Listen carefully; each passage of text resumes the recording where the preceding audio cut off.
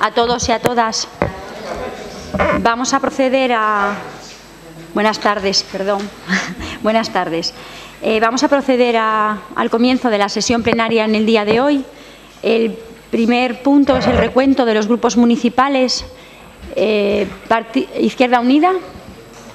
Eh, nos, falta un concejal, lógicamente, estamos siete. Nos falta el que va a tomar posesión. Sí, sí. Estamos completos los que tenemos que estar. Partido Socialista. Completo. Foro. Completo. No ha escrito, Teo. Presente. Partido Popular. Completo. Bueno, pues hallándose eh, todos los miembros de la corporación municipal, eh, procedamos entonces, damos por abierto el pleno y pasamos al punto mm, número uno, que es la aprobación, si procede, del acta de la sesión anterior celebrada con fecha 27 de junio del 2014. ¿Alguna intervención? ¿Votos a favor? Unanimidad. Unanimidad. Pasamos entonces al punto número dos del orden del día, que es la toma de posesión de doña Mónica Menéndez González como concejala del Ayuntamiento de Castrillón. Mónica, si quieres te acercas aquí. Espera un momentito, espera. Sí, voy a dar lectura un poco a los prolegómenos del, acuerdo. Eh, por la Junta Electoral Central ha sido expedida credencial de designación como concejala del Ayuntamiento de Castrillón a favor de doña Mónica Menéndez González por estar incluida en la lista de candidatos presentada por Izquierda Unida de Asturias, Los Verdes, a las elecciones locales de 22 de mayo de 2011 en sustitución por renuncia de lo que quedó enterado el Pleno Corporativo en sesión de 27 de junio de 2014 de doña Ángela Rosa eh, Ballina de la Noval y previa renuncia anticipada de don José Ramón Fernández García. Consta certificada por la Secretaría General que la citada credencial ha sido presentada en el registro del Ayuntamiento de Castrillón con fecha 31 de julio de este año, así como que la candidata ha presentado las preceptivas declaraciones sobre causas de incompatibilidad y bienes patrimoniales. Cumplidos estos requisitos, procede, por establecerlo así el artículo 108.8 de la Ley Orgánica de Régimen Electoral General, que la candidata designada, para adquirir la plena posesión de su cargo, efectúe el juramento o promesa de acatamiento a la Constitución de conformidad con la fórmula diseñada o reseñada por el Real Decreto 707-79 de 5 de abril, a la que a continuación y una vez en presencia de la candidata procederemos a dar lectura. Bueno, y ahora sí, nos ponemos de pie.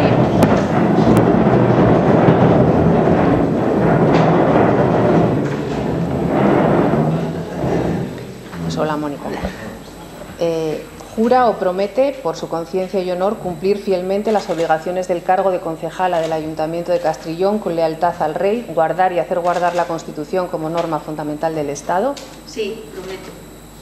A partir de este momento queda posesionada en su cargo como concejala del Ayuntamiento de Castrillón y puede pasar a tomar asiento entre los concejales. Eh, se da cuenta por la Secretaría de que por escrito eh, del Grupo Municipal de Izquierda Unida pasa a integrar este grupo.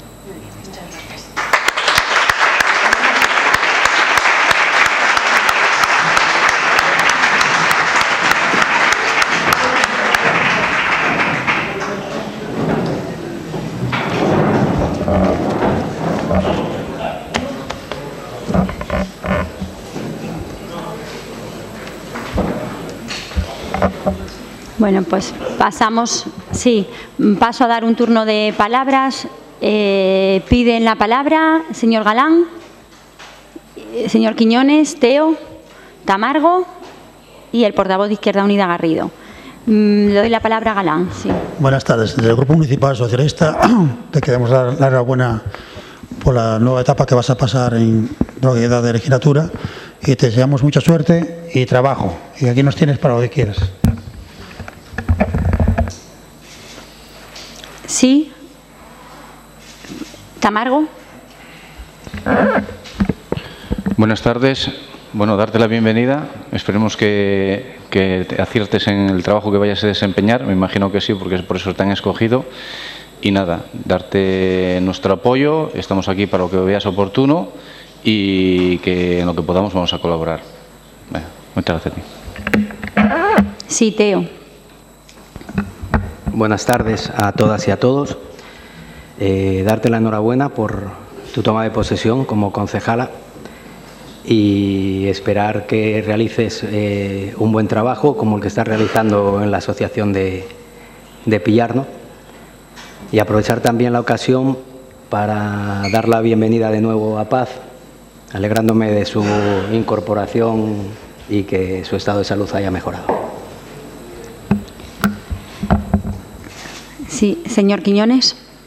Sí, buenas tardes. Nosotros desde el Grupo Popular también felicitamos a la nueva concejala y también le deseamos suerte y acierto porque trabajo y voluntad de servir a Castrillón se le supone, como a todos los miembros de esta corporación y todos los que han pasado por ella, y por tanto nosotros desde nuestra labor de oposición seremos siempre una oposición leal, crítica con lo que se haga mal, pero apoyando, como es costumbre en nuestro, en nuestro trabajo, todo lo que sea bueno para Castrillón y seguro que desarrolla en muchas eh, facetas la nueva concejala.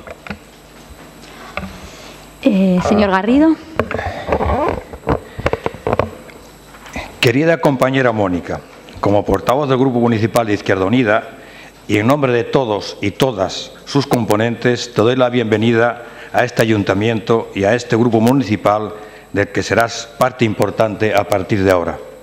Mónica, tienes la suerte de estar aquí en sustitución de una mujer que para mí ha sido y es un hito importante en la vida municipal de este concejo, por ser la primera mujer alcaldesa de este ayuntamiento, pero sobre todo por la capacidad que ha tenido para transformar, cambiar y modernizar este municipio, por su trabajo, dedicación y honestidad, y ahora, por si fuera poco, por ser, si no me equivoco, la primera castrillonense que se convierte en eurodiputada.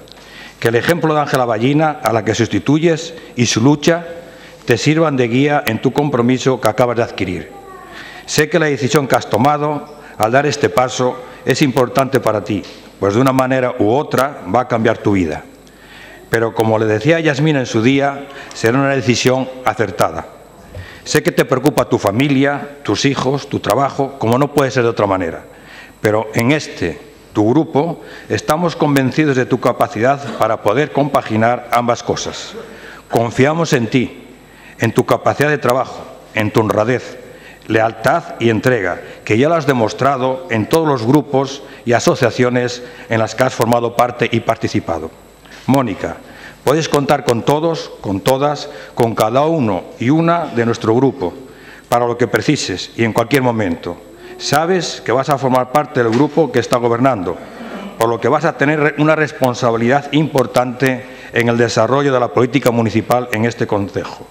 Con tu aportación, y con tu trabajo estamos convencidos y convencidas que vamos a salir más fortalecidos y fortalecidas todos y todas los y las castrillonenses. Vas, a ser un pilar importante en el grupo y sé que estaremos orgullosos y orgullosas de tenerte con nosotros y con nosotras. Gracias por el paso que has sabido dar y bienvenida a tu grupo y a esta tu casa. Sí. Mónica. Sí, Mónica. Bueno, eh, para todo en la vida me imagino que hay una primera vez y yo es la primera vez que me veo en una tesitura así. Nunca eh, ocupé un cargo de esta magnitud y espero hacerlo lo mejor posible. Por ganas de trabajar no quedan y en los primeros momentos pues será, me imagino, una toma de contacto, una forma de organizarse, como bien dice Garrido, tengo que compaginar el trabajo y la casa y el ayuntamiento, como muchos de los que estamos aquí, y supongo que me resultará difícil, pero voy a poner toda la carne en el asador. Muchas gracias a cada uno de vosotros por las palabras de, aliento y de apoyo que me habéis prestado. Gracias y encantada de estar aquí con vosotros.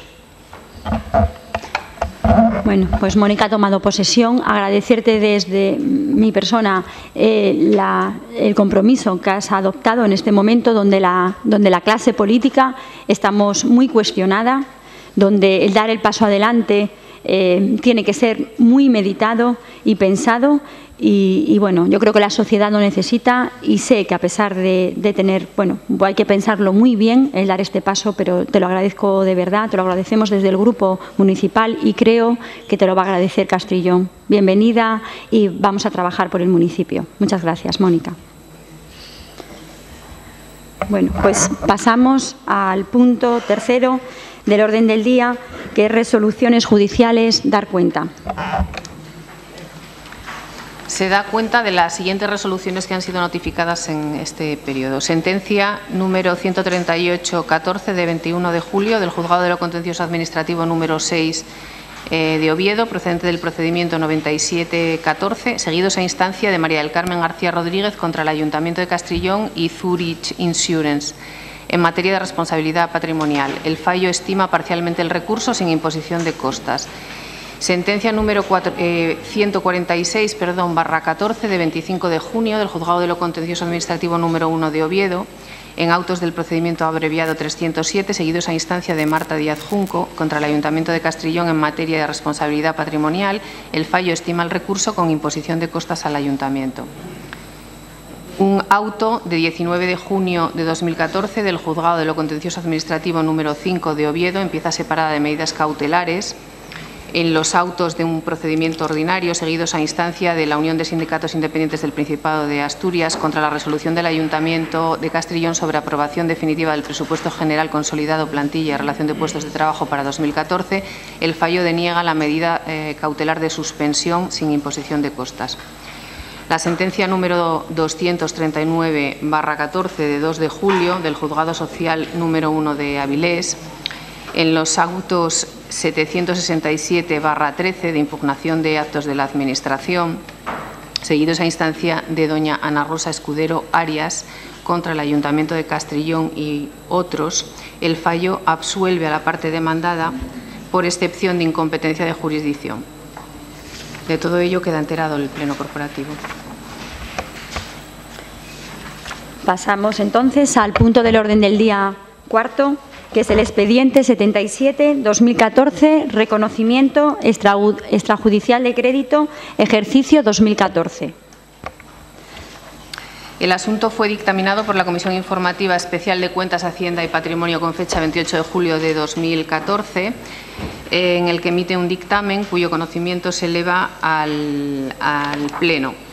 En el dictamen previos los informes de los servicios eh, de obras y servicios municipales y del técnico auxiliar de informática, propone al Pleno la adopción del acuerdo de aprobar las facturas que se relacionan en los antecedentes por un importe de 774,38 euros con cargo a la partida presupuestaria que igualmente se señala procedente de estas facturas del área de secretaría y eh, aprobar unas facturas que igualmente se relacionan en los antecedentes procedentes del área de obras y servicios por un importe total de 1.825,48 euros con cargo a la partida eh, presupuestaria que se indica, quedando la aprobación presente condicionada a la, a la entrada en vigor de la modificación presupuestaria 307-2014 para la aplicación presupuestaria del gasto. Bueno, en este sentido, y como concejala de Hacienda y Patrimonio, indico que las dos primeras facturas están claras y así fue explicado en la Comisión de Hacienda que las que están que las que son del área de secretaría que se responde al contrato de Telefónica Móviles España teníamos que haber tenido ya listo el contrato para el nuevo periodo de contratación y eh, nos estamos demorando en la gestión de, esta, de este contrato y por eso las, las facturas que vienen de la, de la, del servicio de la, de la, empresa que está gestionando este servicio pues vienen a reconocimiento extrajudicial de crédito. Respecto al área de obras y servicios, ya está explicado en la propuesta de acuerdo que eh, tiene que ver con la modificación de crédito que trajimos en el mes anterior a este pleno a aprobación eh, termina la publicación eh, en estos días, creo que hoy ya estaba en vigor, aún así, como se emitieron gastos y no estaba aprobada definitivamente o no había pasado los días de exposición pública y se hizo algún cargo a estas partidas, tenemos que traerlas a reconocimiento extrajudicial de crédito, si bien los servicios se han prestado y por lo tanto los tenemos que reconocer para no demorar tampoco más lo que es eh, el pago a proveedores. ¿Votamos o alguna intervención previa? ¿No? ¿Votos a favor?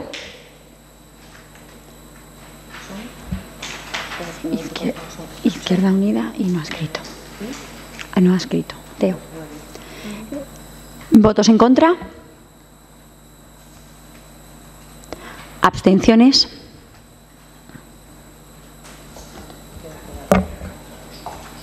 Aprobado por mayoría. ¿Alguna intervención? No. ¿Sí? ¿Tamargo? Bueno, explicación de voto. Eh, bueno, en esto nosotros ya hemos sido reiterativos durante los plenos anteriores. Consideramos que esta figura eh, que está en la ley presupuestaria es una figura extraordinaria y excepcional y una vez más, debido a la improvisación, nos encontramos con un reconocimiento extrajudicial de crédito. Unas veces porque el contrato no está hecho a tiempo y otras veces porque, bueno, como se sabe que en el pleno hay mayoría, pues se tira para adelante, total, que más da? En el pleno lo voy a aprobar y ya está. Pero yo creo que esto no es el procedimiento normal de aprobación de gasto que establece la ley y seguiré diciéndolo tantas veces como parece reconocimiento extrajudicial de crédito. Eh, bueno, entonces esta es una, esto es una vez más y yo por lo tanto lo, repito. Hasta luego. Bueno, pues una vez más, desde el desde, la corporación, desde el Gobierno municipal reiteramos que el reconocimiento extrajudicial de crédito es una metodología totalmente que entra en transparencia del proceder del Ayuntamiento de Castrillón. Lo que no sería un proceder correcto sería no traerlo a reconocimiento extrajudicial en el Pleno. Es la fórmula que existe para reconocer las facturas que claramente han tenido algún problema a lo largo de su desarrollo. En este caso, eh, Telefónica Móviles está explicado que no hemos podido proceder al contrato y no voy a explicar más en este caso, porque yo creo que ya es conocido por parte de toda la corporación municipal. En el caso del área de obras y servicios, admitimos el error, es decir, se ha procedido a ejecutar el gasto sin tener la consignación económica tramitada debidamente en el Boletín Oficial del Principado de Asturias, porque acaba hoy hemos reconocido el error y yo creo que, el proceder es traerlo a reconocimiento extrajudicial de, de, crédito. Estamos admitiéndolo. Es un error, lo admitimos y es el proceder correcto que tiene que adoptar el Gobierno. Si en todo el año cuenta las facturas que han venido a reconocimiento extrajudicial de crédito y lo compara con el total de las facturas que manejamos, es ridículo el porcentaje. En algún caso siempre existe eh, se puede desvirtuar y la gestión de las facturas es muy ardua y es normal que se produzca este tipo de situaciones. el tema que tenemos que intentar manejar es que se produzca en el menor número posible de facturas y es lo que estamos intentando. Señor Tamargo.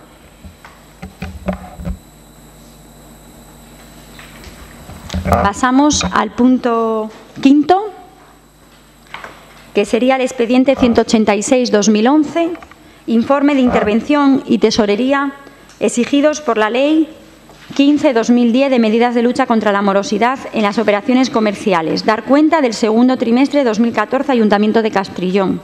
Vendrían a ser, lo digo por también resumir un poco, ¿eh?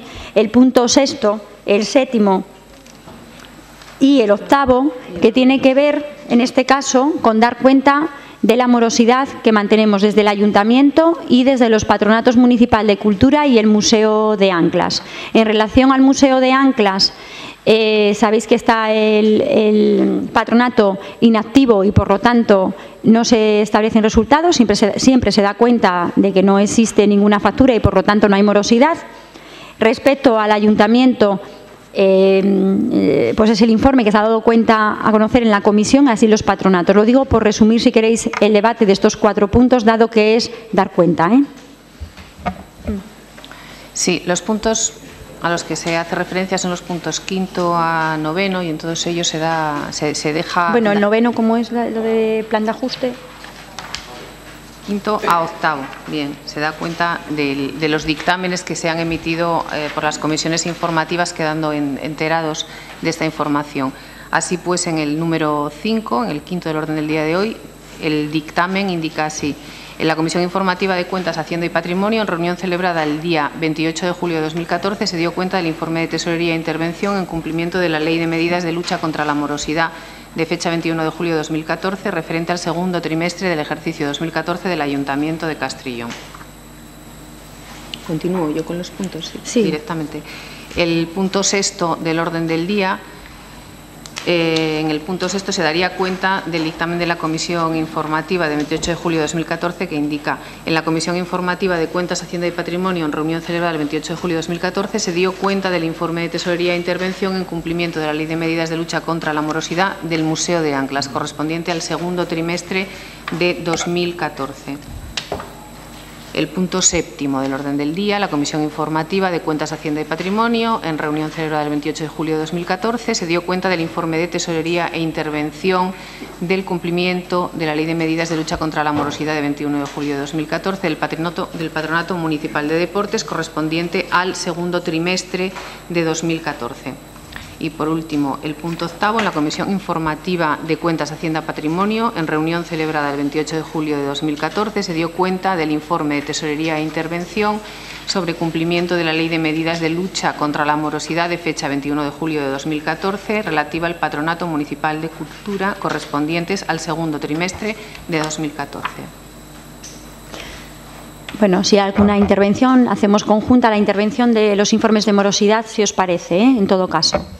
Sí, hacemos intervención conjunta, ¿eh? dar cuenta. Sí, señor Quiñones. ¿Hay alguna intervención más? ¿No? Señor Quiñones. Bien, eh, nosotros nos parece positivo el que la- el ayuntamiento esté, eh, bueno, haya bajado su, su plazo de, pago, en el sentido de que ahora estamos en, en 46,05 días, lo que se paga dentro de los 60 días, 30 más 30, que es el plazo eh, legal de pago actual.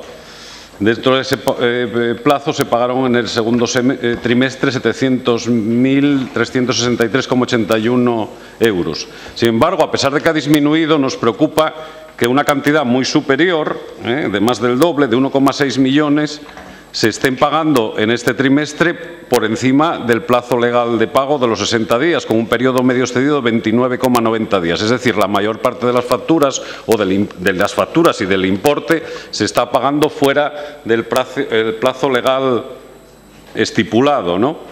O sea, 89,90 días, si sumamos esos 29,90 días a los 60, que sería el plazo legal de pago. Y esto después de que Después de que se haya publicado en el boletín de ayer, precisamente, en el boletín oficial del Estado, un Real Decreto que aprobó el Consejo de Ministros el viernes pasado y que yo tengo aquí,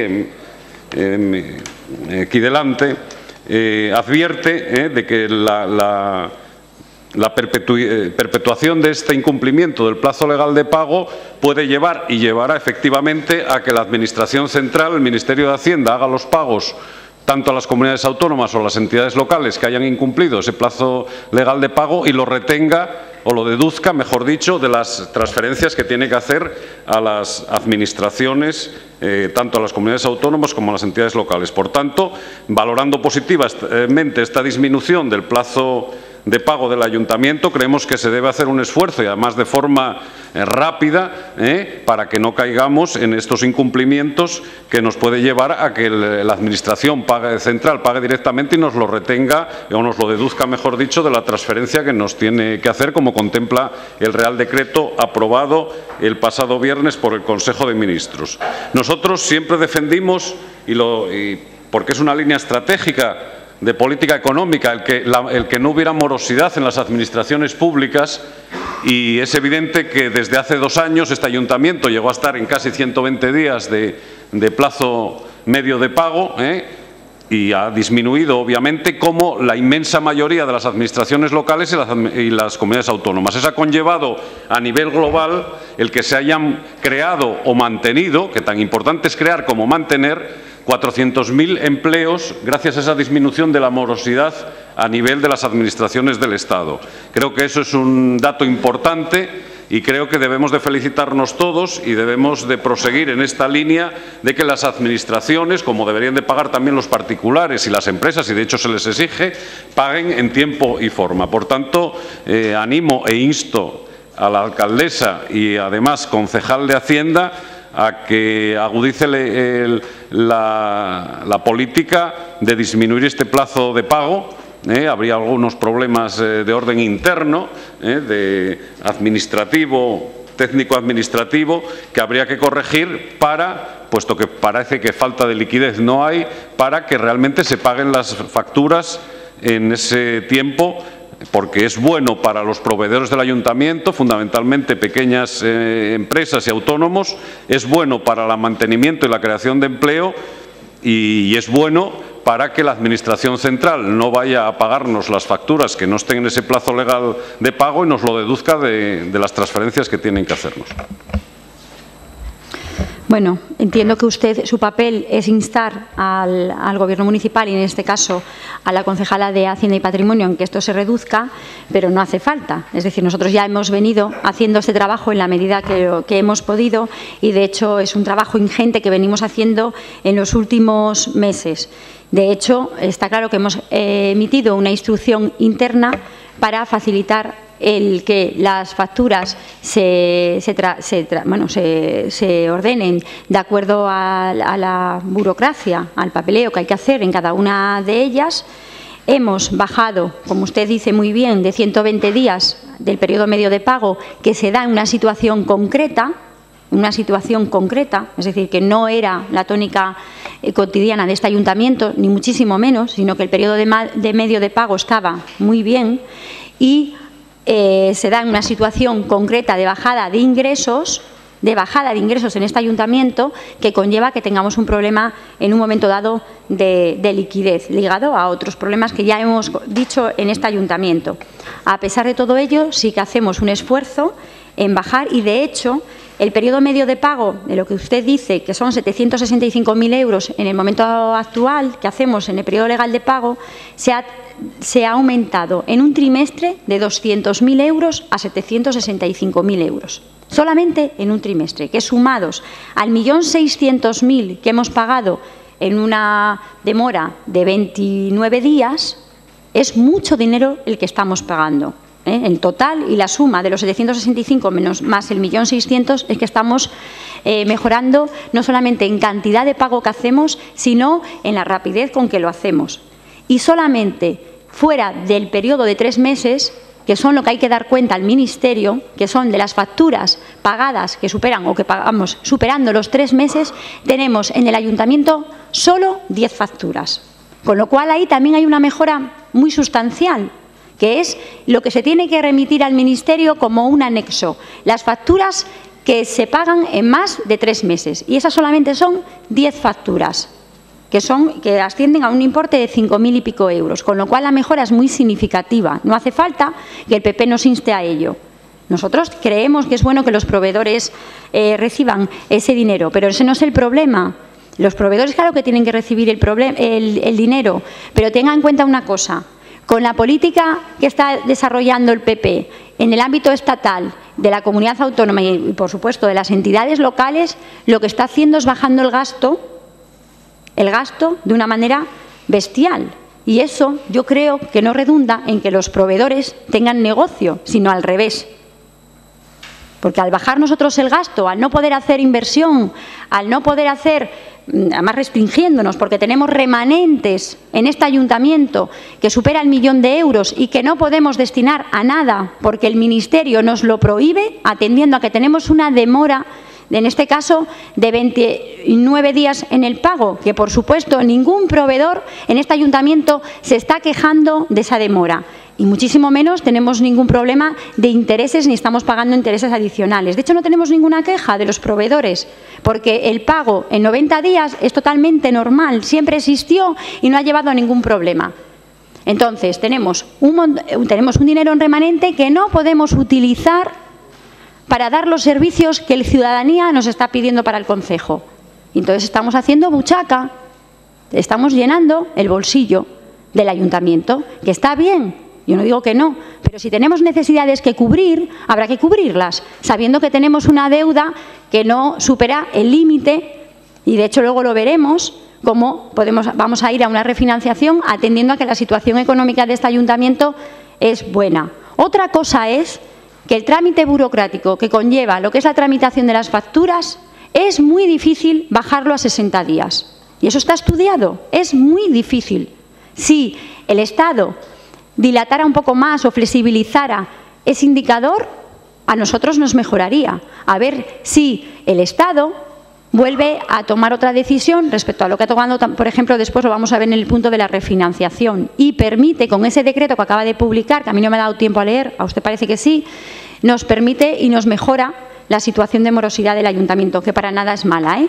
Para nada es mala. Estamos en una situación de pago inferior a 90 días y eso me parece que es fabuloso, con 10 facturas que superan esos, esos tres meses. Y en los patronatos tenemos una factura que supera esos tres meses, que asciende, no sé si en el de cultura, a 200 euros y en el de deportes a 900 euros, con la cual la situación es buena. No es nada preocupante ni nada que nos haga pensar que estamos en una situación de caos. Estamos en una situación saneada, no es un problema de liquidez, podemos pagar perfectamente, lo que pasa que nos están exigiendo que lo hagamos en un tiempo récord. ¿Que tenemos que hacerlo? Lo haremos, porque es nuestra, nuestra obligación. Insisto, el empleo, el, gasto lo, ha bajado el Partido Popular, que no nos deja hacer más gasto. Y eso verdaderamente es lo que está quebrando eh, a las empresas. ¿eh? La imposibilidad de poder desarrollar más gasto, en este caso. Turno de réplica.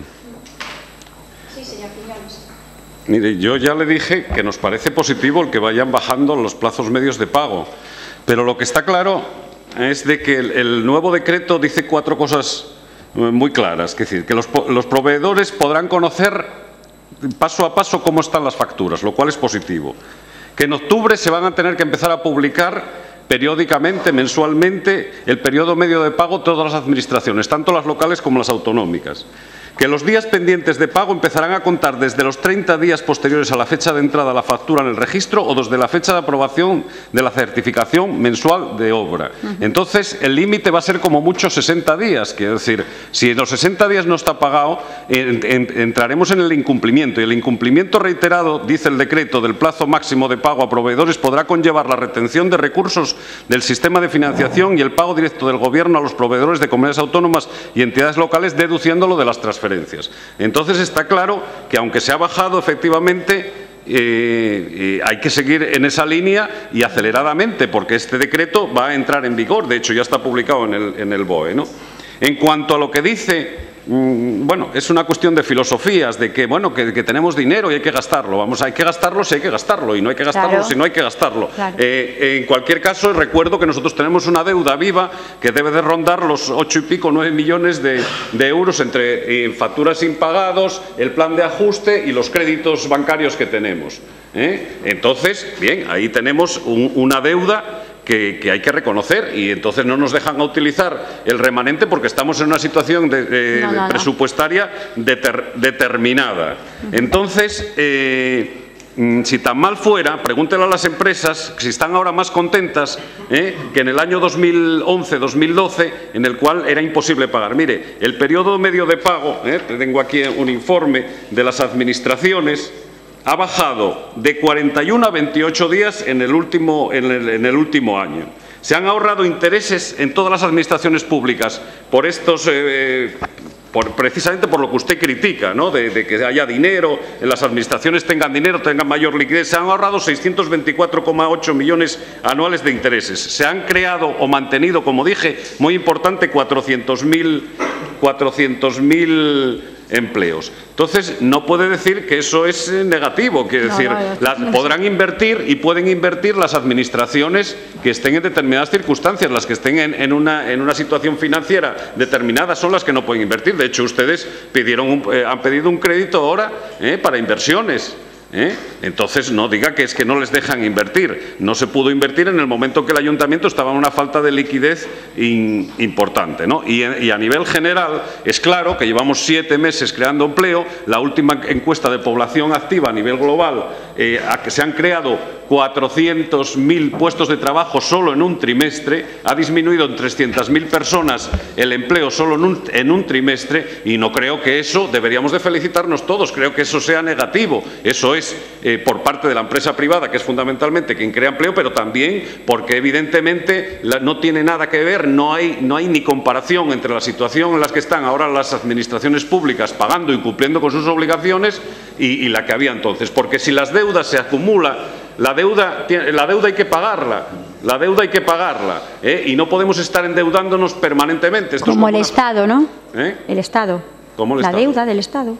Sí, sí, la, deuda, del Estado, evidentemente, habrá que pagarla, claro. Y solo hay dos maneras, quiero decir, o, la afrontamos ahora, o, iremos a la quiebra, o si no, lo transmitiremos a nuestros hijos. Quiero decir, porque el dinero, el dinero, eh, el dinero, evidentemente, es el que es, y si no se tiene dinero ni se puede pedir porque no te los dan, porque no estás en una suficiencia financiera para, para amortizarlo, pues evidentemente no, no hay nada que hacer. Entonces el, el, tema de que, oye, que tenemos dinero y por qué acumulamos dinero, no, tenemos dinero, pero tenemos unas deudas considerables también, que no es una deuda alarmante, pero son unas deudas considerables. Y por supuesto, el Ayuntamiento de Castrillón va a invertir este año y ya han pedido eh, un préstamo para inversiones. Dentro del presupuesto, señor Quiñones. ¿Ha terminado? bien, bien, pero usted parece a entender de que no se le ha permitido al Ayuntamiento de Castrillón invertir nada, ni una peseta, no es cierto. A ver, el Ayuntamiento de Castrillón ha invertido dentro del presupuesto. ¿Sabe usted que en marzo se cierra el ejercicio presupuestario y da lugar al remanente? Y sabe usted que el remanente se puede utilizar si se cumplen determinados criterios. Usted sabe que tenemos un millón, ciento y pico mil euros de remanente. Usted tiene que saber también que ese remanente se puede utilizar solamente para determinadas cuestiones. Y para utilizar ese remanente tenemos que hallarnos en una situación de cero de morosidad, que es un tema que estamos corrigiendo. Vale, entonces no podemos utilizar el remanente como queramos. Eso en principio, a pesar de que la situación económica del ayuntamiento tiene otros indicadores que los cumple perfectamente. Eso es así. Entonces no digan que podamos utilizar remanente. Remanente solamente se lo podemos utilizar para determinadas cosas y si se cumplen una serie de criterios. ¿Vale? Eso, eso en primer lugar. Luego, 400.000 empleos, me dice. Si tuviéramos más inversiones y más posibilidad de generar más gasto, está claro que tendríamos en vez de 400.000 más empleos. Y no me venda la moto de los empleos, porque cuando tenemos 5 millones de parados, no me puede vender que, que 300.000 parados menos que habrá que dar, porque la gente que se ha marchado en, en época de verano, ligada al turismo, pueda vender eso como si fuera el reino del mambo. Porque vamos, cualquier parado que estaría entre el público y cualquier parada se echaría un poco a reír. Si usted considera eso un éxito, después de los años que llevan en el gobierno y que no hayan conseguido parar esta, este descalabro y estos datos de empleo, cuando, cuando después de, de, entrar en el gobierno supuestamente ustedes iban a bajar el paro a unos ritmos acelerados, iban a entrar al gobierno y vamos a estar ya sin paro. Señor Garrido, le doy la palabra. Sí, eh, yo no contaba intervenir en este tema porque el punto es información eh, sobre el tema de, tesorería.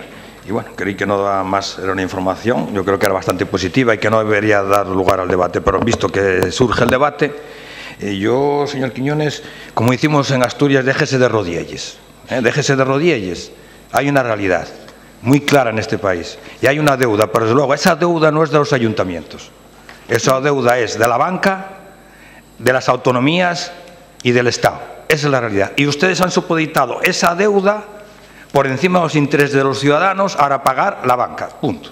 Esa es la realidad que ha venido a este país. Lo demás, adórnalo usted como quiera, vístalo como, como usted le dé la gana, pero es una realidad real. Es decir, priorizamos la banca. Y las necesidades de los ciudadanos son muchas, y en esta época de crisis muchas más. Y los ayuntamientos tienen dinero todavía para, para endeudarse una capacidad grande de endeudamiento todavía. Bueno, no hace mucho, ya no digo que estaba por encima del 100%. Y hoy día, pues, eh, quien está cumpliendo precisamente los deberes, quien los está cumpliendo precisamente son las administraciones. Lógicamente, lógicamente, si las administraciones gastan menos, las, las locales, si las administraciones locales gastan menos y ahorran, es en perjuicio de los vecinos de solucionar los problemas reales de los vecinos, de los problemas que están a la puerta de casa. Pero las administraciones que más endeudados están y que eh, siguen endeudando son precisamente las autonómicas y la nacional. Por tanto, las deudas no son malas, siempre y cuando se puedan asumir. ¿Qué familia no está endeudada? Hay muchas familias endeudadas y pagando, muchas. El problema es que, el, que el endeudamiento te permita hacer frente a él y, ir, para, adelante y trabajando. Y las administraciones están, básicamente, excepto media docena de ellas, que por desgracia estaban todas en sus manos. Ese es el problema real y hay que decirlo. ¿Y por qué la Administración tiene que pagar en 30 días si las empresas privadas pagan como mínimo 90? Juguemos con las mismas reglas de juego, todos. Porque hay que exigirle a la Administración que pague y, a las, y las empresas privadas pagan de 90 días en adelante. Muchas, mucho más. Si el problema de la pequeña y mediana empresa no era de la Administración, no eran las deudas de la Administración. Si la pequeña y mediana empresa sabían que de la Administración iban a cobrar, tarde, mal y nunca. Eso es lo que está pasando con la, empresa privada, que no cobran, porque la empresa privada quiebra, no hay por dónde cogerlos, y esas pequeñas y medianas empresas que se dedican a poner ventanas, a poner cristales, a pintar, a la fontanería, quedaron sin cobrar un duro. Pero de las empresas privadas, de la administración, van a cobrar. Tardarán tres meses, seis meses, un año, pero terminan cobrando, porque hay donde cogerlos. Pero la privada no. Y ustedes con la privada no dicen nada, al contrario, al contrario, le están dando más alas continuamente más salas, más beneficios, que despidan mejor, que hagan lo que quieran, el reino de taifas. Pero la, pero la administración pública, sobre todo los ayuntamientos, les caen todas. Pero si es que hasta las reformas que están haciendo atacan a la pequeña, con estas mociones que vamos a tener a continuación de la elección de alcaldías, pero porque no lo plantean a nivel del Estado, al presidente del Gobierno, al presidente de las autonomías. Pero es que, que ustedes las reformas que están haciendo siempre son los más débiles a los ayuntamientos, porque no les interesa a ustedes como Partido Popular que la, que la ciudadanía esté alrededor de, una administración próxima, cerca, que participe en la democracia. No les interesa lo más mínimo y como tal quieren destruirla. Y por eso quieren ahogarla con la ley que acaban de aprobar en diciembre, con todo este sistema de leyes que están intentando sacar, incluso ahora con el tema de la morosidad, que lo que pretenden es que no invirtamos, que no gastamos, que no solucionamos los problemas del ciudadano de a pie. Pero eso sí, no faltaba más. A la empresa, a la gran empresa y a la banca hay que pagarle los intereses porque no queda otro remedio, porque lo han cambiado hasta la Constitución. Esa es la realidad. Pero ¿qué problemas hay que un ayuntamiento se endeude, para solucionar los problemas de los vecinos? Para ayudarles a pagar la renta final de mes, para ayudarles a pagar la electricidad, para ayudarles a pagar las medicinas. ¿Qué problemas hay si el ayuntamiento puede asumir esa deuda? Pero déjenos a nosotros administrar, que seamos nosotros han elegido sus vecinos, los ciudadanos, los que tengamos esa capacidad de decidir hasta dónde podemos llegar. Y cuando lo hagamos muy mal, que nos echen al que esté gobernando. Pero los ciudadanos, pero no, no. Tiene que venir un señor de Madrid que dice cómo tenemos que endeudarnos, cómo tenemos que gastar, en qué condiciones. Pero ¿qué es esto? Que coja ese señor de Madrid todos los ayuntamientos del país y que los gobierne él.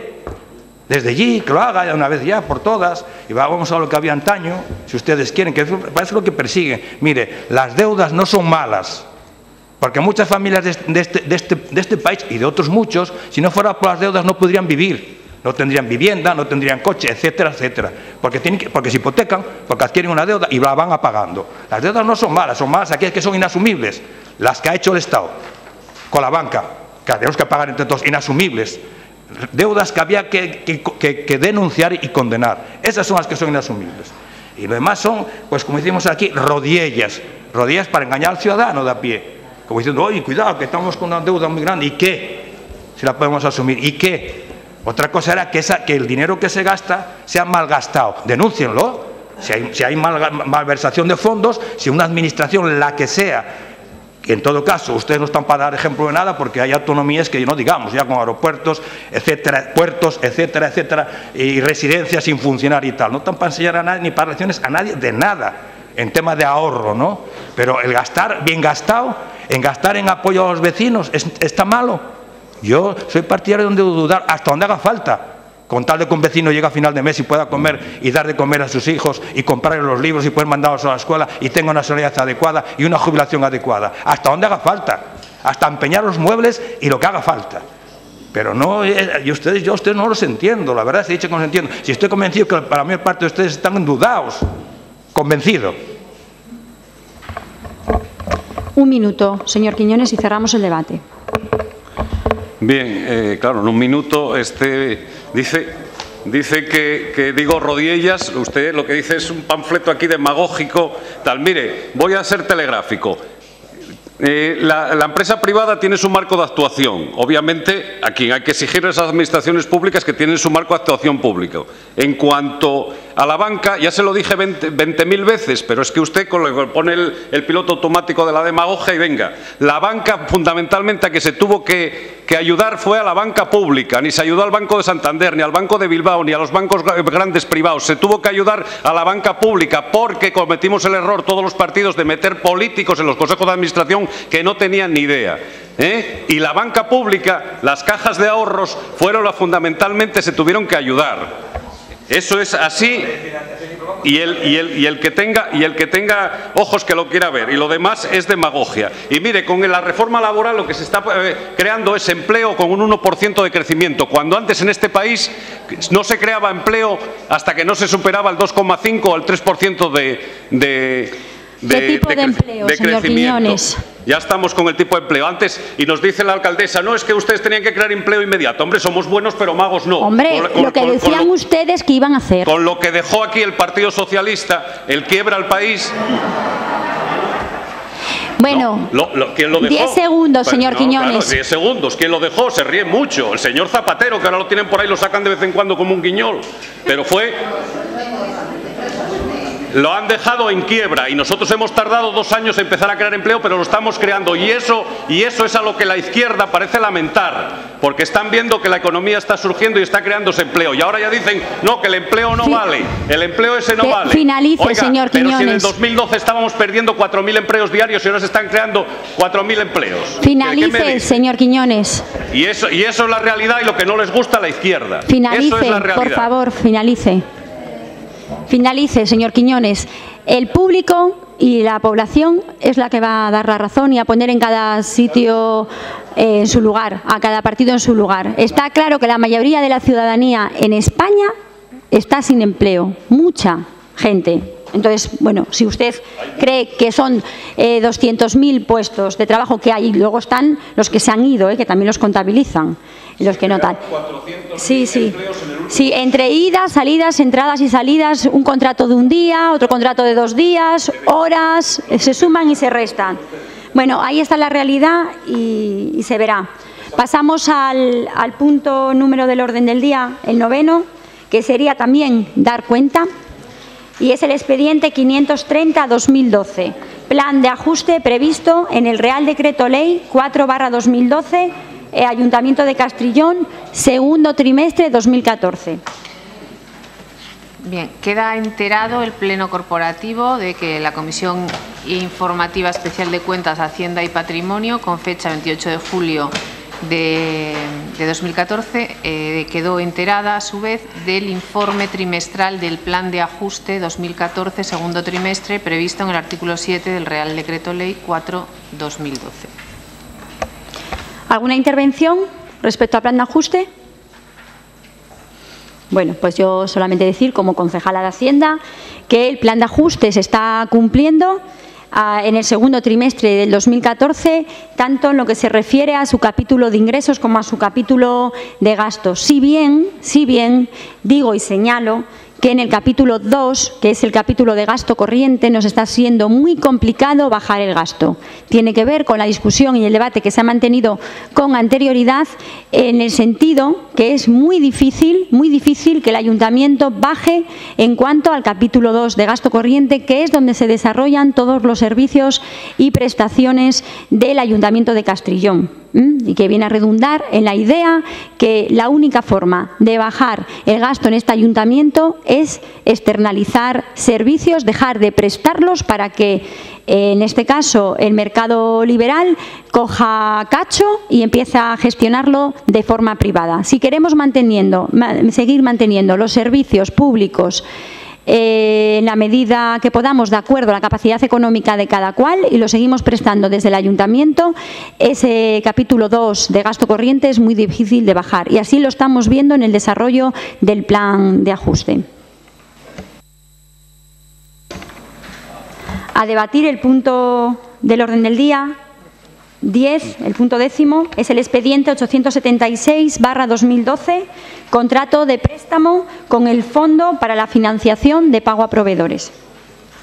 El asunto fue dictaminado por la Comisión Informativa Especial de Cuentas, Hacienda y Patrimonio con fecha 28 de julio de 2014, con la siguiente propuesta de acuerdo que eleva al Pleno. En primer lugar, aprobar el pliego de condiciones técnicas y administrativas para la concertación de una operación de préstamo que se une como anexo destinada a la refinanciación del contrato de préstamo concertado en su día con el Fondo para la Financiación de Pagos a Proveedores a través del Banco Santander Central Hispano por un importe de 2.232.222,72 euros o, en su caso, la cantidad inferior que quedare pendiente de amortizar en la fecha de formalización de la operación. En segundo lugar, proceder a la apertura del procedimiento de selección mediante invitación expresa a entidades financieras en los términos establecidos en la cláusula séptima de las condiciones administrativas de aplicación para que puedan eh, presentar su oferta en el plazo de los siete días hábiles siguientes al de la recepción de la notificación. Bueno, pues en este sentido, eh, saben ustedes que en el pleno del mes pasado, hace muy poquitos días, trajimos a aprobación eh, una reducción del tipo de interés de acuerdo a un acuerdo que se había adoptado en el Ministerio de Hacienda eh, en el sentido que estábamos pidiendo desde las administraciones locales que se bajara las condiciones del tipo de interés que estaba ligado a los planes de ajuste y a los y, al, bueno, y a los préstamos que, se había, que habíamos accedido para llevar a cabo esos planes de ajuste atendiendo a que estábamos en una situación de no poder refinanciar la deuda y que nos situaba con unos intereses de esos préstamos muy superiores a lo que estábamos en el mercado libre de, licitación de préstamos. Así estábamos desde el año 2011 pagando solamente intereses eh, de los 2.300.000 que habíamos ido con el plan de ajuste a un 5,5, cuando estábamos obteniendo en el resto de préstamos del ayuntamiento un tipo de interés del 1, 9 más el 0,5 del Euribor, es decir, en unas situaciones muchísimo más ventajosas. Hemos defendido en aquel pleno, desde Izquierda Unida, la necesidad de que desde el Ministerio se adoptara la posibilidad de la refinanciación de esa deuda que expresamente venía, mm, se anulaba por parte del Ministerio desde el principio. Eh, bueno, pues en aquel debate se insistió por parte de, Izquierda Unida que la posición era lo lógico ir a una refinanciación. Desde el Partido Popular se defendía que era la situación que había. Aún así, sometimos a votación ese acuerdo de bajada de punto de interés que nos situaba en un 4,2% del tipo de interés, siempre condicionado, según la instrucción ministerial, a eh, bueno, pues que desde el ayuntamiento asumiéramos compromisos que tenía que ver con la plataforma Emprenden 3, con la plataforma, con la subida a una plataforma para el pago de facturas o para los proveedores y alguna otra cuestión.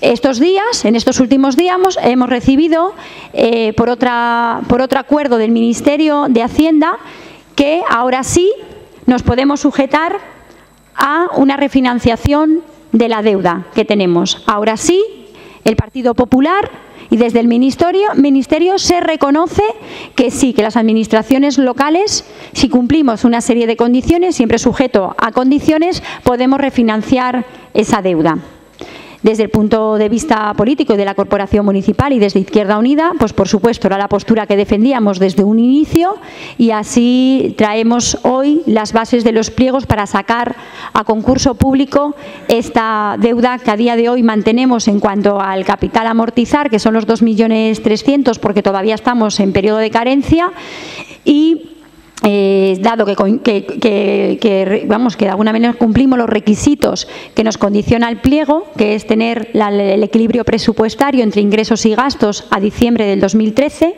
el nivel de deuda que tenemos en este ayuntamiento, que dado que no tenemos una deuda alta podemos hacer esta refinanciación y a que cumplimos la regla de gasto. Esos tres condicionantes que cumplimos, es decir, que estamos en una situación económica más o menos tranquila, nos permite refinanciar saldar la deuda. Y, por supuesto, como lo defendíamos antes y lo seguimos defendiendo ahora, sabiendo que nuestro tipo de interés se puede venir quedar reducido de un 4,2 que todavía no está en vigor, a un 2,5, pues lo traemos a aprobación. Eso supone una reducción de los intereses que tenemos a lo largo de toda la vida del préstamo, porque es para los siete años y nueve meses que quedan, pues una, una reducción de los intereses en 275.000 euros aproximadamente en esos siete años.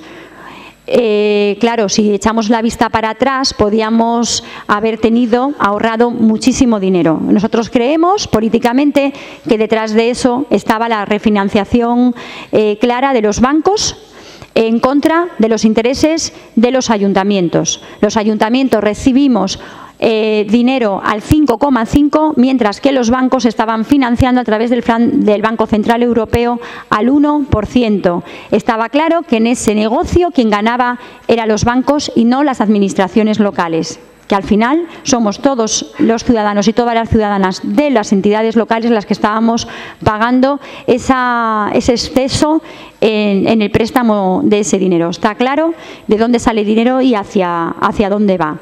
Por eso traemos hoy aquí aprobación este pliego de condiciones que en todo caso creemos que nos puede situar el tipo de interés de este, este dinero que nos resta por pagar en 2,5 aproximadamente de media y que nos va a suponer un ahorro en los, en los intereses. ¿Intervenciones? Sí, señor Quiñones. ¿Algo más? ¿Alguien más? Y señor Quiñones. Bien, nosotros vamos a apoyar esta, esta medida, esta propuesta, porque consideramos que todo lo que vaya en beneficio del Ayuntamiento de Castrillón y el que se reduzcan los intereses va en beneficio del Ayuntamiento de Castrillón, pues es, eh, es positivo y por eso vamos a, a apoyarlo. Y en relación al mantra ya, del mantra, bueno, es que son unos mantras, eh, lo de los niños pobres, lo de las, eh, eh, apoyar a no sé quién y tal. Los paraos, efectivamente, hay cinco millones de paraos, pero había seis y ahora hay cinco. ¿Eh? Que entres en el debate, señor Quiñones. Estamos con el plan de proveedores. Usted, también sale con la banca y espero ahora referirme a ella. Estamos refiriéndonos a la banca, a, tipos de interés. Bien, ¿eh? pero bueno, eh, está todo relacionado con el debate anterior y el, posterior, ¿no? Quiere decir que antes había 6 millones y ahora hay 5, y parece que no es, no es bueno. Quiere decir, pues el mantra de la banca, la banca ya lo sacó antes el portavoz del, del Partido de Izquierda Unida o de la coalición, y ahora lo vuelve a sacar la, alcaldesa, siempre con el mantra de que estamos favoreciendo a la banca. Mire, el Ayuntamiento de Castrillón, lo digo por enésima vez, entró en el plan de ajuste y estaba en una situación de morosidad con dos millones y pico de, euros sin pagar en 31 de diciembre de 2011 por su gestión. No por la del señor Montoro ni la del señor Emilio Botín del Banco Santander, por su gestión. Y estaba en morosidad por su gestión. Y hay que estar a las duras y a las maduras, porque no vale solo presumir de inversiones. ¿eh? Dice, no, es que hicimos cosas. Eh, ¿Dónde están las cosas que hicimos? Ya se lo digo muchas veces. Ahí está la piscina cerrada para verla. Todavía acabo de venir. Siempre pienso, medio millón de euros aquí enterrados, aquí durmiendo el, sueño de los justos. Y podría sacar mucho más. ¿eh? Bosques, no sé cómo, ecológicos, carriles bicis por ahí que, nadie utiliza, etcétera, etcétera, etcétera. ¿no? Podríamos hablar mucho de las inversiones. Unas fueron buenas, otras regulares y otras rematadamente mal. En cualquier caso, no vale solo presumir de las inversiones, sino también hay que asumir la morosidad. Y ustedes entraron en el plan de ajuste, que no entraron otros ayuntamientos de la comarca, porque estaban en una situación de morosidad y tuvieron que pagar el, pedir el, préstamo porque estaban en una situación de morosidad. Y eso es su gestión. O sea que hay que estar a las duras y a las maduras. ¿Eh? Entonces déjese ya. Ahora efectivamente eh, eh, bajan los intereses, se hace una licitación. Bien, pues está bien, va en, una línea positiva y nosotros lo apoyamos. Pero es que siempre parece que ustedes no tienen responsabilidad de nada. Sí la tienen, solo de lo bueno. Lo, negativo no, ustedes nunca hicieron nada mal. Ustedes hicieron muchísimas cosas mal. Podríamos hablar de muchísimas cosas mal de las que hicieron, lo que pasa que muchas veces cortan el debate. Entonces hay que asumir los errores y hay que asumir las situaciones. Y ustedes fueron los que originaron esa situación. Entonces, no vengan aquí a derivar responsabilidades y ustedes, ya digo, solo se ponen medallas para lo bueno, pero nunca asumen ninguna situación que sea negativa. Y, uno cuando está en política y sobre todo cuando está gobernando hay que asumir las maduras, pero también las duras. Señor Quiñones, antes de pasarle la palabra al señor Garrido, insisto, nosotros estábamos en una situación de morosidad porque veníamos de un sinfín de inversiones de una legislatura en la que se había invertido muchísimo dinero. Cuando se invierte muchísimo dinero, hay una situación de digerir eso. Lo hemos hablado en muchísimas ocasiones. Pero es que esa morosidad, si nos hubiera permitido el Ministerio, podíamos haber ido a una operación de préstamo de forma autónoma con el banco. Pero es que el Ministerio nos exigía que a 31 de diciembre aquellos ayuntamientos que en marzo tenían esas facturas sin pagar, tuvieran que sujetarse al plan de ajuste de forma obligatoria. Nosotros podíamos haber encargado una operación de préstamo con una entidad, entidad bancaria al interés que nosotros hubiéramos querido y con el banco que nosotros hubiéramos querido y nos lo hubiera permitido porque estábamos en una deuda inferior a la que tenían otros ayuntamientos, se coincide que la mayoría de ellos eran del Partido Popular. Y lo que hizo el Partido Popular fue, se lo dije en, en el pleno anterior, fue tomar una decisión para todo España en general, para salvar a sus ayuntamientos. Porque si no, hubiera cogido a los ayuntamientos que estaban con una deuda excesiva y lo hubiera llamado a, a capítulo y les hubiera dicho, usted, usted y usted, pues tener una deuda del 120, del 130, del 140, del 200%, tienen que desarrollar esto.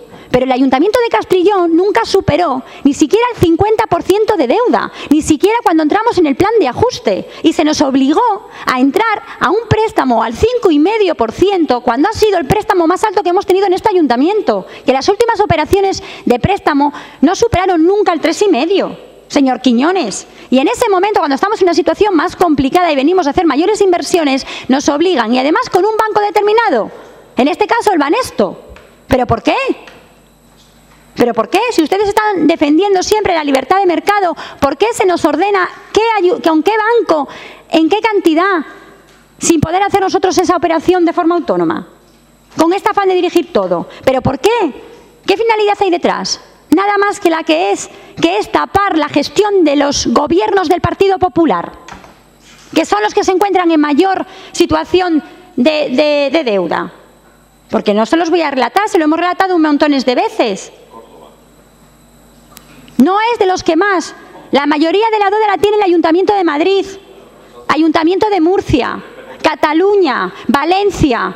Y a día de hoy son los que se encuentran en una situación peor y los que nos están tirando de la mayor deuda a nivel estatal y de la comunidad autónoma. No es el problema ni de Asturias ni en este caso de Castrillón, donde la deuda de las entidades locales suponen un porcentaje muy inferior de la del global. Y usted lo sabe. Usted lo sabe. Entonces, defiende la libertad de mercado en algunas ocasiones y en otras no. Porque si defiende la libertad del mercado, déjenos a los ayuntamientos decidir con quién realizaban las operaciones de préstamo. Y el ayuntamiento de Castrillón no se halló nunca, nunca en este ayuntamiento en una situación de una deuda excesiva. Ni siquiera cuando se bajó del 120 al 75. Siempre nos hallamos en una situación que no, no es que yo creo que no, no subimos más del 45% de la deuda. Ni siquiera ahora tenemos esa situación. Y usted insiste que estamos en una situación económica mm, negativa en este ayuntamiento o no deseable. No, no, estamos en una situación buena. En una situación buena. Esos 2.300.000 podíamos ir, haber ido deuda nosotros solos, sin ningún problema. Sin ningún problema. Entonces, no sé a quién quiere vender la moto, desde luego a nosotros no. Señor Garrido. Sí, yo la verdad, cuando oigo hablar de mantras, sobre todo cuando se relacionan a personas, me echo a temblar. Porque detrás de esas mantras hay personas, personas con problemas reales. Y desde luego, con la creación de empleo que ustedes están llevando a cabo, eh, tardarán 10 años, 10 años en eliminar el paro actual, 10 años. Posiblemente en el transcurso de esos 10 años muchas de estas personas estén bajo tierra, fallecidos ya. Pero bueno, morasidad. Efectivamente, eh, desde este, eh, desde este gobierno hemos hecho una, infinidad de obras en este municipio, le hemos cambiado la cara. Y eso trae consigo una morosidad que yo asumo. Es más, yo defiendo y creo que los ayuntamientos en general deben estar todos endeudados, porque las necesidades de los vecinos no están cubiertas al 100%. Y si no están cubiertas al 100%, es absurdo pensar que en un arca determinado, en una caja fuerte de un ayuntamiento, hay un dinero ahí guardado mientras que hay vecinos pasándoles mal o mientras que hay vecinos que su entorno, tanto social como cultural, como de, urbanístico, no están las condiciones que yo he de estar y el dinero guardado. Por tanto, yo entiendo que los ayuntamientos tienen que tener una deuda susceptible de, de, poder seguir pagándola todos los años. Entiéndolo así. Quizá otros entiendan que el dinero hay que, estar en, que tiene que estar en la caja y el que tenga problemas como ciudadanos que lo resuelva con sus propios medios, que es lo que pretenden algunos. Que sean los ciudadanos los que resuelvan sus propios medios. El que tenga un bache que lo repare, el que, no el que tenga que mandar a los hijos a la escuela que lo pague y el que tenga que acudir al médico que lo pague. Yo, como no defiendo eso, entiendo que los ayuntamientos, como ente eh, como organización social próximo al ciudadano, tiene que aportar eso. Y eso trae consigo, lógicamente, una morosidad. El problema es que ustedes han permitido a los ayuntamientos gastar en lo que querían conveniente sin poner ninguna traba. Ese es el problema que han permitido gastar y después vienen el salvador de turno y nos dice cómo tenemos que pagar. Ese es el problema. Han permitido gastar, es decir, como cuando dan dinero a un guaje y después cuando lo gasta vienen y le tiran de las orejas. ¿no? Es decir, han permitido gastar a los ayuntamientos y ahora vienen ustedes salvadores de la banca y dicen cómo tenemos que pagar, pero no para salvar a los ayuntamientos, porque si fuera para salvar a los ayuntamientos, si fuera en ánimos de que los ayuntamientos amortizaran esa deuda que tienen, ese dinero que venía de Europa dirán, oiga, viene al 1%, tenga al ayuntamiento fulano de tal al 1%, al 1,5%, pero no, no, no, se la da a la banca y no a la banca participativa de la administración, a la banca eh, privada, real, al Banco Santander, que usted decía antes, al Banco Santander se le da el dinero a un 1% y el Banco Santander nos lo da a los ayuntamientos por imperativo legal del salvador de turno que tenemos que pagar al 5,5%. ¿A quién hacen el beneficio? Al Banco Santander, a una entidad privada que parece ser, según usted, no tenía ningún problema. Si no tiene ningún problema, ¿por qué le dan esa ventaja a él? Denle ese dinero a los que teníamos el problema, a los que teníamos la deuda. Y no lo han hecho. Por lo tanto, vienen como salvadores de la banca en contra de los ayuntamientos. Pero yo, defiendo la morosidad que tenía este ayuntamiento, la deuda que tenía este ayuntamiento, la defiendo como bien empleada. Es más, entiendo que deberíamos a más porque tenemos vecinos pasándolas mal. Y yo creo que teníamos que invertir más dinero en apoyar a algunos vecinos. Y si hay que recurrir a más, a más deuda, habría que ir a más deuda. Pero sigo diciendo, denos capacidad de gastar y denos capacidad de pagar. Y denos capacidad de pagar, que no nos tutelen, que somos representantes del pueblo, nos ha elegido el pueblo para que gestionemos sus intereses, sus dineros. No, han elegido al señor Rajoy los castrillonenses para que gestione Castrillón, nos han elegido a nosotros. Nosotros gastaremos en aquello que creamos conveniente y pagaremos como creamos conveniente. Pero que no venga Salvador de turno decirnos a quién tenemos que pagar, en qué condiciones y en qué tenemos que gastar. Que no, hombre, Eliminen los ayuntamientos una vez lo que quieren y que lo lleven todo desde Madrid o el interventor de turno que ya están dando pues, eh, bastantes posibilidades. Háganlo. Tienen mayoría absoluta, háganlo y los ciudadanos que, les voten y que les aplaudan. Yo no tengo ningún problema, pero no nos engañen. No piensen que somos tontos, que yo creo que nos están tomando el pelo. Deben pensar que somos tontos. No, es que la deuda, la deuda ustedes la han hecho para pagar a la banca o para darle más intereses a la banca, en contra de los ayuntamientos, porque el dinero sale de los ayuntamientos. Ese 4,5% que pagamos de más serviría para quitar esa deuda, pero a ustedes no les interesa, para nada, porque así nos tienen cogidos por ñarigón, no podemos invertir, que es lo que ustedes quieren, que no invertamos. Aquí hay un millón y medio para gastar, un millón doscientos mil euros, pero no podemos, porque nos ponen trabas para gastar, porque no interesa que se gaste. No interesa que se gaste, a ustedes no les interesa. Porque lo que les interesa es privatizarlo todo y que esté todo en manos de los privados y que sean ellos que deciden. Y el que vecino que lo pueda pagar, que lo pague y el que no, al cementerio. Es lo que ustedes defienden. Pues díganlo claramente. Y nada de mantras, ¿eh? De mantras, nada, realidades. Con números en la calle con, los números de la Cruz Roja, con números de Cáritas, con números de todo Dios que no son nada, nada próximos a nosotros. Están ahí cantando. Y sigo diciendo, a ese paso, 10 años necesitan ustedes para quitar paño, en España el paro. 10 años. En 10 años muchos de ellos ya estarán muertos, como que pasó con la ley de dependencia. Muertos. Bueno, pues ser los turnos del, minuto. Un minuto para finalizar el debate. Me, gustaría que también al, portavoz de Izquierda Unida... No, digo un minuto en esta segunda vuelta. ¿eh? Bueno. Mire, eh, vamos a ver, a 300.000 euros, a 300.000 empleos eh, disminuir el, empleo por trimestre eh, es mucho menos de 10 años para poner la, tasa de paro en una situación aceptable. Y le digo más, y le digo más, hay que hacer política social, hay que hacer política social, pero yo se lo dije muchas veces, la mejor política social es el empleo, ¿eh? la mejor política social es el empleo, mucho mejor que los subsidios, ¿eh? porque muchas veces los subsidios es clientelismo político. En cualquier caso, mire, me sorprende que usted defienda no que, no que defienda el endeudamiento, el endeudamiento, el endeudamiento, el endeudamiento. Oiga, yo no estoy diciendo que nosotros, el ayuntamiento, tenga que ahorrar y tenga que ser como una especie de caja de ahorros. No. Lo que hay es que gastar equilibradamente.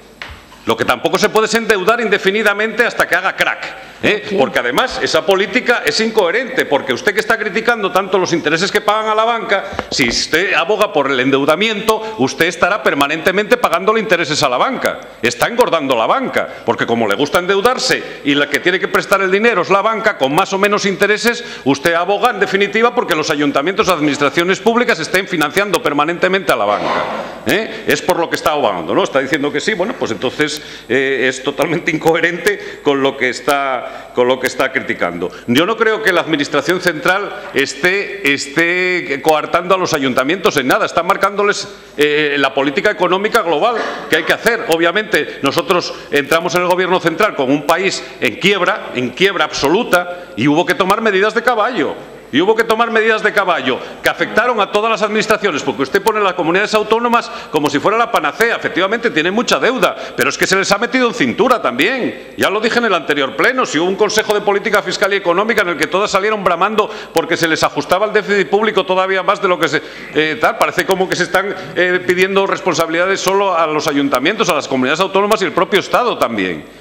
Para cumplir el déficit público tienen que cumplir todas las administraciones y en esa línea está. Y la recuperación económica y sobre todo lo más importante, la recuperación de empleo de este país está porque las cuentas están cada vez más saneadas. Y eso es así, dígalo como lo diga. Es más, todavía ayer o anteayer eh, hubo una reunión de los sindicatos, los principales sindicatos, con el presidente del Gobierno y la patronal y, yo oí las declaraciones de los sindicatos, que por cierto llegaron a un acuerdo, entre otras cosas, para dar eh, unos subsidios a, los parados de larga duración y a las familias sin ningún, sin ningún eh, miembro trabajando. ¿eh?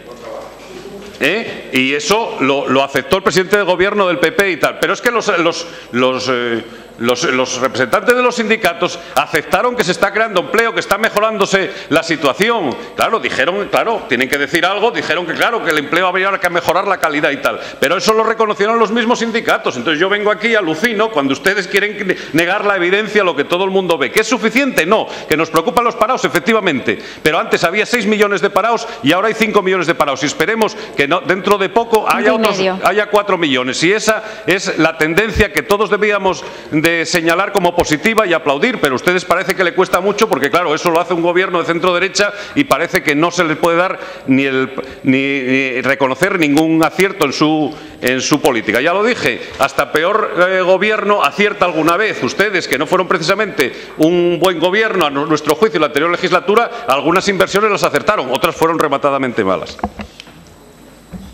Sí, señor Quiñones. Esto, señor Garrido. dos, dos puntuaciones. Miren, es verdad que hay un déficit público, pero sigo diciendo, las medidas que ha tomado el Gobierno de la, Nación, en este caso el señor Rajoy, no han sido, no han sido para quitar el déficit público, han sido para sanear la banca. Es que ha sido así, el dinero va a la banca. Es decir, se está quitando a los ayuntamientos. Si, pagamos nuestra deuda a un 4,5% más, si la pagamos a un 4,5% más, ¿a dónde va ese 4,5%? A sanear la banca, que es el verdadero problema de este país la burbuja que había en este país. No es de las administraciones, lo que han cogido ya las administraciones, porque ¿dónde se acaban el dinero para pagar a la banca? Subiendo los impuestos a los ciudadanos era difícil. La única posibilidad que tuvieron fue enganchar a las administraciones, a las administraciones autonómicas y, municipales para decir, ah, espera, tienen ustedes una deuda, van a pagar esa deuda a un 5,5%, pero espere, que ese 4,5% lo vamos a dar a la banca para que enjague esa deuda grande que tiene. Que ahí estaba el problema real. Y ustedes con la banca no han tomado ninguna medida, al contrario. Sí, han tomado medidas con las administraciones que deben deudas y con la banca, ¿qué han hecho? La han gestionado más, si están saliendo problemas continuamente, la controlan más, le exigen que den préstamos a quien verdad lo necesita a bajos intereses. No, señor, se han quedado con pisos, gente que y todavía le han quitado el piso y todavía siguen pagándolo. Le, le han metido mano a la banca para nada, han metido mano a las administraciones, a las locales sobre todo, porque no les interesa a ustedes las administraciones locales, nunca les ha interesado. No les interesa para nada, y ahora van a hacer las presidencialistas y de dentro poco basta con una persona que dirija el, interventor y una persona puesta a dedo por no sé quién, ya tenemos un ayuntamiento. Es lo que ustedes quieren. Y es lo, es lo que pasos que están dando continuamente tras continuamente. Y ha bajado el, hombre, si en, verano, si en pleno mes de julio no baja algo el paro, algo, ¿eh? Bien, en siete meses, no digo que no. Y ojalá, y ojalá sean capaces de, crear empleo dos, dos millones al año cada mes. Ojalá porque sería bien para todos, ojalá, yo lo dudo, pero ojalá sean capaces de crear un buen empleo y que sea bueno, porque muchas veces muchos desempleos que están eh, ustedes creando están por debajo de las coberturas sociales, por desgracia. Están percibiendo dinero por debajo de las coberturas sociales, por desgracia. Ese es empleo que se está creando, porque en esos informes hay a patadas. Esa es la realidad. ¿Eh? Y luego, en cuanto que nosotros eh, no asumimos, nosotros asumimos, en, cuanto a que nosotros el año, la, corporación pasada hemos hecho una gestión nefasta, ya lo escuché yo la corporación pasada y diciéndonos, ya vendrán las elecciones. Nos lo dijo unas cuantas veces la corporación pasada. Haga memoria, están las actas ahí. En la corporación pasada, unas cuantas veces, estábamos gestionando muy mal, los panes A, los panes B, lo estábamos haciendo fatal, ya vendrán las elecciones. Vinieron las elecciones, nosotros hemos subido concejales y ustedes han bajado. Esa es la realidad. Y los ciudadanos ya nos han juzgado. No sume lo que quiera usted sumar. Eh, bueno, yo sumo como usted quiera. Tenemos una mayoría para seguir gobernando y este, este, este partido al que represento, tengo el honor de representar, ha subido concejales. Por lo tanto, y ustedes han bajado. Esa es la realidad. Y nos estuvo, vale, y nos estuvo amenazando durante cuatro años que ya vendrán las elecciones, que lo hacen muy mal. Pues los ciudadanos de Castrillón, para su conocimiento, parece ser que han valorado que lo habíamos hecho bastante bien. Hasta ahora.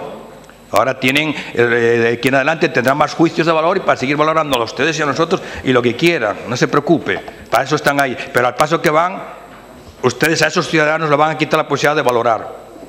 Le van a quitar la posibilidad porque tengo mucho miedo que el primer paso llegue que eligen alcalde no sé quién y dentro de poco será elegido por el presidente del gobierno. Por lo tanto, ya veremos lo que tienen capacidad de valorar a los ciudadanos.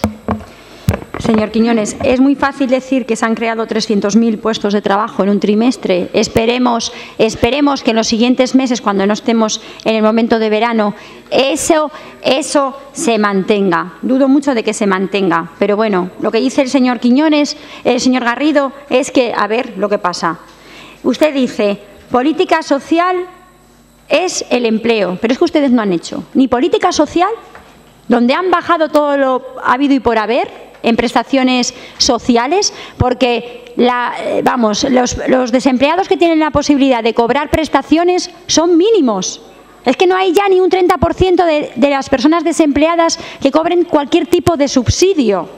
Eso por un lado. Entonces, política social, las prestaciones sociales, el plan concertado, los servicios sociales, mínimo. Lo que ustedes están haciendo es desarrollando la beneficencia, la caridad, que va en contra del derecho a tener prestaciones sociales. Lo que está aguantando el país es la voluntad y la caridad de muchísimas asociaciones sin ánimo de lucro y de muchísima gente en entornos privados. Y la Administración y el Estado está prescindiendo del deber que tiene de asistir, en este caso, a las personas que están con necesidad social. Y, y como garantía de derechos, no como beneficencia. Así que política social, cero. Más bien, a menos. Continuamente a menos. Pero es que la política de empleo también es a menos. Es que el dinero destinado a hacer políticas de formación en empleo y cualificación y mejorar la inserción laboral ha bajado, ha mermado el presupuesto que está destinado a empleo. Pero no solamente a nivel nacional, es que a nivel europeo, en la política que ustedes tienen mucho poder a nivel europeo, se ha bajado el dinero destinado. Estamos todavía esperando que vengan no sé cuántos millones de euros que iban a venir para mejorar el empleo juvenil y a día de hoy estamos sin ello.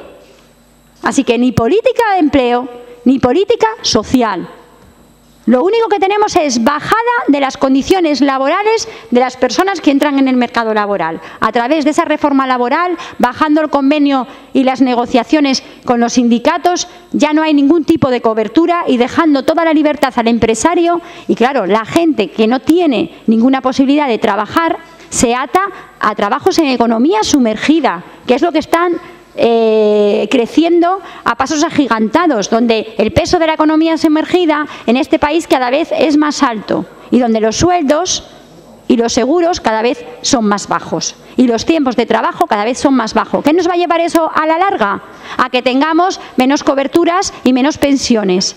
Y de hecho, ya la política que ustedes están adoptando es, ya hablan, y el presidente de la COE, es tendiendo a que estamos, la situación de la población de más edad está en una situación muy buena y que lo que tiene que hacer es un traslado de las concesiones que tiene la población jubilada hacia la población juvenil, con lo cual Vamos, que dejemos de tener tantas prestaciones y pensiones em, con unas coberturas bastante satisfactorias a nivel europeo, que eso tenemos que reducirlo para que mejoren las condiciones de los salarios de los jóvenes, en vez de luchar para que todo el mundo tenga las, mismas, las condiciones aceptables. Con lo cual, cada vez a, peor. Y respecto a que eh, la banca nosotros eh, buscamos el dinero en los bancos y en los préstamos claramente, pero nosotros también defendemos una banca nacionalizada y nosotros defendemos que el Banco Central Europeo, por ejemplo, nos preste el dinero a las administraciones al 1%, igual que se lo está prestando a las entidades bancarias. ¿Por qué no nos lo presta a nosotros directamente la Administración local? Si se supone que el Banco Central Europeo es el órgano que representa a las administraciones, en este caso a Europa y que está defendiendo el Estado. Y el Estado defiende a los ciudadanos y las ciudadanas frente al mercado. Pero ¿qué pasa? Que el Estado ahora mismo está regulado por el mercado, que son los poderes económicos, porque hay determinado grupo político o grupos políticos de la derecha y neoliberales que están atendiendo al poder económico, no al poder de la gente. Y nosotros queremos que el poder de la gente esté defendido por los políticos que verdaderamente se creen que se puede defender el poder de la gente y no el de los bancos, que es lo que están haciendo ustedes en este caso. Pasamos a la votación del punto. ¿Votos a favor? Unanimidad.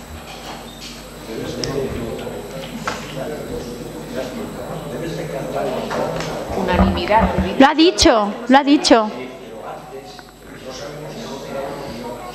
Ah, que diga los votos de cada uno. Vale, vale, vale. Lo digo yo, lo dices tu padre. Bueno, pues pasamos al punto onceavo de la sesión. Sería el expediente 1760-2014, Grupo Municipal Izquierda Unida, moción para una elección democrática de los alcaldes y de las alcaldesas. Dado que tenemos el punto número 13, lo decidimos, ¿eh? si el debate se hace conjunto, que es el expediente 1786-2014, Grupo Municipal Partido Popular, moción para apoyar la reforma de la ley electoral y promover la elección directa del alcalde y entendiendo, entendiendo, aquí alcalde, ¿eh? en el otro lado alcalde y alcaldesas. Es broma esto, ¿eh? pero digo por lo del tema de género.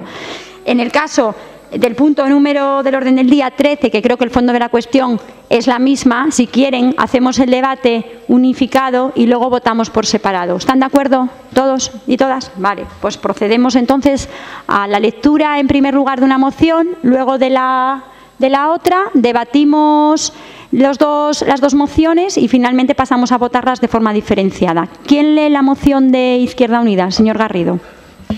Eh, sí, paso a leer directamente la exposición de motivos de la moción. El ámbito local es un espacio complejo y plural, de grandes transformaciones y constantes mutaciones, y la primera instancia para la resolución de los problemas de la ciudadanía y para la mejora de las condiciones de vida de la gente. Los ayuntamientos han sido capaces de afrontar los grandes retos y los cambios culturales de finales del siglo XX los fenómenos migratorios, los nuevos modelos familiares, la dependencia y el envejecimiento de la población. En esta primera década del siglo XXI son el principal dique de contención contra la crisis y el principal espacio de resistencia, de dignidad, de defensa de los derechos de la ciudadanía y los principales espacios para generar alternativas sociales y económicas para paliar los efectos de la crisis y los recortes. Desde diferentes posiciones políticas, todos defendemos un modelo de gobierno local de proximidad, un modelo que desarrolle la autonomía local y las competencias, con recursos suficientes para hacerlas efectivas. La educación, los servicios sociales, las políticas de igualdad, la cultura, la solidaridad y el derecho a la vivienda son las claves de bóveda de la vertebración municipal y la construcción de ciudadanía. Defendemos un municipalismo que integre los valores del paisaje, el territorio y el espacio natural como vectores de identidad y de ciudades y pueblos sostenibles, que huya del crecimiento desde una óptica de ingresos y recursos sustitutivos de una verdadera financiación del mundo local justo y ajustado a sus competencias. En definitiva, Un municipalismo que efectivamente pueda desarrollarse y reconocerse en la Carta Europea de la Autonomía Local y que se base en los principios de simplificación, transparencia y modernización de los entes locales, el principio de autonomía, subsidiariedad, diferenciación, equilibrio territorial, desarrollo sostenible y suficiencia financiera para atender las necesidades sociales de sus habitantes. Los municipios españoles han sido desde 1979 la expresión más evidente de la llegada de la democracia a nuestro país. Miles de concejales y concejalas, de alcaldesas y alcaldes elegidos por sus vecinos accedieron al gobierno de sus, ayuntamientos desde la preocupación por satisfacer las demandas más acuciantes de sus vecinos y también ante la falta de definición constitucional de las competencias locales. A afrontar aquellos retos y adaptaciones que fueron impulsadas por la ciudadanía, desde ese principio de administración más cercana se configuraron los ayuntamientos como entidades que visualizan la democracia en nuestro país y que representaron la primera experiencia, hasta ahora irreversible, de descentralización política. Consideramos imprescindible conservar ese papel, que ha sido razonablemente garantizado durante todo este periodo por un sistema electoral que, sin ser perfecto, ha permitido que las opciones políticas significativas en las que se organiza la ciudadanía de cada municipio hayan configurado mayorías de gobierno local con un respaldo mayoritario del voto popular a través de un sistema de representación respetando la proporcionalidad contemplada en la Comunidad Europea. La democracia no es compatible con un gobierno municipal que no refleje la mayoría de los votos expresados en las elecciones. Eso significa que una lista municipal no puede tener la mayoría de gobierno y, consecuentemente, la alcaldía si no tiene el respaldo de la mayoría de los votantes, expresada por un sistema de representación política constitucionalmente establecido. Es más, el artículo 140 de la Constitución española establece que el voto de vecinos y vecinas será igual, por tanto, debe tener el mismo valor y producir los mismos efectos en la elección de los concejales y concejalas. Además, los y las concejales y concejales serán elegidos de forma directa, la atribución de alcalde o alcaldesa a la lista más votada llevaría a la paradoja de que podrían ser alcaldes o alcaldesas, concejales y concejalas que hubieran obtenido menos del 20% de los votos y, por tanto, no contarán con el apoyo de más del 80% de los vecinos y vecinas. El examen de los resultados de las últimas elecciones municipales o de las últimas elecciones europeas proporciona numerosos ejemplos. En todo caso, con esos supuestos, el número de ayuntamientos cuyo alcalde no estaría apoyado por la mayoría de los electos sería muy mayoritario. La democracia quedaría seriamente afectada y los criterios de proximidad y participación vulnerados. La mayoría del vecindario vería alcaldes y alcaldesas lejanos y no queridos o queridas. Por lo expuesto, el Pleno del Ayuntamiento de Castellón adopta los siguientes acuerdos. El Pleno del Ayuntamiento de Castellón manifiesta su oposición a cualquier reforma relativa al método de elección de concejales y concejalas y de alcaldes y alcaldesas de las corporaciones, de las corporaciones locales y muy especialmente a la atribución de cualquier prima de representación por concejales a la lista o listas más votadas por vulnerar los principios de proporcionalidad y voto igual establecidos constitucionalmente. Por la atribución, la atribución de la alcaldía a la lista más votada cuando no tenga el respaldo de la mayoría de los concejales elegidos en voto igual mediante un sistema proporcional y constituido en el pleno del ayuntamiento. Dice, porque la constitución del pleno municipal por concejales y concejalas que no hayan sido elegidos o elegidas en el mismo acto electoral mediante sufragio universal, igual, libre, directo y secreto, tal como establece el artículo 140 de la Constitución española. A esta moción se le dará publicidad necesaria para que sea conocida por la ciudadanía del municipio y será trasladado de los acuerdos al Gobierno de la Nación y a todos los grupos parlamentarios del Congreso de los Diputados. Pasa, señor Quiñones, a leer la moción suya.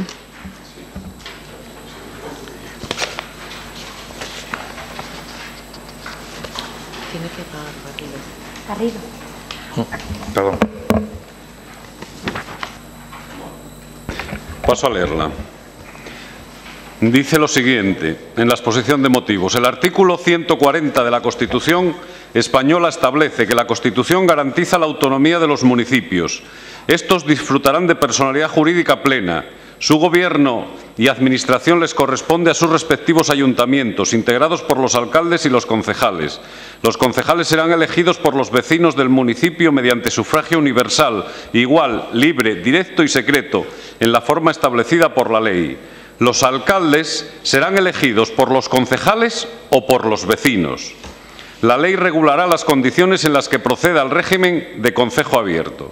Es decir, la Constitución contempla la posibilidad de que los alcaldes sean elegidos directamente por los vecinos. Es más, en 1978 el Gobierno de Adolfo Suárez presentó un proyecto de ley de elecciones locales que preveía la designación automática como alcalde del cabeza de lista de la candidatura más votada. Por lo tanto, no solo establecía un sistema de elección directa, sino que la lista que contara con un mayor respaldo ciudadano debía asumir la responsabilidad del Gobierno municipal.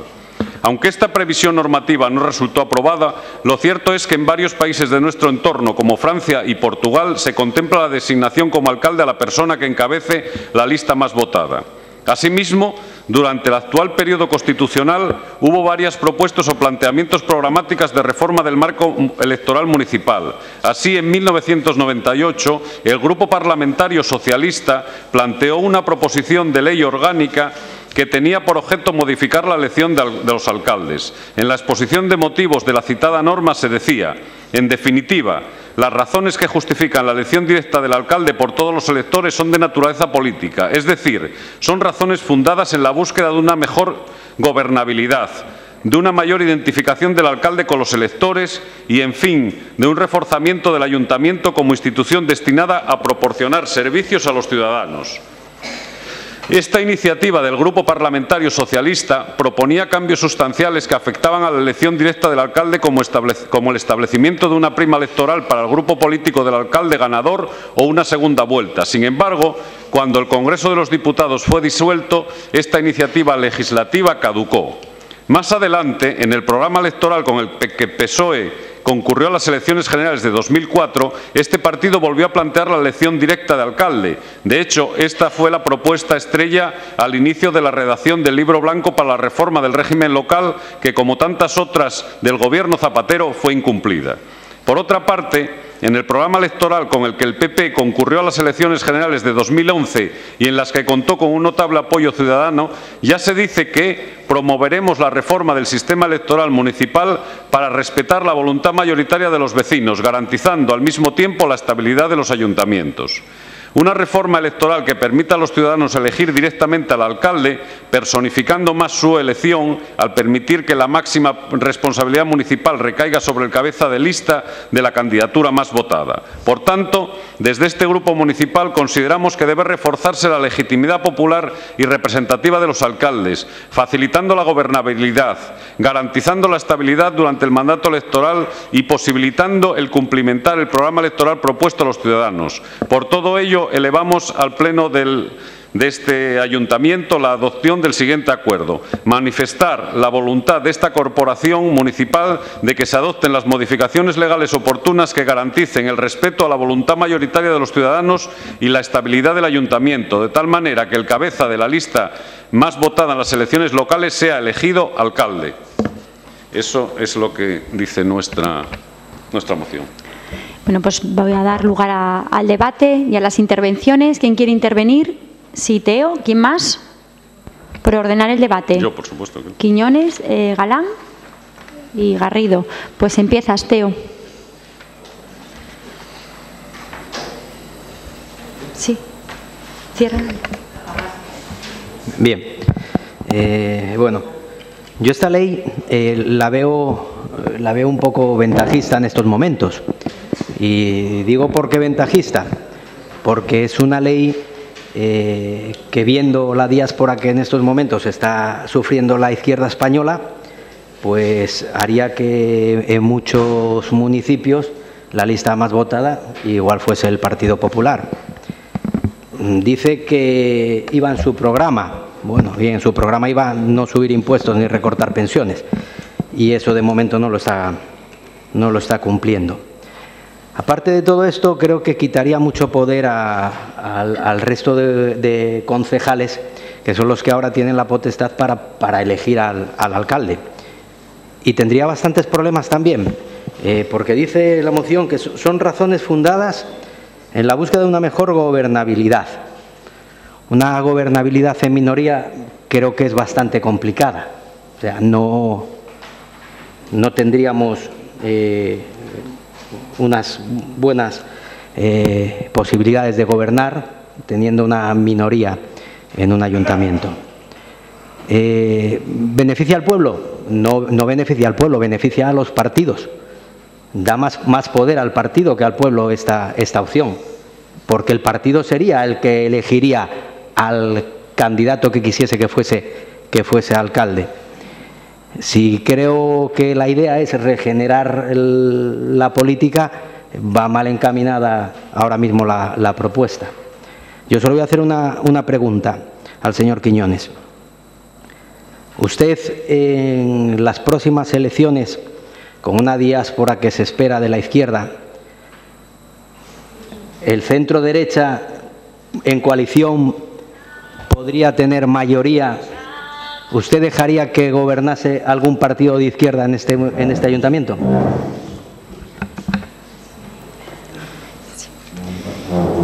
Sí. Señor Galán. Bueno, buenas tardes. Yo voy a empezar por el artículo 140 de la Constitución, que, habló, que habla el PP en su moción, dice los concejales serán elegidos por los vecinos del municipio mediante sufragio universal e igual, libre, directo y secreto, en la forma establecida por la ley. Los alcaldes serán elegidos por los concejales o por los vecinos. Pero, vamos a seguir lo que dice la ley. La ley regulará, regulará, las condiciones en las que procede el régimen de concejo abierto. Bien. Sobre la elección, normalmente el alcalde lo eligen los concejales, que a, vez, a su vez lo eligen los, vecinos. Y en el concejo abierto, que son los concejos menores de 100 habitantes, el alcalde lo eligen los vecinos. Si no sabe, el alcalde lo eligen los vecinos. Puedo poner, por ejemplo, el PSOZ, el alcalde lo eligen los vecinos, por el municipio de 100 habitantes, que es un concejo abierto. Por lo tanto, no diga usted que la ley que quiere usted poner, que, que el vecino va a elegir al, al alcalde. Bien. Eh, los sistemas electorales que hay en Europa que hay en Europa son muy variados. Respete, señor Quiñones. Son muy variados. Además miente, además miente lo que está diciendo aquí en la moción usted. En Francia no eligen alcalde los vecinos. En Francia, sí, pero usted dice aquí, dice, no, no, lo dice aquí muy claro. Aunque esta, esta previsión normativa no resulta aprobada, lo cierto es que en varios países, como nuestro contorno, Francia y Portugal, se contempla la asignación como alcalde de la persona cabezada de la lista más votada. Y es mentira. Señor Quiñones, respete luego en la intervención Aquí cuando le toque, pero nada- no. Espere, tranquilo. Aquí no habla nadie de, Tranquilo, no habla señor nadie de doble vuelta. Estoy leyendo lo que dice usted aquí. Bien, vale. En Portugal, igual que en España, se liberen, se el sistema es proporcional y lo eligen en listas cerradas. Y en los demás países de Europa son listas más flexibles. Y la diferencia que hay ahora mismo, la votación que hay. Eh.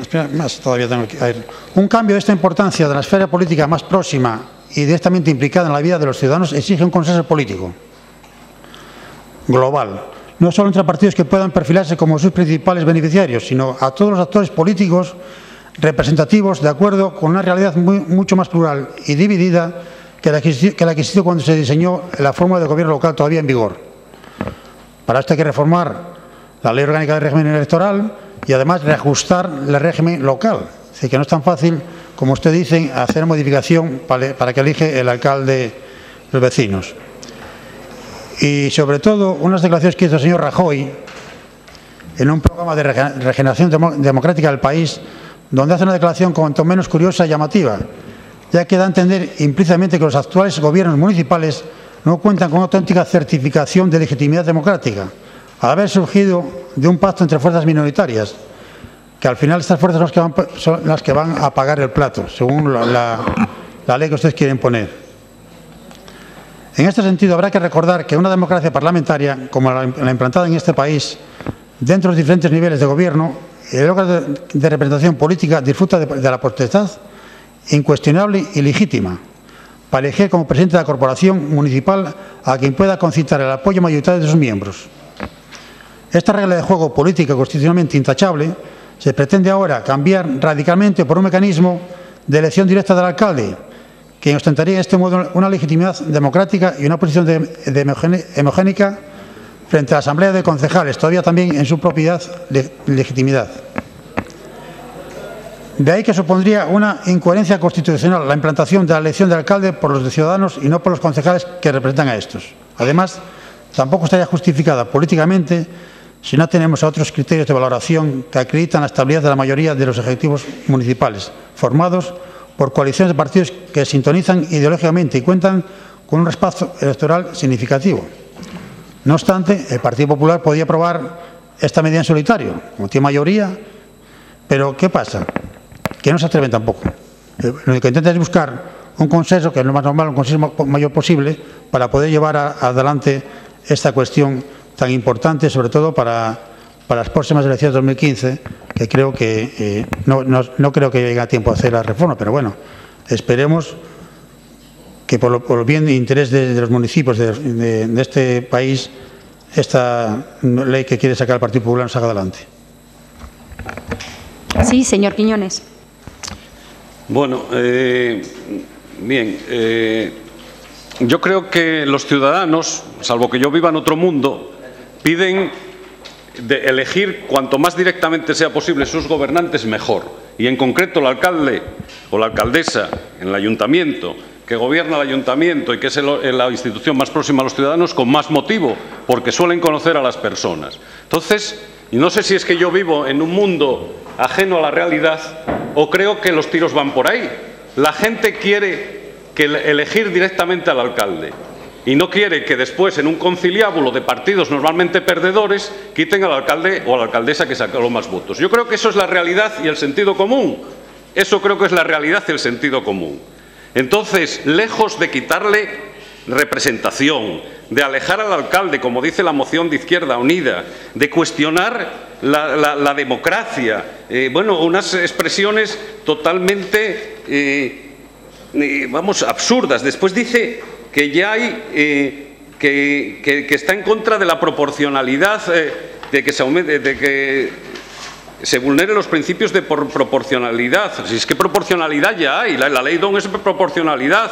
¿eh? Prima a, la, a, las listas mayoritarias. En este caso, los beneficiados son ustedes. Además, ustedes aquí son la lista mayoritaria. Luego saldrían directamente, en este momento, eh, tendrían la alcaldía. Que decir, no sé a qué viene ahora rasgarse las ventiduras, pero la ley DON tiene el sentido y la proporcionalidad de dar estabilidad y ha sido muy positiva para la evolución democrática de este país porque ha dado estabilidad a, esta, a estabilidad a los gobiernos, tanto municipales como autonómicos como generales, salvo que quieran italianizar, ¿eh? en el anterior pasado reciente de Italia, la, la, la, política española, llegando a tener cincuenta y tantos gobiernos en diez años, como llegó a tener Italia. ¿no? Salvo que quieran eso, ¿eh? pues la ley DON, que es una proporcionalidad eh, derivada, en el sentido que está reforzada, las listas más votadas ya la hay. Entonces, eh, no sé, porque dicen que va a vulnerar la proporcionalidad cuando se está hablando de la elección directa del, candidato o la candidata de la lista de la lista más votada y de no que el, de que en definitiva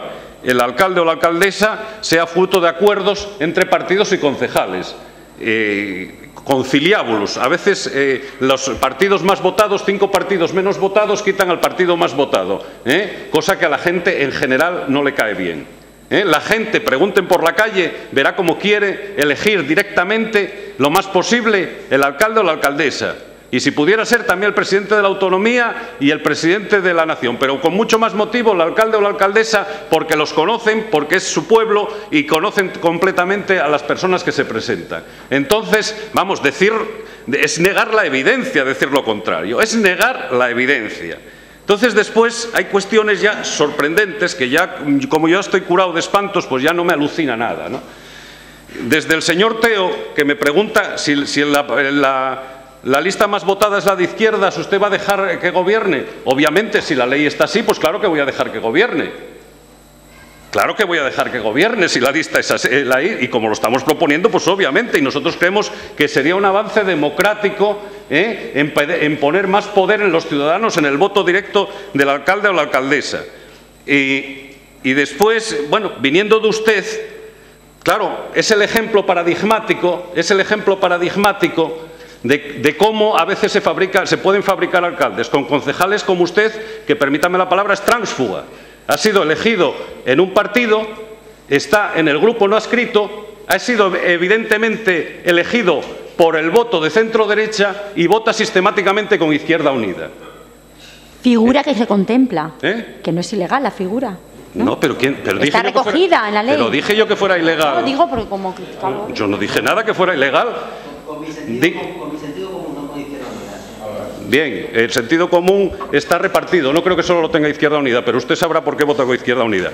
Eh, no, le voy a pedir explicaciones. La realidad es esa, que usted ha sido elegido en un partido de centro-derecha, con el voto de centro-derecha, se ha marchado al día siguiente a entrar en la corporación por los motivos que sea, y se lo dije personalmente, que no comparto que en un sistema de listas cerradas y bloqueadas uno se marche con el cargo. Si no está de acuerdo con el partido, se marcha para casa porque el cargo es del partido en un sistema de listas cerradas y bloqueadas. Y lo que no se puede hacer encima es votar sistemáticamente en un- eh, con Izquierda Unida, que no es precisamente el partido eh, que creo que los electores de Foro en su día eh, consideraban como mejor opción. Entonces, para evitar eso, que concejal, por favor, Teo, luego le doy la palabra. Teo, luego, luego le doy la palabra por favor, por alusiones. Pues le dé la palabra y después ya la replicaré convenientemente, no se preocupe. Eh, eh, lo que le digo yo es que para evitar estos tejemanejes, estos tejemanejes, pues mejor que, los alcaldes y las alcaldesas los voten los electores directamente y sea la lista más votada. Y aquí es Izquierda Unida. Nosotros no seríamos los beneficiados, es Izquierda Unida la lista más votada. Y bueno, lo del PSOE ya es de nota, ya es de nota. Resulta que lo llevan en su programa electoral. El señor Zapatero lo pone en el libro blanco. Hacen una proposición de ley y de repente el señor este que tienen ahora de líder dijo que no, que ahora que no. Incumpliendo el programa electoral. Después dicen que el PP no cumple su programa electoral. Y ustedes que lo llevan en su programa electoral cambian, cambian eh, de la noche a la mañana de posición con una proposición de ley eh, presentada en su día, etcétera, etcétera, etcétera. Claro, así se explica, como ustedes que fueron aquí la lista más votada con mayoría absoluta, ahora tengan tres concejales, porque se tienen que hablar, eh, tienen que abrazar, están sonaos, son un partido absolutamente sonaos, medio noqueados, se tienen que abrazar a Izquierda Unida y si pueden Podemos para tocar poder. Y eso es lo que pasa, y eso es lo que pasa con ustedes. ¿eh? Que- pero sigan así, sigan con esas posiciones, ¿eh? que estuvieron 11 concejales, 7, 5, 3, y no sé si quedarán en uno con esta política. ¿eh? Pero sigan así, ustedes sigan así, no varíen, sigan R que R. Ustedes llevan en su programa eso, presentan esa propuesta cuando el señor Zapatero y ahora de repente se les abre el cielo y dicen, no, pero si esto era un error mayúsculo. ¿Pero cómo es esto? Hombre, yo, yo, yo, mire, lo digo incluso en las reuniones internas, todavía ayer tuvimos una junta local de mi partido. Es fundamental para este país que haya dos partidos fuertes, uno al centro derecha y otro al centro izquierda. Y es fundamental que ustedes consigan recomponer, consigan que recomponer su partido y que ese líder que todavía les falta dos o tres herbores se consolide, ¿eh? porque, porque Señor Quiñones, por favor, intente hablar un poquito con más respeto y con más tranquilidad. Bueno, lo de los herbores me parece que puede. ¿Herbores qué? Yo creo que lo puede evitar, ¿eh? Yo creo que lo puede. Que diga que puede, que tiene que madurar y tal. Lo de los herbores, yo creo que. Le pido por favor que modere su discurso. Vamos, a mi juicio, vamos a ver si el debate político dentro de poco, no sé, no sé lo que podemos decir. Yo no estoy ofendiendo a nadie, yo digo que, es un, que ojalá se consolide. Señor como- Quiñones, lo de los herbores sobra. Continúe, por favor. Bueno, los herbores sobran. Bien. Bueno, en cualquier caso, lo que digo es que la incoherencia es supina. Es supina cuando ustedes llevan en su programa electoral lo que llevan, han presentado una propuesta de ley y ahora de repente, de la noche a la mañana, cambian de posición. ¿Eh? Y lo que antes era bueno, ahora resulta que es malo, malísimo. Eso no lo explica nadie y digo que esa incoherencia es lo que les lleva a ustedes en este, en este municipio de llegar a 11 concejales y ahora tener 3. Pero sigan por ahí, no se preocupen, no se preocupen. ¿Eh? Porque antes decía el portavoz de Izquierda Unida, mire, es que lo hicimos tan mal que nosotros hemos subido, nosotros hemos bajado. Vamos, señor Garrido, señor Garrido, ustedes las cuentas en la anterior legislatura las hacían de izquierda y derecha. Y si suma izquierda y derecha, ustedes en la anterior legislatura tenían 12, nosotros 9, y ahora ustedes tienen 11, y si suma Foro, ¿eh? el no escrito, que ahora está votando con Izquierda Unida, fue elegido en las listas de Foro, más los del Partido Popular, somos 10. ¿eh? 11-10 a 12-9. ¿eh? Haga las cuentas como las hacía antes y no cambie de criterio, que yo lo considero a usted serio. ¿Eh? no cambie de criterio cada legislatura y cuente como le viene gana. Pero es más, y usted lo sabe bien, por 75 votos, ¿eh? entre 19.000 electores, por 75 votos el Partido Popular no les quitó un concejal a ustedes y empatamos a siete concejales, con lo cual el centro derecha, si consideramos eh, al foro en ese espectro, que yo creo que debemos de considerarlo centro derecho, tendríamos 11 concejales. O sea que lo hicieron también que por 75 votos, por 75 votos, no perdieron la alcaldía. Entonces diga todas las cosas de verdad. Y ustedes tenían 12 y nosotros 9 en la anterior legislatura y ustedes ahora tienen 11 y nosotros tenemos 10 ¿eh? en, lo que es el espectro de centro derecha. Entonces haga las cuentas y no cuente milongas ni mantras, ¿eh? porque eso sí que son mantras. Contar cómo se, le, se le ocurre a usted Vaya finalizando, en una legislatura de una manera y en otra legislatura de otra. Entonces, bien, está claro que hay que atender lo que quiere el pueblo. Y la mayoría del pueblo hagan una encuesta, ustedes que son tan pueblo, tan asamblearios, tan esto y tan lo otro, la mayoría del pueblo no quiere que lo caciplemos entre los concejales de la elección de alcalde. Quiere que el que elija al pueblo, alcalde o alcaldesa con la lista más votada, sea el alcalde. Y eso se puede corregir, el que no haya eh, una pequeña diferencia, con lo cual alguien pueda ser el alcalde eh, o alcaldesa con una pequeña diferencia sobre la segunda eh, lista, pues con otros sistemas, con la diferencia, con una, con una diferencia establecida que haya con la segunda lista, etcétera. Pero que la línea de que la lista más votada por los ciudadanos y por los vecinos sea alcalde, eso no lo niega el 80% de la población como una querencia natural de ello. Y todo lo demás, toda su exposición de motivos, vamos, ese es un panegírico aquí que la mayor parte de ello no tiene nada que ver con lo que estamos tratando y lo, de, y lo otro es totalmente falso. Decir que la elección directa de alcalde es menos democrática, no la quiere la gente, etcétera etcétera, o menos representativa, es absolutamente incierto, absolutamente incierto. Y saben muy bien, lo saben perfectamente, que la gente quiere eso y se va en esa línea de dirección y más tarde o temprano iremos en esa, en esa dirección. Y lo demás son cuentos, historias, y historias para no dormir. ¿Eh? y que, la gente eh, no es Vaya tonta. finalizando, ya, ya, ya, te finalizo. La gente no es tonta, sabe que tiene más poder cuando ellos eligen directamente a un gobernante. Lo saben, saben que tiene más poder cuando eligen directamente al gobernante y no Me está recordando usted a Pablo Iglesias cada vez más. Siga, siga. Termine. Bien, eso no sé cómo considerarlo, ¿eh? dependiendo de usted, si como una alabanza o un reproche. Pero quiero recordarle que los que se están haciendo el panegírico y están tratando de llevarlos y fusionarse son ustedes, no nosotros. ¿eh? decir, entonces, bien, eh, no me preocupa, no me preocupa mucho Pablo Iglesias, probablemente a usted le preocupe más. Eh, en todo caso, en todo caso. Perdón, eh, al final pueden intervenir. Un poco de silencio. No, no, usted no puede intervenir. Un poco de tranquilidad. Finalice, señor Quiñones, por favor. Al final puede intervenir. Al final. Usted no es concejal de momento. Eh, intervendrá cuando intervenga el público. Al final, por favor, señor Quiñones, termine. Bien, eh, si me dejan acabar, porque entre las intervenciones... No, lleva ya un rato largo interviniendo, por favor. Me, interviene por lo de los herbores, me interviene lo de Pablo Por favor, finalice, señor Quiñones. ¿Ha finalizado? Sí, sí, he finalizado. Voy a rematar, voy a rematar. Remate. ¿eh? voy a rematar. Digo, insto, insto en ese sentido a que se considere nuestra, nuestra oferta, ¿eh? porque nuestra oferta es de diálogo, negociación y consenso. Claro que es, claro que es mucho más deseable que estas cuestiones se decidan por consenso. ¿eh? Y en ese sentido llamaría a las fuerzas eh, representativas a que tomaran en consideración estas ideas porque en definitiva son las ideas que quiere la mayoría de la gente. Bueno, gracias, señor Quiñones señor Garrido, y luego ha pedido la palabra Teo por alusiones, Tamargo, Rosel y Galán. Eh, abriremos otro turno. Mire, señor Quiñones, dígame, dígame usted dónde tiene el Partido Popular eh, su oficina de, la opinión de la gente, porque igual me interesa de vez en cuando acudir por ella a ver, a ver lo que opina la gente, que igual tienen ustedes una oficina y yo la desconozco.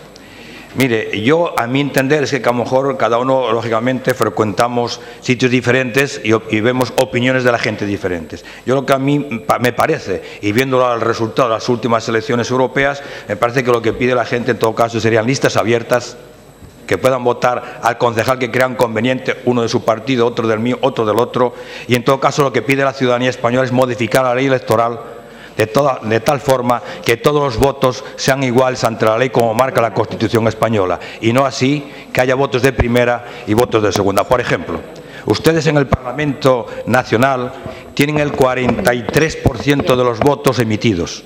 Sin embargo, tienen el 53% de los diputados. Eso, ante la Constitución española, hay votos de primera y votos de segunda. Es decir, los votos que han votado ustedes valen más que los votos que han votado Izquierda Unida. Por tanto, el voto del ciudadano que ha votado Izquierda Unida no es igual que el voto del ciudadano que ha votado el Partido Popular. Y eso es anticonstitucional.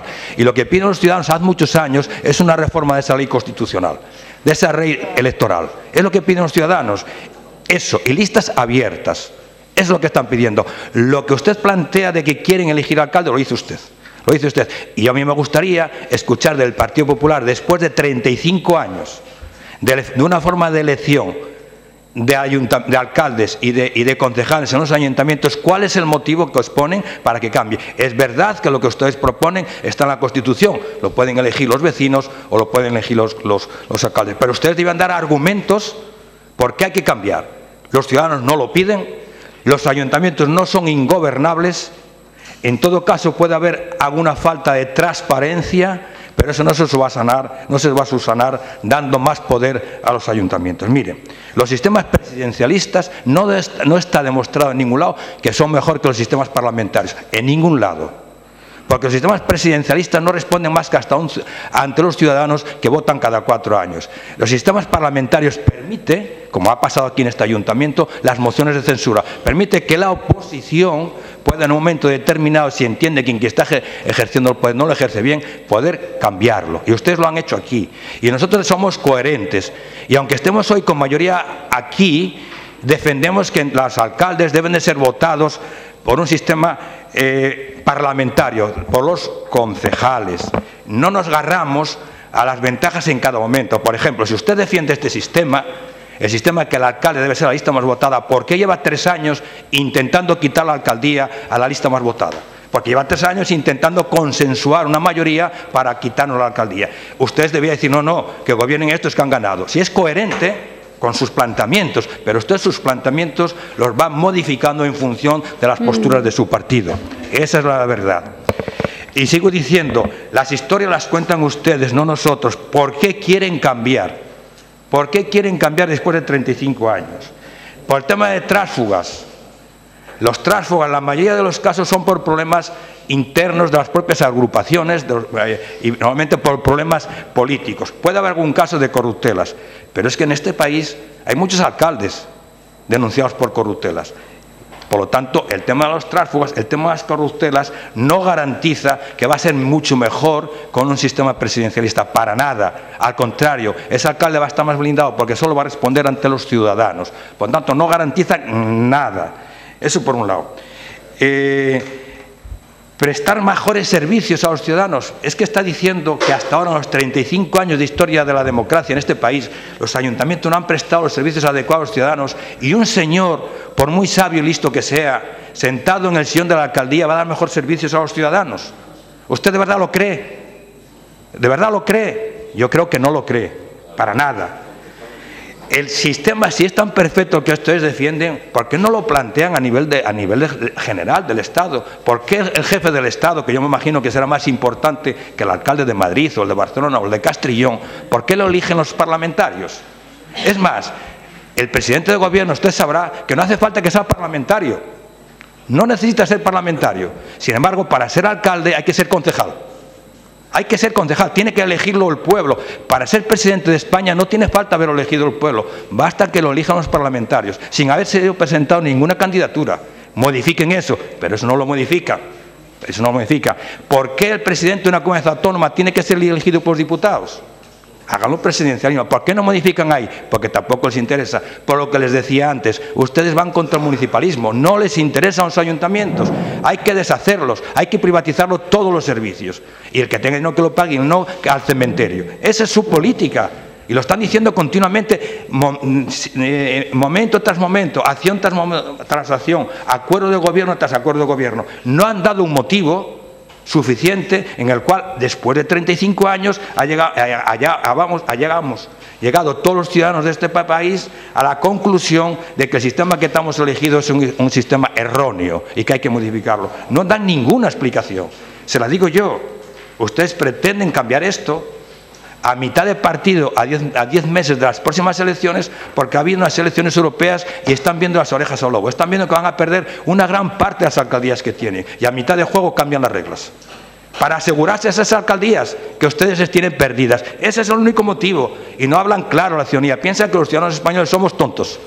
Así de claro, y faltan 10 meses y mitad de partido vamos a perder y antes de perder cambiamos el juego y garantizamos unas alcaldías con una mayoría mínima porque saben ustedes que las van a perder. Pero es que ustedes están de verdad convencidos que con la elección del alcalde vía ciudadano garantizan estabilidad si no tienen mayoría para aprobar presupuestos. O van a hacer lo que decía yo antes, o van a hacer que el alcalde tiene la potestad tremenda de que él solo aprueba los presupuestos, él lo dirige todo y lo hace todo. Entonces, no, no, no, no hagamos, no elijamos a concejales, no gastemos dinero de los ciudadanos pagando unos concejales que no van a servir para nada. Todo lo va a decidir el alcalde, lo que diga yo. Y ya no hace falta tampoco ni que lo elijan, que lo pongan desde Madrid.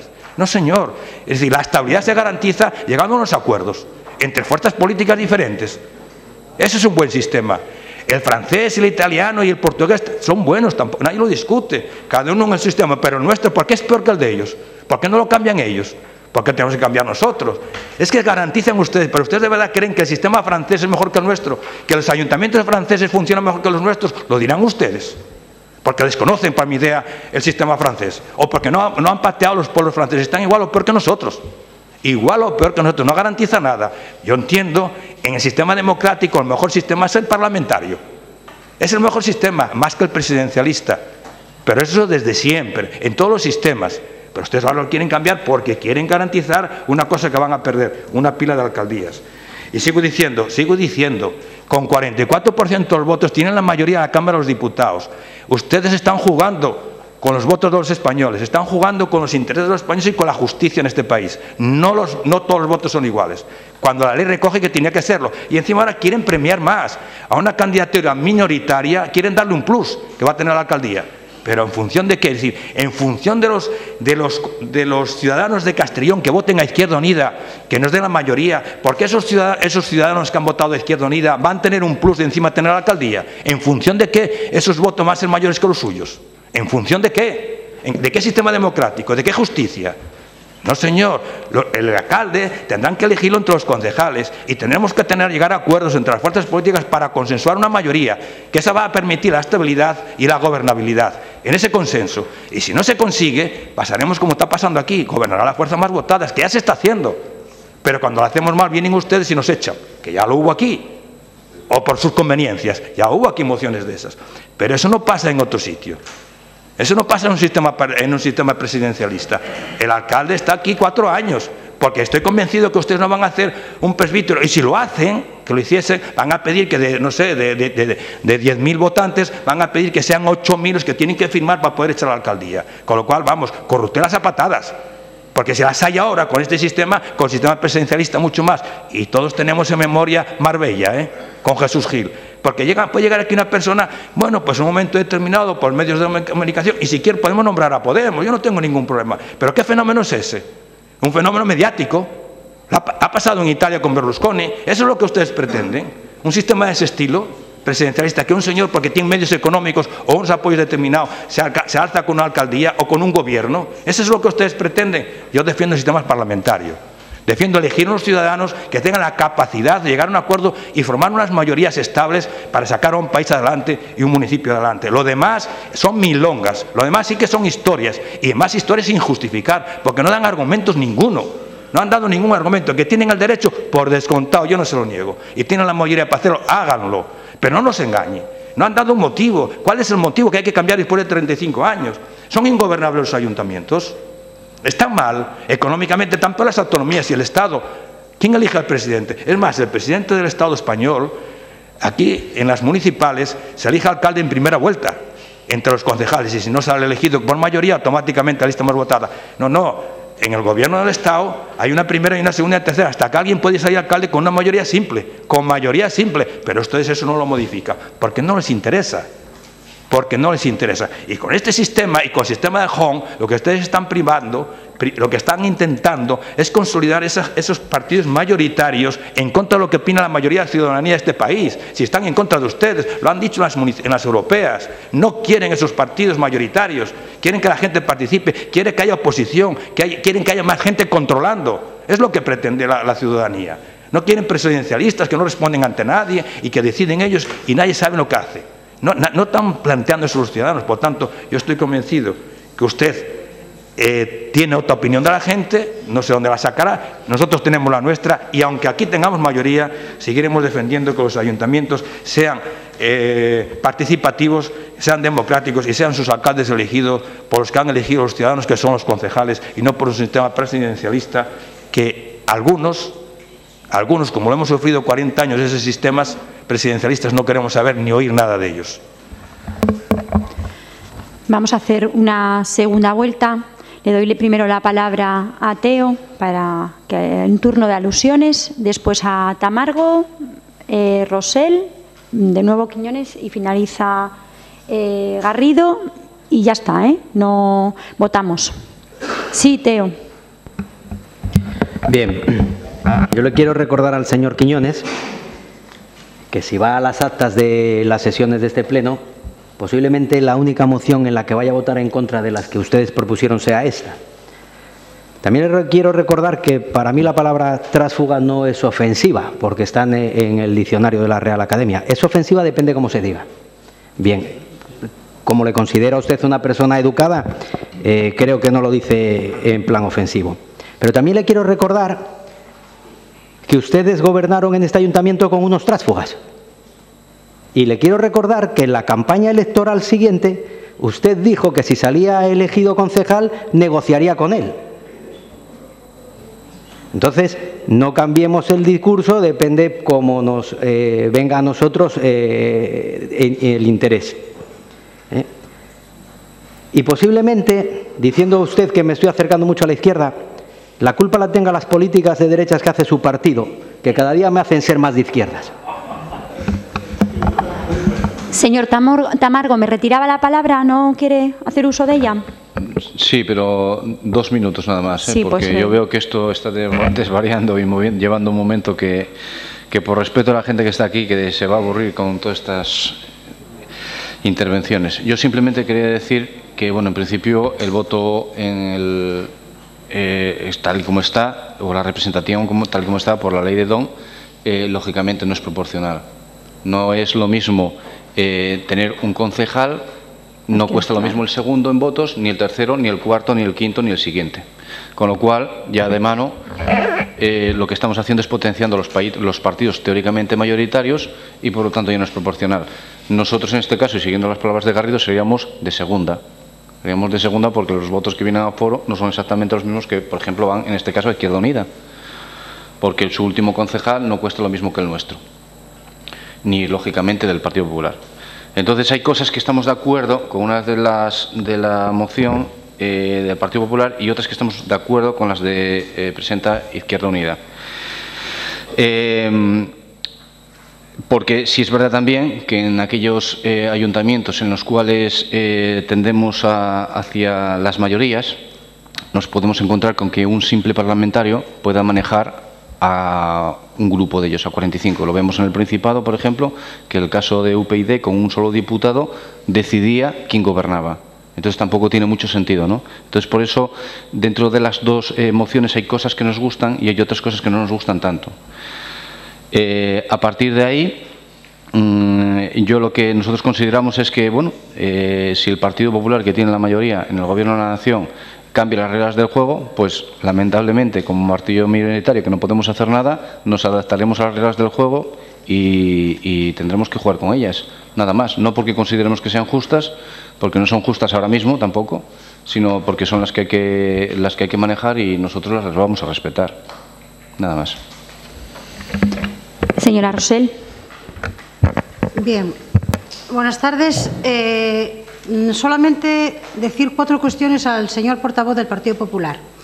Yo reconozco que usted tenga muchas ganas de ser alcalde de este municipio y últimamente en los plenos, se lo dije el otro día a nivel personal y privado, y ahora se lo voy a decir a nivel público, cuando alguien insulta en el debate es que no tiene argumentos. Y usted últimamente, de forma continuada y sustancial, eh, insulta eh, al Partido Socialista en concreto y al resto de los concejales eh, de forma un poco menos, menos asiduamente que al Partido Socialista. Mire, si tan buena es la ley que ustedes promulgan con respecto a las elecciones de la alcaldía, ¿Por qué necesitan consensos? Háganlo ya. Ha habido cantidad de cosas que ustedes han hecho en, este, esta legislatura por un real decreto ¿eh? no las voy a enumerar porque es conocidas por todas, pues háganlo igual que los demás. ¿Por qué necesitan ustedes el consenso? Mm, habrá que preguntarse por qué, ¿no? O sea, ustedes quieren cambiar una serie de normas a muy poco tiempo de, las elecciones municipales del año 2015 y eh, se permiten hacer experimentos como hace la señora Cospedal en Castilla-La Mancha. Hagan ustedes, tienen mayoría absoluta, una mayoría absoluta refrendada por una cantidad de votos de los españoles a los cuales nosotros, como Partido Socialista, respetamos mucho, cosa que ustedes lo hacen.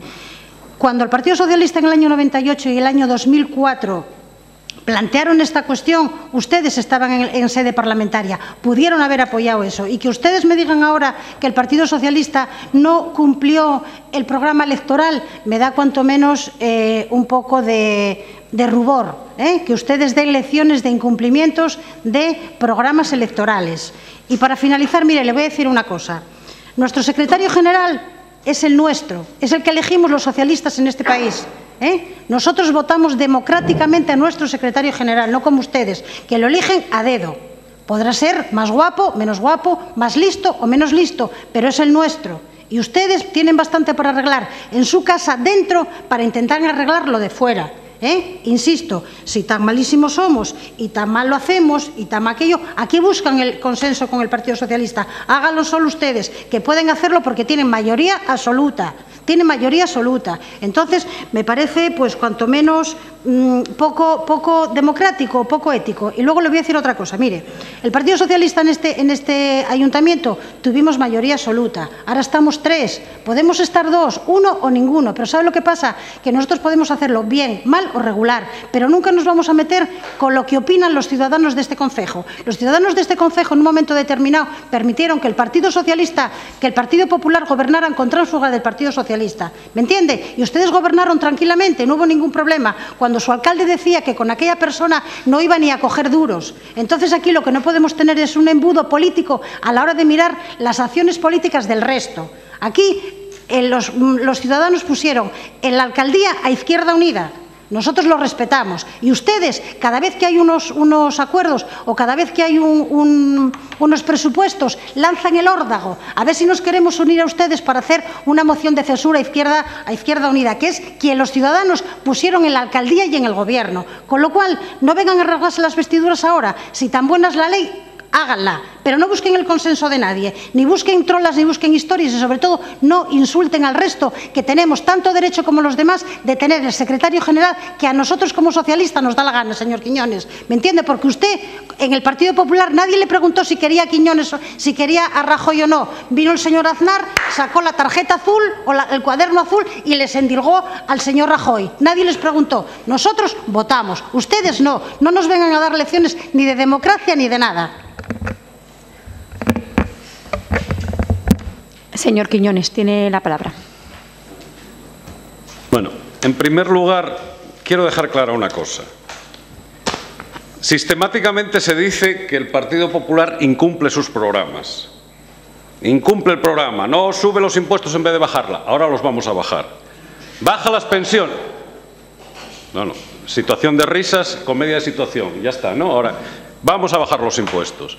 Eh, oí por ahí que bajamos las pensiones. No, no, las pensiones no se van a bajar. Van a subir el 0,25 cuando haya recesión y el IPC más el 0,50 cuando no la haya. Y no se han bajado, a pesar de que esa alcaldesa se ríe, es así, lo sabe todo el mundo y está legislado. Cuando hicimos la ley de educación no la podíamos hacer, a pesar de que estaba en nuestro programa.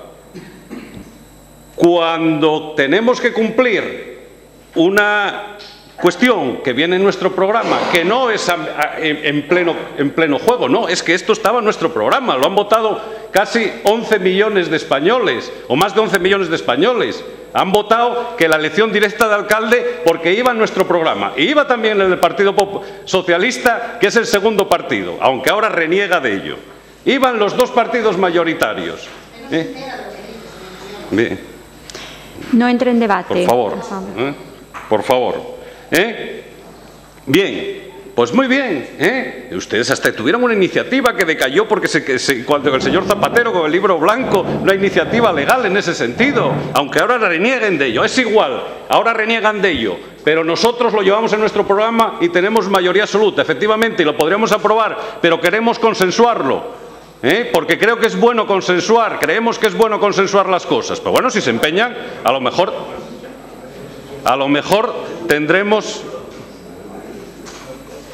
Señor Quiñones, continúe. Yo pido un poco de, no sé. ¿A quién? Al público. Quiero decir, Ah, es que esto parece, Continúe, por favor. parece una comedia de situación y no creo que sea para reírse, pero bueno, quiero decir, eh, que las risas se vayan a hacer fuera y cuando Yo están no he oído ahora mismo ninguna risa. cuando haya el taller, el taller de risoterapia, pues bueno, ya que pues, entren, ¿eh? señor Quiñones, continúo. Per- Valdés. Valdés, por favor. Por favor, Valdés. Venga, continúe, señor Quiñones. Esto es, esto es- esto es increíble. Esto es increíble. Bien, eh, por tanto, como tenemos que cumplir nuestro programa y lo llevamos en nuestro programa y queremos consensuarlo, y si no se consensúa, pues tendremos que cumplir nuestro programa, claro que sí. Y no es a mitad de legislatura ni sobrevenido, porque estas cuestiones el Partido Popular las lleva proponiendo no de esta legislatura, sino ya desde varias legislaturas. Entonces no vengan a decir, no, es que con las elecciones europeas, es que con las elecciones europeas, a pesar del bajón que tuvimos, del bajón que tuvimos, y faltaría más con las medidas impopulares que hubo que tomar, faltaría más que no hubiéramos bajado, pero las hemos ganado claramente. Las hemos ganado claramente. Y en Castrillón hemos sido el partido más votado, pero claramente con más de 10 puntos de ventaja sobre el segundo, que fue el Partido Socialista. Y eso es así, aunque produzca risas, pero es así, esos son datos, no son En opiniones. Castellón ha perdido votos también el Partido Bueno, pero Popular. ya estamos, pero ¿quién las ganó? ¿No las ganó el Partido pero Popular? Igual que las elecciones europeas anteriores. Pero no entremos en debate, por, favor, no, no, continúe. es usted la que me interrumpe. no, no, no, pero no habrá debates nuevos. Por Pero favor, continúe, señor Quiñones, y termine y finalice. Bueno, pero ¿cómo que finalice? Pero si estoy empezando. Sí, sí. Madre mía. Si es- si Estamos en un segundo turno, por estoy- favor. tengo- tendré, que, que- que- tendré que contestar a todos los que me atacaron o nos atacaron, ¿no?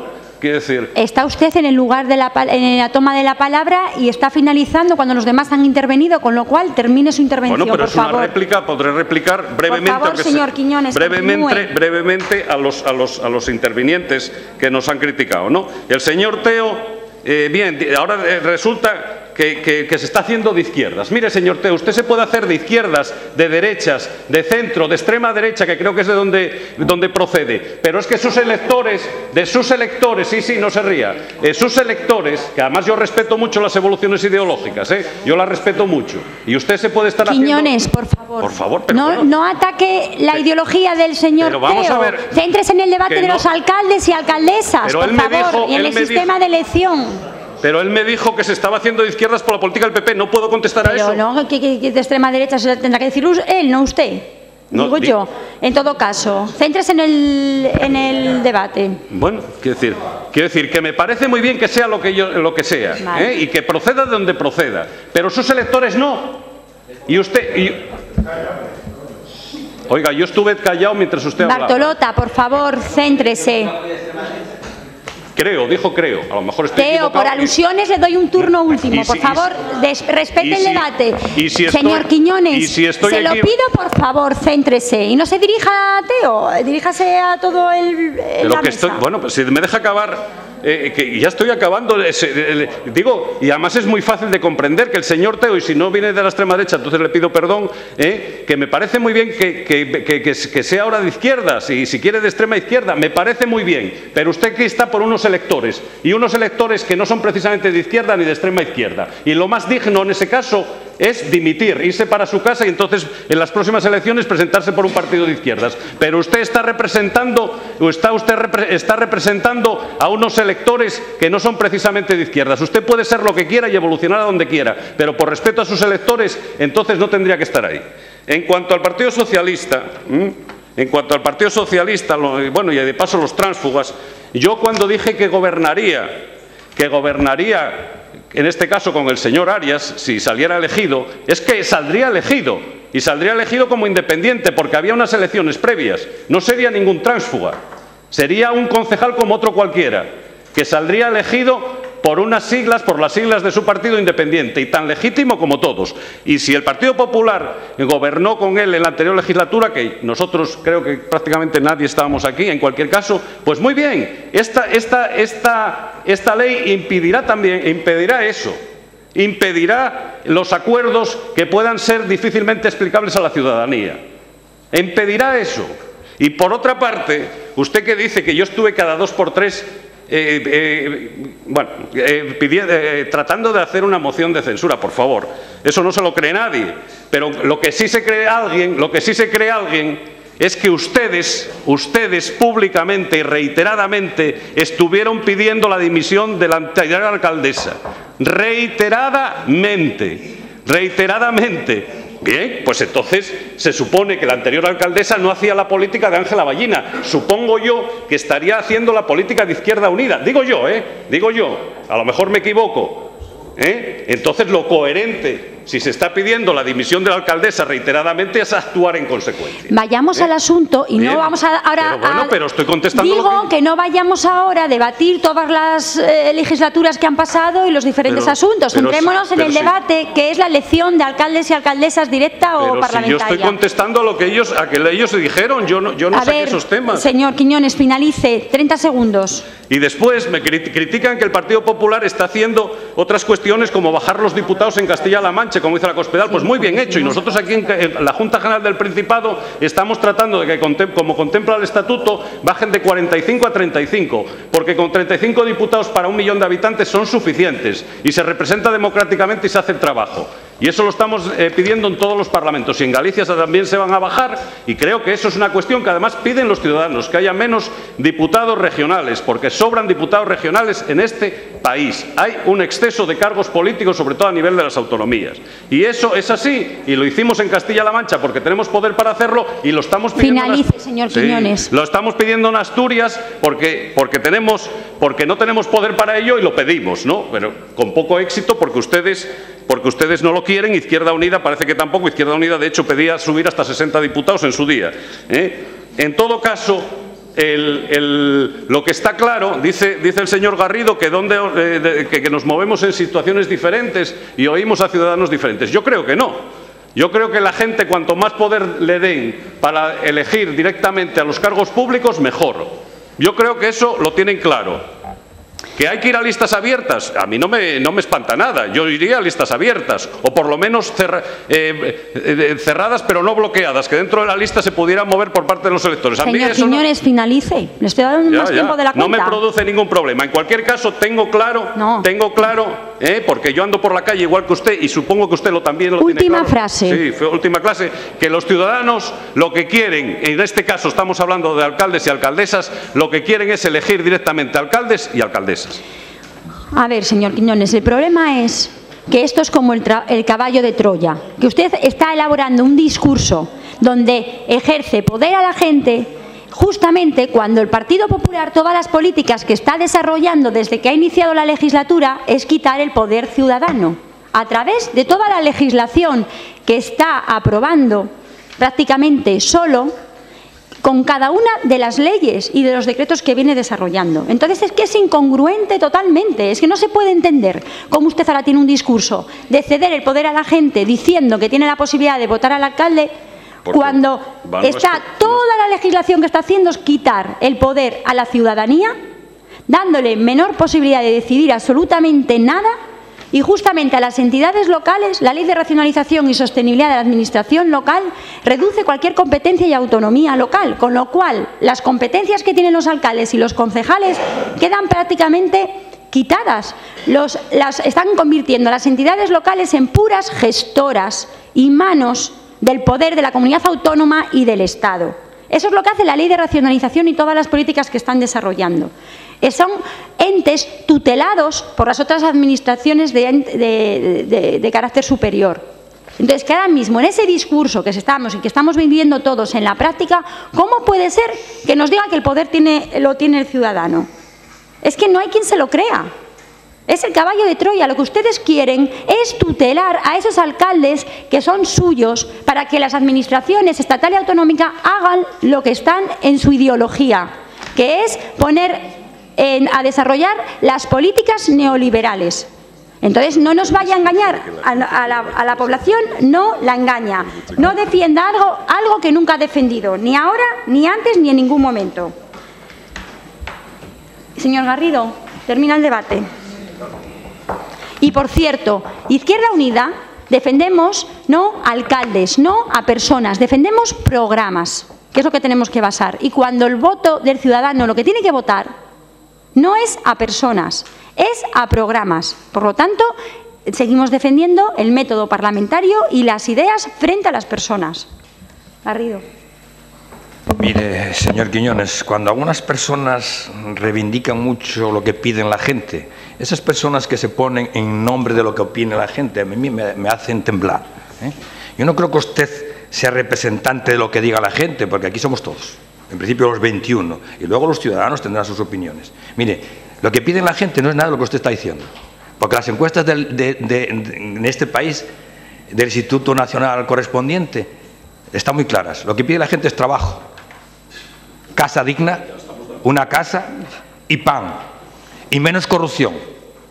Y menos corrupción en los estamentos políticos. Es lo que pide la gente. Por lo tanto, lo demás son milongas que usted dice. Usted oirá a unos y yo oiré a otros. Pero sigo diciendo, en todo caso, si hablan algo en relación a las elecciones, piden listas abiertas y que todos los votos sean iguales. Modificación de la electoral, porque llevan años una serie de ciudadanos pidiendo en este país que se modifique la electoral, pero en el sentido de que todos los votos sean iguales. Eso es lo que pide la gente. Lo otro no es lo que pide la gente, lo otro es lo que piden algunas gentes. Y en algunas gentes muy concretas que quieren cambiar, llevar la sardina a su ascua. Para seguir, lógicamente, manteniendo una serie de alcaldías que saben de antemano que las tienen perdidas.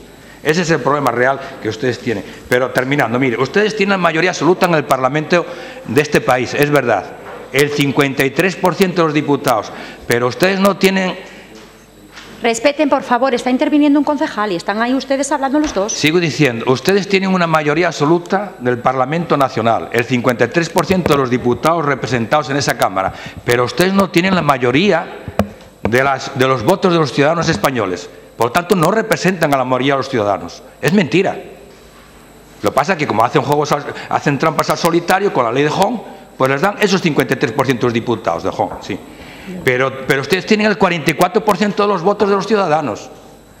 El 40, es decir, hay un 56% que no está de acuerdo con lo que ustedes han, han hecho, ni con, ni con su programa. La mayoría del pueblo español que ha votado no está de acuerdo con su programa. Están de acuerdo sus diputados, que tienen mayoría, por ese sistema. Pero la mayoría del pueblo español no les ha votado. Es mentira. El 56% de los españoles a su programa les ha dicho que no. Les ha dicho que no. Por lo tanto, no es verdad que tiene la mayoría del pueblo español, es mentira. Ahora, cumplir el programa, hombre, me parece muy bien que, y, es lógico que, todos los partidos políticos que gobiernan entiendan a cumplir su programa, pero que no se sirva para coger aquello que nos interesa del programa, cumplir y decir, lo llevamos en el programa y lo que no, no. Por ejemplo, ustedes, antes lo decía Teo, ustedes las pensiones no se iban a tocar, las han bajado año tras año o no han subido lo que corresponde según el IPC, que es una bajada, ustedes los salarios de los funcionarios los han tocado, les han, aumentado el número de horas que no se iba a... También lo han hecho ellos, no lo discuto, pero eso a mí... Ah, sí, sí, lo que usted quiera, el PSOE ha hecho lo suyo, ahí está el resultado, por eso han ganado ustedes, pero eso a mí no me dice nada. A los ciudadanos de este país, el que unos y otros, esa pelota de que usted es peor que yo, a los ciudadanos de este país no les dice nada, pero nada. Así ha salido, así ha salido, ha salido lo que ha salido en las europeas.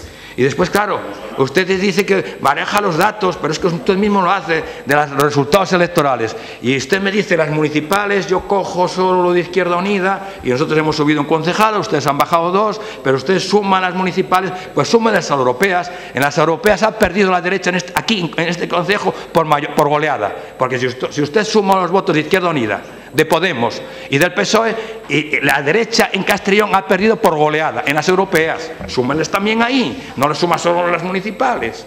Si usted hace trampas, juega los datos que le interese, sí, hace trampas, hace trampas. Y mire, en esta segunda intervención, ni en esta ni ninguna, porque no tienen datos, no dan ningún dato. Es decir, al ciudadano de a pie no le dan ningún dato de por qué después de 35 años debemos de cambiar. Es mentira que el sistema presidencialista es mejor que el sistema parlamentario. Es mentira. No hay ningún documento de ningún técnico en todo el mundo, no en España, en todo el mundo, que diga eso.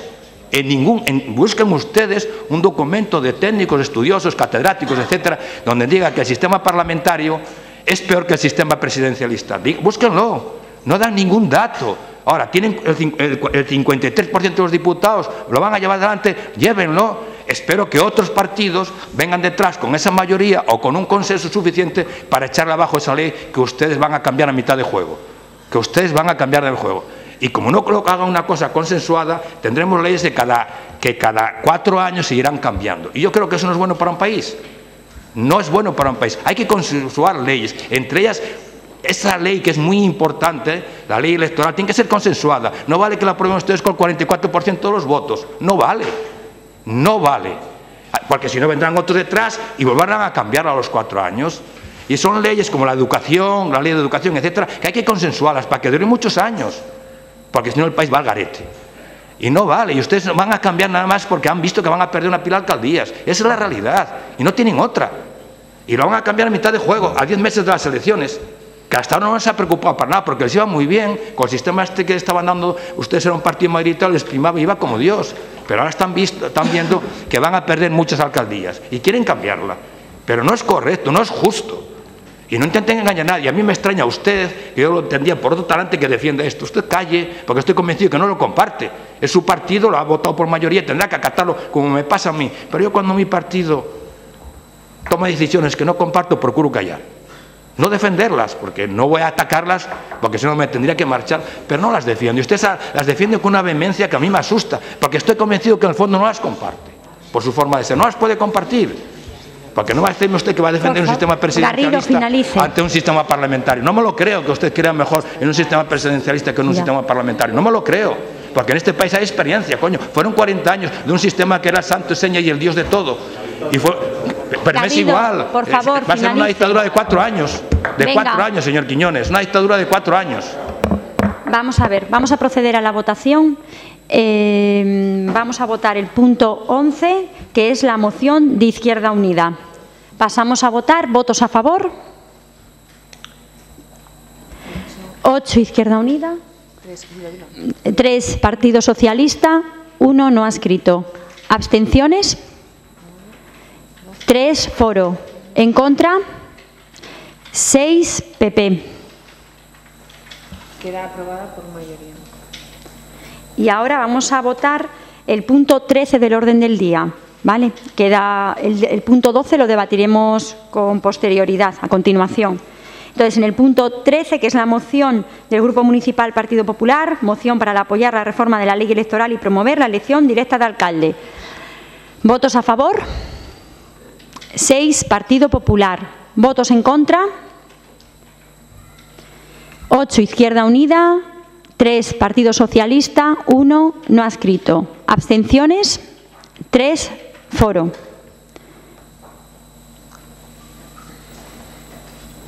Se desestima la.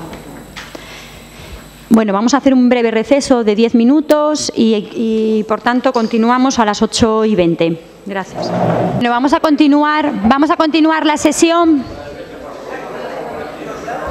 Vamos a continuar la sesión del día de hoy. Falta, falta Inma, que se incorporará a lo largo del pleno, sí, de, y, y Benito. Se incorporará también. Bueno, anunciamos cuando, cuando entren. Iniciamos y cuando entren anunciamos en el acta ¿eh? su entrada. Su incorporación para que quede constancia que se incorporan en este segundo momento, en el momento que es lo que lo hagan. Pasamos al punto mm, doceavo de la sesión, que es el expediente 1781-2014. El Grupo Municipal Izquierda Unida presenta la moción en defensa del pueblo palestino y de condena a la agresión bélica de Israel. Lee la moción Garrido. Sí, paso a leer la exposición de motivos. Con el pretexto del secuestro y del asesinato no aclarado de tres jóvenes... Eh, Garrido, perdón, enciende el micro. Inicia. Bien, eh, que paso a leer la exposición de motivos. Con el pretexto del secuestro y del asesinato no aclarado de tres jóvenes estudiantes israelíes de las colonias de Cisjordania ocurridos el 12 de junio, el gobierno israelí ha lanzado una vez más otra de sus operaciones de castigo sobre, la población palestina encerrada en la franja de Gaza. Mientras el gobierno de israelí ha incitado a represalias, los lemas racistas y ataques contra la población palestina se han extendido en los medios y en las calles de Israel, lo que resultó en el asesinato de un adolescente palestino que fue quemado vivo en Jerusalén por unos israelíes ultras el pasado 1 de julio. El martes 7 de julio, Netanyahu inició una operación militar que yo para el inglés soy fatal, Netanyahu inició una operación militar de gran envergadura contra la franja de Gaza, satisfaciendo así las exigencias de su ministro de Exteriores. Los bombardeos han sido constantes y ha sacudido día y noche todo el territorio de la franja de Gaza. Los, los blancos del ejército israelí han sido los barrios más poblados, golpeando cientos de casas, hospitales, ambulancias, una mezquita a la hora del rezo, un hospital geriátrico, un centro destinado al cuidado de personas discapacitadas, el sistema de saneamiento y de distribución de agua, etc. Han sido asesinadas cruelmente hasta la fecha medio millar de personas, un 80% de ellas niños y niñas, mujeres y personas mayores, millares de personas heridas y cientos de miles de desplazadas. Las masacres civiles se repiten cíclicamente en Gaza. Recordamos con horror la operación denominada Plomo Fundido, en el que murieron más de 1.400 personas, o la de Pilar, de Pilar Defensivo, en la que hubo 170 víctimas mortales. A pesar de las evidencias, ninguno de los responsables israelíes por estos crímenes de guerra y crímenes contra la humanidad ha sido procesado. Condenamos estos crímenes atroces contra la población indefensa, así como los ataques racistas del ejército, policía y colonos israelíes contra las palestinas y palestinos de Cisjordania, Jerusalén Este e Israel. La franja de Gaza... Incorpora Benito. Perdón, sí. La franja de Gaza es una de las zonas más densamente pobladas del mundo y una operación de bombardeo masivo no puede suponer otra cosa que el genocidio de población inocente. Una vez más, el Estado de Israel está demostrando su carácter de Estado terrorista con uno de los ejércitos más poderosos del planeta, armado por la artillería y con la impunidad y el silencio de una comunidad internacional y unos organismos de derechos humanos que solo alzan la voz y actúan en defensa de los verdugos. Nos parece extraordinariamente grave que la comunidad internacional, Estados Unidos y los países de la Unión Europea, España incluida, permita al gobierno de Israel este tipo de comportamientos criminales. Como en todos los conflictos del mundo, la solución al conflicto entre el Estado de Israel y el pueblo palestino vendrá por la vía del diálogo y la negociación, como han reivindicado desde el pueblo palestino miles de veces. Por su parte, el Consejo de Seguridad de la ONU ha llamado a israelíes y palestinos a restaurar el alto el fuego y a proteger a la población civil en cumplimiento de la legislación humanitaria internacional. Lo hace cuando ya, cuando ya han muerto más de 200 palestinos en los últimos ataques. Sin embargo, Israel se niega a acatar las resoluciones internacionales y a respetar los derechos humanos más elementales de la población palestina. La construcción del muro en Cisjordania, y el bloqueo de Gaza, que dura más años, suponen castigos colectivos para el conjunto de la población palestina. Por todo ello, el Ayuntamiento de Castellón adopta los siguientes acuerdos. Este ayuntamiento muestra su más rotunda condena a la agresión del Gobierno de Israel al pueblo palestino. Instar al Gobierno español que condene el ataque y que rompa todas las relaciones con Israel.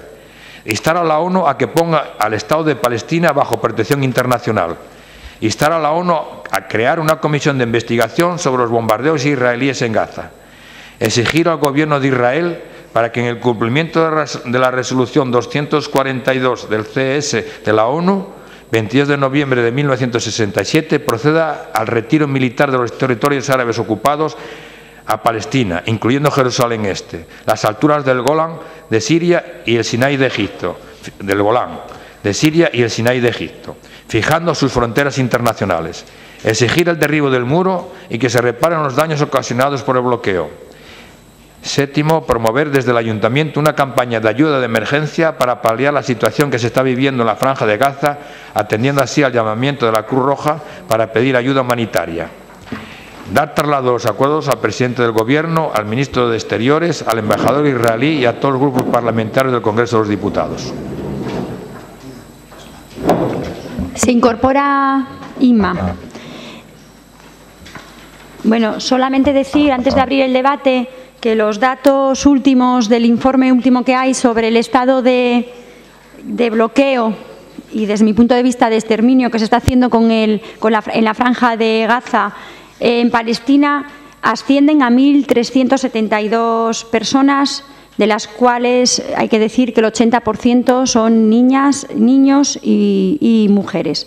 Lo digo porque la moción está realizada hace unos días y hay que dar también los datos a fecha, de hoy, en, este último, en estos 24 días de asedio que, vive el pueblo palestino en la franja de Gaza. ¿Alguna intervención? Eh, señor Galán, señor Quiñones, ¿alguna más? Señor Galán y Garrido. Bueno, el Partido Socialista ha exigido el alto fuego en la, franja de Gaza y una actuación más enérgica por parte de la Unión Europea. Muestra su profunda consternación por la muerte de centenares de, de civiles indefensos y ha pedido que Europa emprenda una acción diplomática efectiva directamente sobre el terreno y que además un aviso a Israel con medidas que podrían llevar incluso a la suspensión del acuerdo de asociación de Israel con la Unión Europea si no se detiene el uso desproporcionado de la fuerza, que ha causado ya la muerte de varios cientos de palestinos y la, gran mayoría población civil indefensa. El PSOE también pide mayor energía por parte de España. Nuestro país no puede seguir siendo amigo sin condiciones de quien abusa de, de la fuerza. Palestina tiene derecho a un Estado, pero sobre todo el sufrimiento del pueblo palestino tiene que acabar, pues los hombres, mujeres, niños palestinos tienen derecho a vivir sin sufrir la violencia externa, extrema sobre sus ya difíciles condiciones de vida. También quiero recordar que el Gobierno del Principado de Asturias aprobó antes de ayer un crédito extraordinario de 70.000 euros para ayuda humanitaria de emergencia en Gaza. Por lo tanto, nosotros vamos a apoyar la moción que presenta Izquierda Unida. Sí, señor Quiñones. Eh, nosotros Consideramos que es una moción probablemente con buena voluntad, pero completamente sesgada.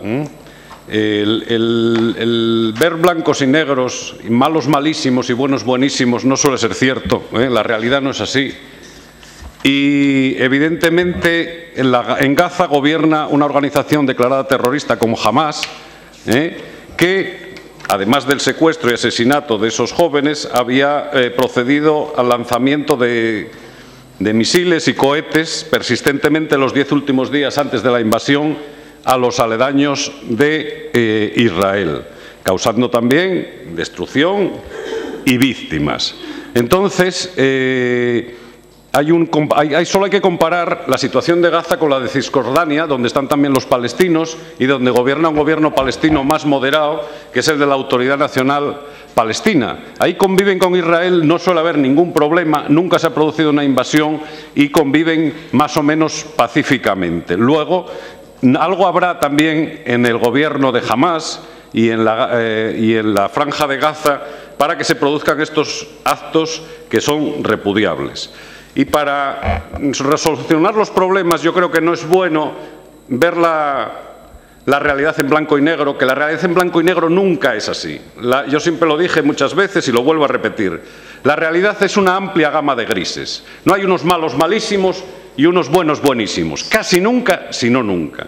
Entonces, si queremos realmente colaborar a resolver el problema modestamente, lógicamente no es ninguna competencia del Ayuntamiento de Castellón, pero bueno, podemos pronunciarnos en ese sentido, yo llamaría a hacer una declaración conjunta, como esta mañana se hizo, o perdón, probablemente esta tarde, que fue el pleno, pero bueno, se hizo en la Junta General del Principado, eh, en la que todos los grupos políticos, eh, desde Izquierda Unida al Partido Popular, consensuaron una declaración institucional que paso a leer y que creo que sería mucho más positiva porque creo que podría suscitar la unanimidad como se suscitó en la Junta General del Principado y no las desavenencia, como obviamente nosotros no podríamos votar por sesgada esta moción.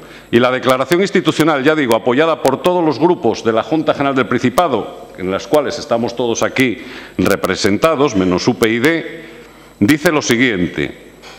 Declaración institucional, lógicamente, habría que cambiar donde dice Junta General y Principado por el Ayuntamiento de Castrillón, pero dice lo siguiente.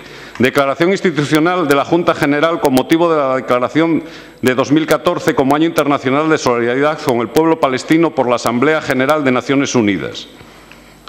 Con motivo de la declaración del 2014 como el Año Internacional de Solidaridad con el Pueblo Palestino por la Asamblea General de Naciones Unidas, el Parlamento asturiano, lógicamente, quiere decir el, el Pleno del Ayuntamiento de Castellón, reclama, primero, el cumplimiento de las resoluciones de las Naciones Unidas. Segundo, el respeto absoluto de los derechos humanos de palestinas y palestinos. Tercero, el principio de retorno de las personas y comunidades a las tierras y casas de las cuales fueron expulsadas.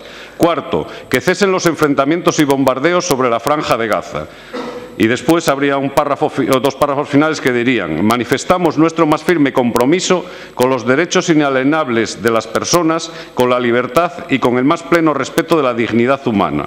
Después continúa finalmente el Parlamento asturiano, lógicamente aquí diríamos el Pleno del Ayuntamiento de Castrillón, no escatimará esfuerzos a contribuir desde Asturias, en este caso desde Castrillón, a construir un orden internacional bajo el respaldo de la legalidad internacional, un mundo en el que la fuerza quede siempre sometida al derecho y realizamos un llamamiento a un arreglo negociado para una paz justa y duradera. Y digo, esta es la declaración apoyada por todos los grupos en la Junta General del Principado.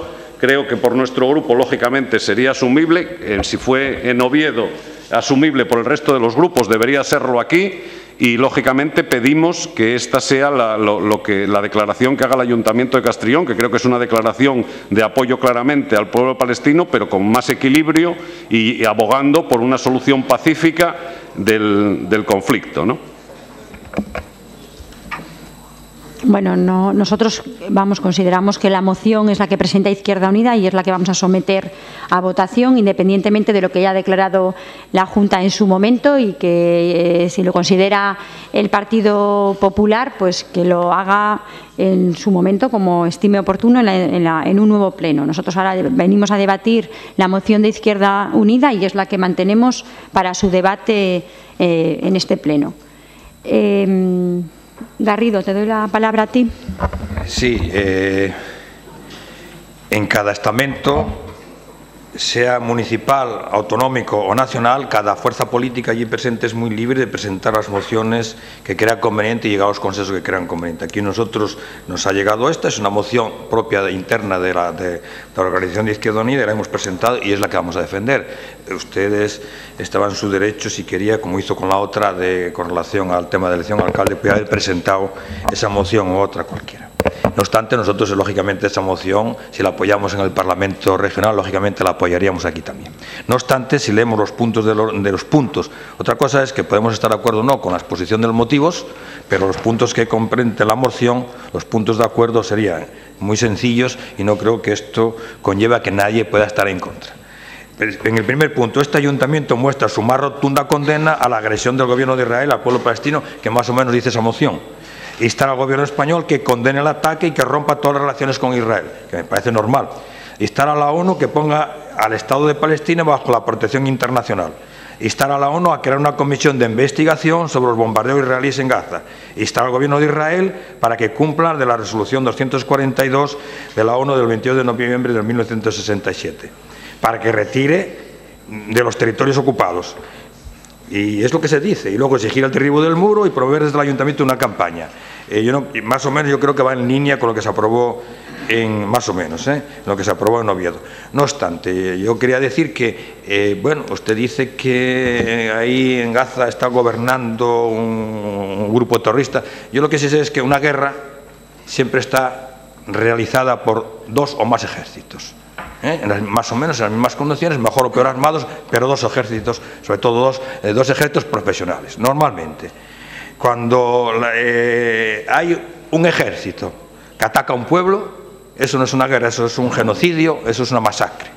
Y luego, cuando alguien intenta decir que el pueblo palestino son todos terroristas porque yo me niego, habrá un grupo terrorista, no lo discuto, pero como lo había en el País Vasco y yo nunca me dije que los vascos eran terroristas y estuvo durante veintipico años la ETA ahí metida, ¿no? Y nunca, nunca se me ocurrió condenar a los vascos, decir que todos los vascos, incluidos niños y niñas, son terroristas y con lo cual había que masacrar al pueblo vasco. Por lo tanto, parece, em, pues, mm, bueno, una barbaridad. Es decir, yo creo que debemos de condenar eso, yo creo que debemos de exigir que se cumplan las resoluciones, que aquí es cosa muy sistemática. Hay ciertos países en unas situaciones con cuarenta y pico años o cincuenta y pico años, ya no sé, ya perdí la memoria, que están aislados porque su régimen de, político no está de acuerdo con unas mayorías determinadas, es decir, no es amigo de los Estados Unidos y ese señor, y es Cuba en concreto, y lleva cincuenta y pico años aislada.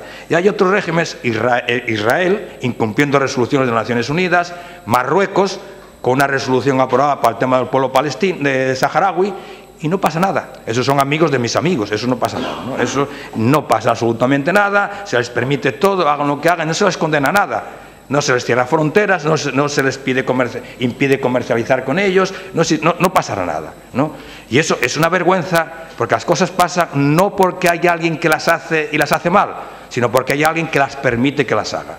Es decir, lo que ha pasado en Alemania no es culpa de un dictador que llegó allí por, los votos y luego se convirtió en un dictador, sino es culpa de un pueblo que ha permitido que eso haya sucedido y una sociedad internacional que lo ha permitido. Porque tan culpable es el que lo hace como el que cierra los ojos porque es cómplice de eso que está pasando. Y por lo menos nosotros no queremos ser cómplices de eso. Y vamos a denunciar donde podamos y cómo podamos lo que está sucediendo ahí. Ya van más de 1.373 muertos. Ya hay, ya hay 700, más de 7.680 heridos. Ya hay 68 familias que han perdido tres o más miembros de su familia. Ya hay 13 hospitales dañados, 10 clínicas de atención primaria fueron destruidas o dañadas, 34 centros de salud están cerrados, 12 ambulancias resultaron dañadas, 38 resultaron heridos del personal de salud, dos farmacéuticos, cuatro paramédicos, un auxiliar de farmacia, un, un, LABS, un director del banco de sangre, una enfermera y un gerente de administración murieron después de estos últimos ataques. Es decir, ya hay 80 mezquitas destruidas o, perjudicadas. Eh, dos iglesias y un cementerio cristiano han sido parcialmente dañados. Más de 245.000 personas han sido desplazadas. 1.700.000 personas, toda la población de Gaza se ha visto afectada por la destrucción de electricidad, agua, luz, aguas residuales, etc. Y eso, la comunidad internacional tiene medios suficientes para impedirlo. Lo que pasa es que es amigo del sheriff, es amigo del poderoso, es amigo del que manda. Y como ese es amigo del que manda, tiene eh, potestad para hacer lo que salga en gana, tiene derecho de pernada. Tiene derecho de pernada. No, señor, cortemos relaciones con ellos, impidámosle a ese pueblo, a ese pueblo llamado Israel, que tiene que ser adalid y ejemplo de la paz en el mundo precisamente por lo que han sufrido y en están haciendo con el pueblo palestino lo que hicieron los nazis con ellos, cuando tienen que ser todo al revés. ¿no? Por, eso no, por eso nosotros, el resto del mundo, debemos de impedir que eso suceda, denunciarlos y exigir que se cumplan resoluciones aprobadas. Y si no las cumple, hagamos lo que, está haciendo, lo que se está haciendo con Cuba. Quitemos el comercio, prohibamos a las empresas que comercialicen, no les vendamos armas, no les importamos productos, etcétera, y aislémoslos hay medios suficientes para ello. Mangamos la ONU allí, que proteja a la población de, Ghana, de, Gaza y que se solucione el tema lo más pronto posible. Y eso es querer. Lo demás son palabras al viento, que continúen todos iguales, porque el sheriff manda y los demás obedecemos. Yo, sí, un momentito, que yo solamente digo que también lo mismo que se ha dictado esa resolución en el, bueno, por unanimidad hoy, también nuestra eurodiputada ha lanzado también el mensaje y la intervención en que la Unión Europea no puede mirar a otro lado y tiene que exigir a Israel el fin de la masacre en Gaza. Tenemos los medios para hacerlo, es una cuestión política, de voluntad política y hay que hacerlo ya. Pedimos el cese inmediato de la violencia indiscriminada, indiscriminada, y genocida de Israel contra la población palestina y de no hacerlo exigimos que se ponga en marcha una campaña de boicot, de inversiones y sanciones rotundas en línea con lo que desde hace años reclaman distintas organizaciones humanitarias en todo el mundo contra un sistema de auténtico apartheid en el que se conculcan los derechos humanos sin el más mínimo respeto a la vida de las personas. La Carta Fundacional de las Naciones Unidas dice que todo pueblo ocupado tiene derecho a defenderse. En este caso, estamos ante un pueblo que está ocupado, que no tiene eh, medios militares para defenderse, lo hace con sus propios, con lo que tiene, ¿no? Israel sí tiene, y de hecho Estados Unidos hace poco le ha dado 200 y pico millones de euros en armas, con lo cual eh, Israel está siendo apoyado en esta ofensiva, en esta masacre, en este exterminio que está haciendo con un pueblo. El Tribunal de la Haya hace 10 años que ha dicho que Israel tiene que tirar el muro que tiene puesto en Gaza y la comunidad internacional y la, Unión Europea están mirando para otro lado. Hace unos días se, votaba en las Naciones Unidas el acuerdo de denunciar este tema y Estados Unidos votó en contra y la Unión Europea se abstuvo. Entonces, está claro que hay unos intereses aquí hacia el pueblo de Israel y hacia, el poder económico de Israel, los intereses económicos, y estamos permitiendo todos mirando hacia otro lado o haciendo estos comentarios a viva voz de que hay que respetar al pueblo palestino, pero en la práctica, en otros conflictos, hemos sido mucho más contundentes de lo que estamos siendo ahora mismo con lo que está pasando, cuando están cayendo, como dice Garrido, y ahí están los datos del último, del último informe, eh, escuelas incluso de las Naciones Unidas, que están siendo destruidas, sabiendo que hay dentro muchísima gente, no se están respetando eh, los momentos humanitarios para recoger a los muertos, no se está respetando los minutos para esa recogida y se está atacando al pueblo cuando se están levantando los muertos y a los heridos. Y eso lo está haciendo Israel con la connivencia o con la pasividad de los estados poderosos, en este caso la Unión Europea y Estados Unidos. Sí, lamento que la declaración institucional de todos los partidos de la Junta General del Principado de Asturias, incluidos todos los que estamos aquí, pues no se vea conveniente asumir, ¿no? Estamos debatiendo esta. Esa la puede presentar en otro momento y ya le ha dicho el señor Garrido eh, y le eh, digo que la apoyaremos, pero eso no estábamos en el debate. Está presentado en el orden del puede, día. Puede entenderse, puede entenderse y así lo expreso como una enmienda transaccional al texto dispositivo de, de esa moción. Es mucho más concreta que la moción. Bien. En cualquier caso. creo que queda recogido en la moción. En cualquier caso, no es igual la moción que la declaración.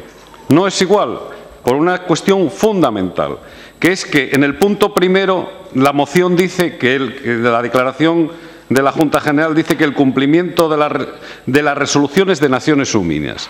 Naciones Unidas tiene muchas resoluciones en relación al conflicto eh, de los israelitas con Palestina. Y una de ellas es que se debe de respetar la existencia y las fronteras del pueblo de Israel, cosa que jamás en su declaración eh, fundacional dice que uno de sus objetivos es el exterminio y la disolución del Estado de Israel. Lógicamente, conviviendo eh, con, una organización de este tipo, que tiene en su declaración fundacional el exterminio eh, del pueblo de Israel, pues lógicamente el, pueblo de Israel eh, se defiende también, ¿no? Y probablemente haciendo desmanes en determinadas circunstancias que son condenables por todos. Ya digo, nosotros no condenamos al pueblo palestino en absoluto, en absoluto. ¿Eh? Pero sí es cierto que la Franja de Gaza gobierna jamás, y jamás es una organización declarada terrorista y que además en sus estatutos fundacionales está como uno de sus objetivos fundamentales exterminar al pueblo israelí y, acabar con su Estado. En cambio, en Cisjordania, donde gobierna la, Autoridad Nacional Palestina, descendiente de Al-Fatah, Al ¿eh? y que antes era presidida por Arafat, no suele haber ningún problema, ni hay ninguna invasión, ni suele haber altercaos, ni nada. ¿Por qué? Porque dentro de las diferencias, que lógicamente las hay, pues tiene una cierta convivencia pacífica. Entonces, no es igual una moción en la que, ya digo, solo se condena al pueblo de Israel, pero no, no, se le da ni una mínima garantía de que se cumplan las resoluciones de Naciones Unidas, que también consideran que ese pueblo tiene derecho a la existencia y a sus fronteras seguras, ¿eh? Y, sin embargo, en esta sí está, con lo cual nos parece mucho más equilibrada. Por tanto, nosotros, en ese sentido, no podemos votar una moción que nos parece totalmente sesgada y sí asumiríamos como enmienda transaccional esta, que no se quiere eh, asumir, otras veces se hizo, esta vez no se quiere hacer, me parece muy respetable. No, no, es que son dos cosas diferentes. Es que una cosa es una no son moción no son cosas y diferentes. otra cosa es una declaración. Es que no, está en el orden del Bueno, punto del día no vamos a- una moción y la declaración se podrá Bueno, votar en ya otro acabo, momento, pero no en el marco de este pleno, señor No hay- Quiñones. no hay Además que la moción es más general que la declaración. No hay voluntad política de asumirla. No, no hay voluntad política del Partido Popular de declarar la situación que tiene en este momento y que se vive en Gaza. Está clarísimo. Y nosotros- Si ya sabíamos que no le iban a apoyar. Nosotros, bien, eh, adivina el Ah, futuro, no, no, es que está clarísimo, Bien, a, lo lo están mejor, a haciendo. lo mejor es que se trata de que no se apoye, cuando en no. Oviedo, en Asturias, sin embargo, sí hubo voluntad de acuerdo. Pero aquí se trata de que no se apoye y, por supuesto, no la vamos a apoyar. Pues muy bien. Señor Garrido. Sí, mire, en, relación a esta declaración, eh, eh, en, fina- en finalizando los puntos del, del día, vamos a meter una, una moción por urgencia, el Partido Socialista y Izquierda Unida, por urgencia, eh, porque entendemos que es importante. Y yo esta declaración que ustedes eh, dicen, yo confiando en su palabra, estoy convencido que si lo hizo usted, es verdad que fue apoyado por todos los miembros de la Junta, correcto. No ten- yo, no, por lo menos desde Izquierda no tendríamos ningún problema en declararla, meterla en el orden del día por urgencia y la votamos a favor. Es decir, si usted quiere, a continuación de la moción de Izquierda se somete a la urgencia. Yo creo que es urgente, porque todo lo que sea eh, paralizar la masacre que está, que, está sucediendo en- con- con Gaza me parece bueno. Y por lo tanto, nosotros como Izquierda Unida, si usted lo quiere, lo mete con urgencia, lo votamos a favor y luego votamos a favor de esa declaración. Pero no tiene que ver nada con la moción. La moción sigue, la seguimos manteniendo tal como está. Pero si usted quiere hacer historia, mire, el hacer historia es, es complicado, ¿eh? Es complicado.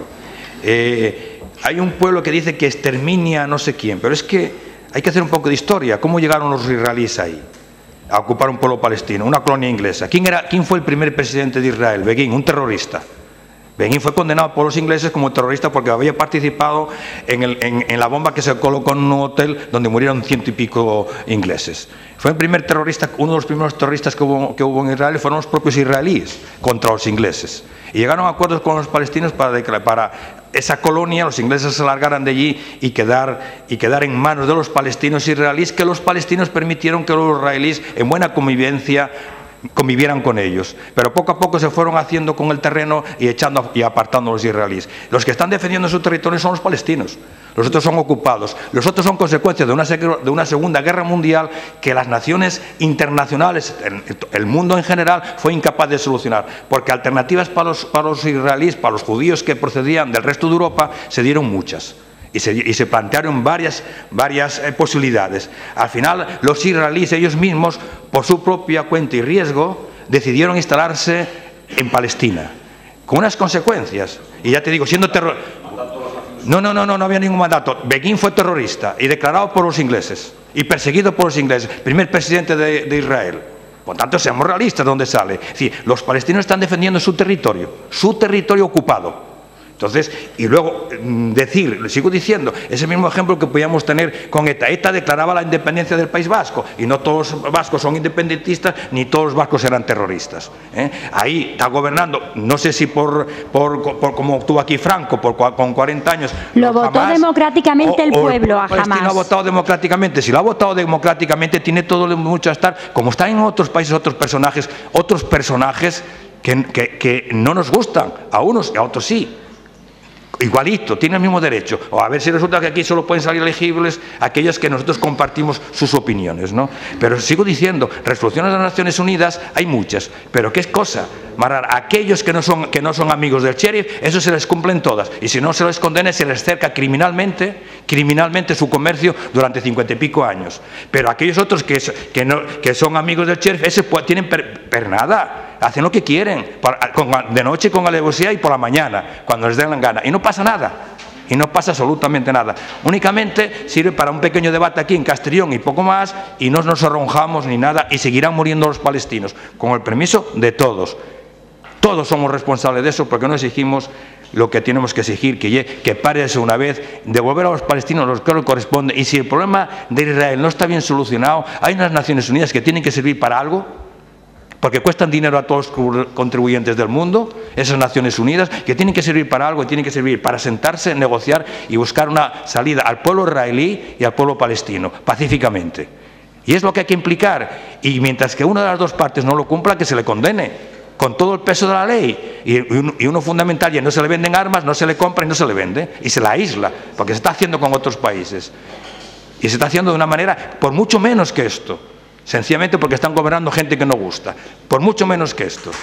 No hay una guerra, no, hay masacre, no están matando a nadie, se está condenando a un pueblo cubano a, que no se le venda, a no poder pedir comercializar en el mundo como es debido, por mucho menos, y sin embargo los israelíes hacen lo que les da la gana, la real gana. Y los marroquíes lo mismo que están haciendo con el pueblo saharaui, otra masacre con una resolución de más de treinta y pico años que no se tiene en cuenta y nadie exige nada. El pueblo español entre ellos, que es parte responsable de esa situación, y no exigimos que se cumplan esas resoluciones. Y somos culpables todos los españoles porque cerramos los ojos y somos tan cómplices como los marroquíes que lo están ejecutando. Bueno, vamos a proceder entonces a la, a la votación. Votos a favor de la moción que presenta el Grupo Municipal de Izquierda Unida en defensa del pueblo palestino y de condena a la agresión bélica de Israel. ¿Votos a favor? Ocho Izquierda Unida, tres PSOE, uno no ha escrito. ¿Votos en contra? Seis Partido Popular. ¿Abstenciones? Tres Foro. Queda aprobada por Pasamos al punto 14 de la sesión de hoy. Expediente 1791-2014, concejal no adscrito, moción para que los diputados nacionales y autonómicos sean iguales al resto de los ciudadanos y paguen la telefonía móvil y el Internet de su domicilio. Señor Teo, Teo lees tú la moción.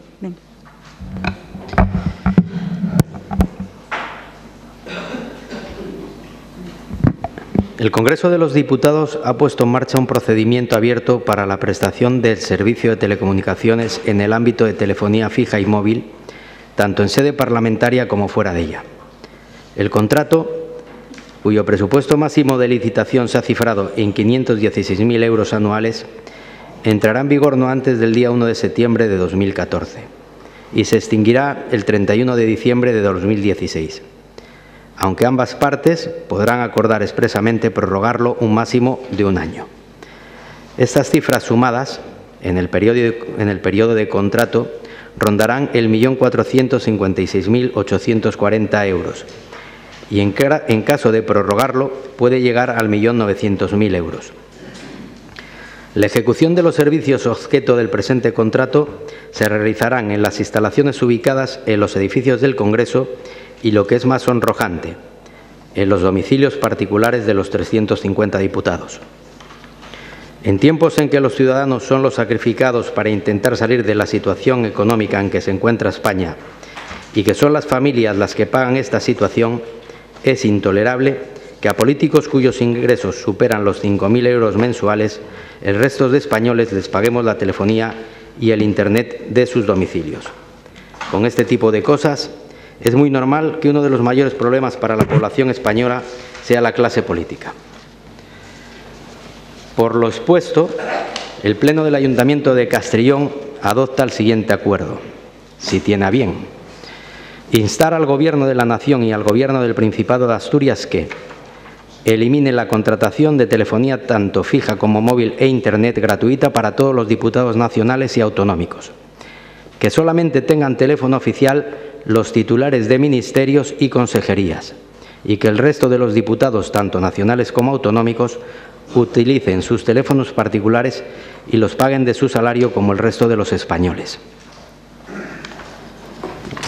Yo sé que tradicionalmente pues, eh, la telefonía móvil y el Internet de los diputados se está pagando con un contrato que va con cargo a los presupuestos generales del Estado. Pero en estos momentos que se está abogando por un descenso del gasto público, considero que eh, era interesante redujesen estos gastos que no veo que sean necesarios o lo suficientemente necesarios como para que el resto de los ciudadanos se los estemos pagando. Mire, el contrato este de la telefonía, si lo dividimos entre los diputados que hay en el Congreso, eh, sale a una media de 1.218 euros al año por diputado. Si tenemos en cuenta que el resto de los ciudadanos hemos reducido casi un 13% el consumo de nuestra telefonía e Internet desde que estamos en crisis, creo que tendrían que empezar a pensárselo dos veces antes de tener estos excesivos gastos en, estos, en la telefonía. Hay otra cosa que también me asustó cuando estuve mirando un poco esto, que son los 5 millones y medio de euros que se gastan al año los diputados en viajes al, extranjero, pero bueno, eso es otro tema. Por lo tanto, solicito a los grupos políticos con representación en este ayuntamiento que por sentido común eh, aprueben esta moción. Sí, intervenciones. Señora Rosell. Señor Quiñones. Empezamos entonces por la señora Rosell. Bueno, no deja de ser llamativa el kit de la moción. Mm, yo entiendo que políticamente eh, a todo el mundo le gusta oír lo que usted cuenta, pero hay que ser realista. Realista desde el punto de vista en que los diputados nacionales y los diputados provinciales necesitan medios de comunicación. Medios de comunicación que usted dice que cuestan 1.900.000 euros, que los diputados eh, nacionales cobran más de 5.000 y los diputados autonómicos, desde luego, no cobran 5.000 euros. Aparte de todo, este contrato está hecho en base de los terminales, los medios informáticos que necesitan los diputados y el mantenimiento. Con lo cual, esa cantidad de 1.218 euros que usted dice que gasta cada diputado no se ajusta a la realidad. Aparte de todo, eh, me parece que los españoles tenemos derecho, cualquier, cualquier persona en un momento determinado puede llegar a ser diputado y tendrá que tener en su alcance los medios informáticos y ofimáticos necesarios para poder desarrollar su labor y su función. Que a usted le queda muy bien presentar esta moción porque... Mm, eh, popularmente es, puede ser muy bien aceptada porque es lo que la gente quiere oír. Mire, eh, a mí me parece tremendo el pensar que únicamente se pueden dedicar a la política la gente que tenga patrimonio. La gente que tenga patrimonio. Vamos a ver. Eh, todos conocemos la forma en la que los diputados nacionales o los diputados autonómicos puedan ejercer su labor. El problema no es ni los 5.000 ni los 2.000 euros que puedan ganar o los 3.000 euros que puedan ganar los diputados. El problema es que cuando le pagamos el sueldo a los diputados y lo que tenemos que hacer es ejercer el derecho que tienen, pero exigirles por el sueldo que le estamos pagando. Usted nunca ha tenido eh, responsabilidades de gobierno. Y mire, es muy duro tener responsabilidades de gobierno y tener que pagarte tu teléfono. Yo aquí veo a mis compañeros de, gobierno municipal que tienen dos teléfonos. No creo que la mayoría de ellos vayan cargando con dos teléfonos porque les gusta. No, tienen su teléfono del ayuntamiento y tienen su teléfono particular. Con lo cual, me imagino y quiero pensar que el resto de la gente y el resto de los diputados tienen la misma honradez a la hora de hablar por teléfono.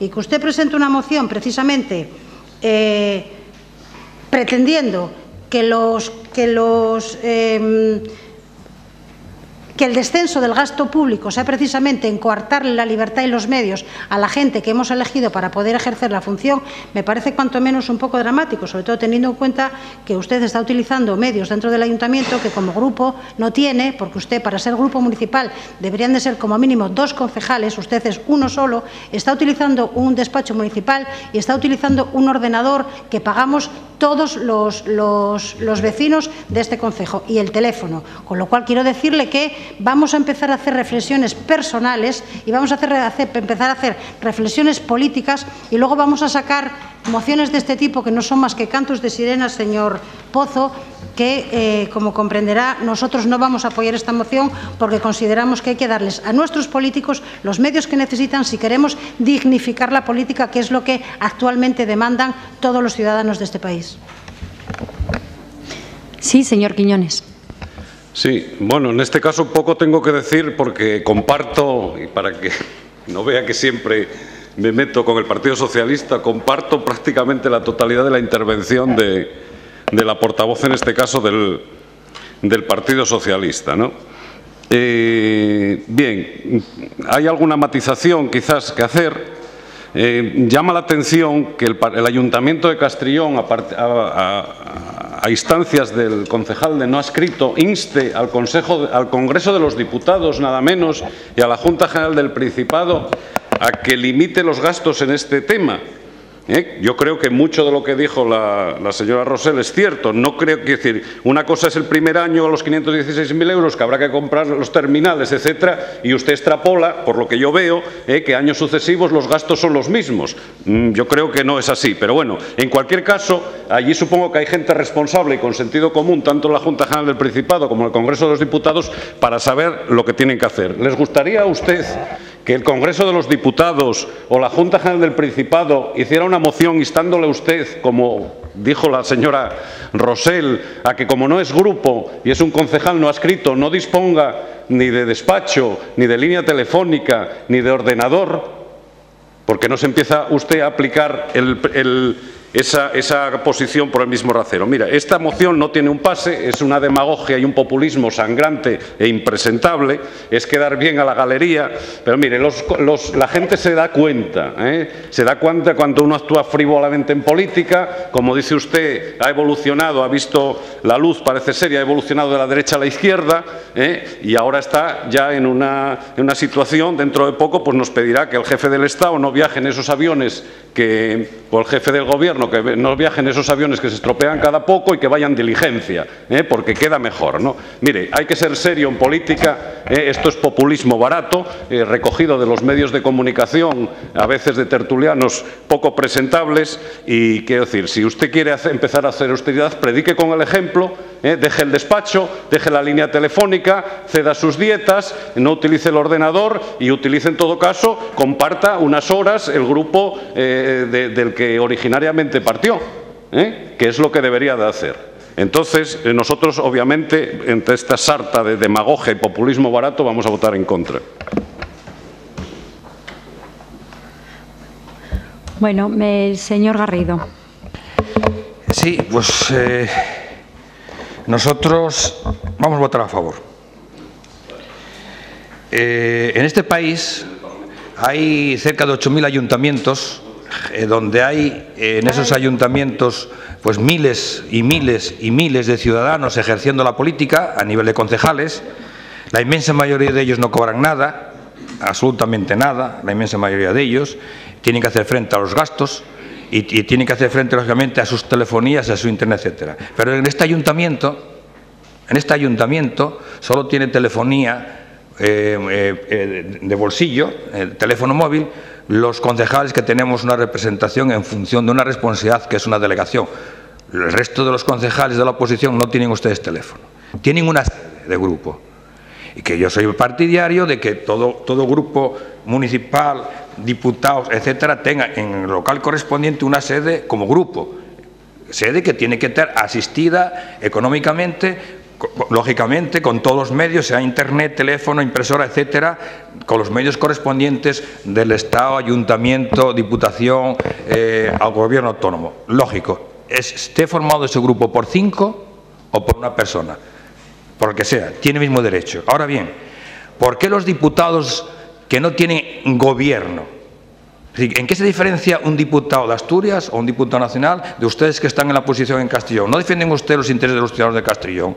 ¿No tienen todo el derecho del mundo, igual que el diputado regional o el, o el diputado autonómico, a tener un teléfono para que puedan atender esas necesidades y esas llamadas? Si no lo tienen y nunca, y nunca lo han pedido, porque nosotros hemos estado muchos años en la oposición y tampoco lo hemos tenido ni lo hemos pedido.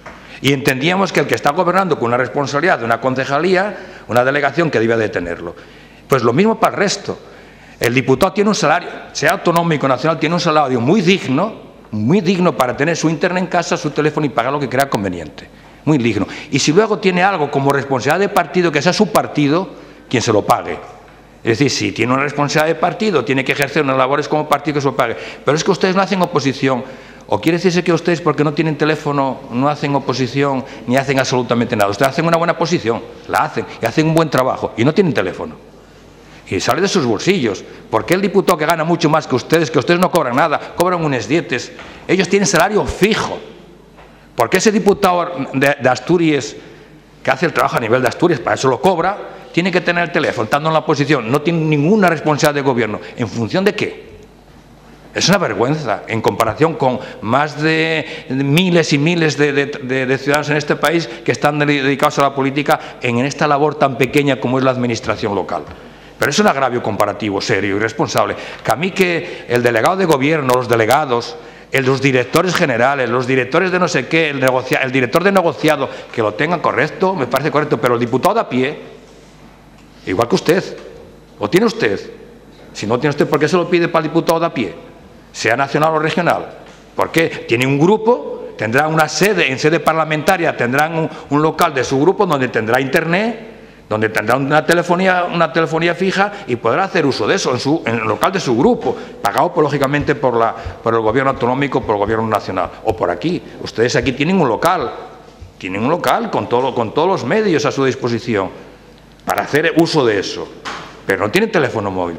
pero le sigo diciendo, ¿en qué diferencia usted del diputado que está en la oposición? Está cobrando el Partido Socialista. Sus compañeros en el Partido Popular que están en la oposición debían de tener teléfono, igual que usted, igual que usted. Porque no creo que defiendan ellos por tener teléfono más, mejor los intereses de, los asturianos que usted por no tenerlo, los intereses de los castellanos. No me lo creo. Por tanto, yo no, no me parece tan fuera de lo normal, en absoluto. Yo creo que lo que hay que decir es que tenga una responsabilidad de gobierno, que tenga un teléfono, a la, responsabilidad que sea, pero que tenga una responsabilidad de oposición, pues que tenga su propio teléfono o lo pague el grupo, quien sea. Tienen asignaciones por grupo también, ¿eh? Que salga del, que salga del, dinero del grupo si entienden que esos diputados tienen que tenerlo. ¿no? Por tanto, a mí no me parece una, una, honradamente, no me parece tan descabellado lo que está pidiendo aquí tan descabellado. Y bueno, viendo lo que se está viendo y viendo por dónde va la, opinión de la gente, que parece que, este, usted en este caso no la tiene en cuenta, deberíamos de mirar muy con lupa lo que estamos haciendo, pero muy con lupa. Viendo lo que está sucediendo y viendo por dónde van los derroteros y viendo por dónde va la mayoría de la opinión de la gente, sobre todo de los jóvenes. Si a usted le preocupa la opinión de, la gente, debe de tenerlo en cuenta por dónde va la opinión de los jóvenes. Y desde luego, no va por donde se está acordando, no va por ahí. No va por ahí. ¿eh? Eso, de las castas, que algunos demagógicas, eso de las castas que algunos políticos de los Nueva Ola demagógicamente están utilizando y ha calado, no es por algo. No es por algo. no creo que los ciudadanos españoles sean tan estúpidos de votar a una persona que no se le conoce nada porque salió seis días en la televisión y empezó a hablar de castas. Será por algo. Y el algo que es nosotros mismos que estamos fomentando esto, con estas medidas con estas medidas, que esto llega al ciudadano, ¿eh? que personas que están cobrando un salario muy digno le digan que ahora van a tener el ordenador en casa. vaya usted a justificarle de que tiene la es que defiende, pero bueno, y el concejal de a pie también, y el, y el alcalde de un ayuntamiento que no cobra, porque tiene 300 habitantes en el municipio, pero es alcalde y tiene responsabilidad de llevar ese municipio adelante y no cobra nada y posiblemente tenga que llevar hasta el internet de casa, que los hay, ¿eh? Y no hicimos nada. Cuando una persona que está cobrando miles, miles, porque son miles de euros lo que cobra al mes, hombre, hay que tener cuidado con estas medidas que se toman, porque al final nos meten a todos en el mismo saco y sale lo que sale, el populismo barato, pero porque lo fomentamos. Lo fomentamos los que gobernamos con estas medidas. Por tanto, yo voy a apoyar esa moción y, que conste, y dejo constancia aquí muy clara, que no he consultado con mi organización a nivel regional, están en la oposición, tenemos cuatro, cinco, seis diputados, no sé los que tenemos, y si les tienen que quitar el teléfono, que se los quiten y lo paguen de ese bolsillo. Y si no, Izquierda Unida esa pañera para pagárselo pero que se los quiten. Y tenemos, estamos en una posición, no estamos gobernando, que se los quiten. No, que renuncien, no. No, es que no quiero que renuncie, es que quiero con mi dinero que ustedes no lo cobren. No quiero que renuncie, no quiero que sea voluntario. No quiero que sea voluntario. Quiero que con mi dinero, que como contribuyente, no lo puedan hacer. No quiero que renuncie, no quiero que quede a la voluntad de nadie. Quiero que con mi dinero sea un dinero que se juegue con él como es debido para las cosas reales, para las cosas necesarias. No que quede a la voluntad de no sé quién que renuncie. No, no, no me vale. A mí eso de que voy para Bruselas y que tiene un 8.000 euros y que renuncie, no, no, no, no me vale. Usted los tiene o los cobra. Garrido, no me vale finalice. Bájese el salario. Garrido, ya. Que, hacía referencia antes usted a, lo que se hacía en Bruselas, ¿no? Tenemos ahí a Ángela que nos lo ha contado y que nos ha dicho que tienen teléfono fijo en el despacho y wifi, pero no tienen teléfono móvil. Entonces, bueno, por aclarar que lo hacía usted antes fuera de micro, qué pasaba con Bruselas. Yo creo que aquí lo que se discute es el uso que se hace en casa también de Internet, que no es en el, no es en el lugar de trabajo, sino pagar el teléfono en casa y, el Internet. Eh, Teo. Bien. Voy a leer el enunciado de la moción por si no quedó claro. Moción para que los diputados nacionales y autonómicos sean iguales al resto de los ciudadanos y se paguen su telefonía móvil e Internet de su domicilio. Yo me pago mi telefonía móvil y mi Internet en mi domicilio. Yo no estoy diciendo que les quiten el Internet ni el teléfono del Congreso. Por lo que me decía usted de que yo estaba utilizando el teléfono del ayuntamiento y el Internet del ayuntamiento. Yo del lugar de, de desarrollo de actividad de ellos no estoy diciendo que se lo quiten. El tema de que van los teléfonos, sí, efectivamente, 650 para 350 diputados de última generación y cuando se finalice el contrato se liberan.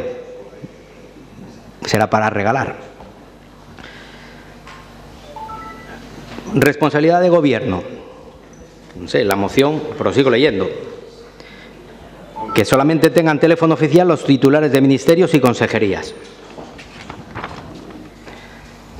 Populismo porque es muy guapa esta moción, populista. Populismo es decir que se bajan los impuestos en el año de campaña electoral. Populismo es decir que no se traspasan líneas rojas y se vuelven a tocar educación, sanidad. Populismo es que ellos no se bajen los salarios y que no se les quite la telefonía móvil, pero congelar los salarios de los de los funcionarios. Populismo es sacar pecho con los datos del EPA, de la EPA, y decir que se aumentó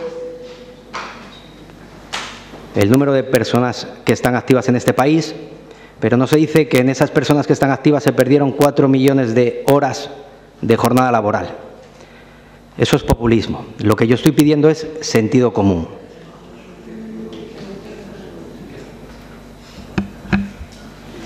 Bueno, si queréis, eh, cerramos el debate y votamos la moción que presenta el concejal no adscrito. Moción para que los diputados nacionales y autonómicos sean iguales al resto de los ciudadanos y paguen la telefonía móvil y el Internet de su domicilio. ¿Votos a favor de la moción? Ocho, Izquierda Unida, uno no adscrito. ¿Votos en contra de la moción? 6 Partido Popular, 3 Foro y 3 Partido Socialista.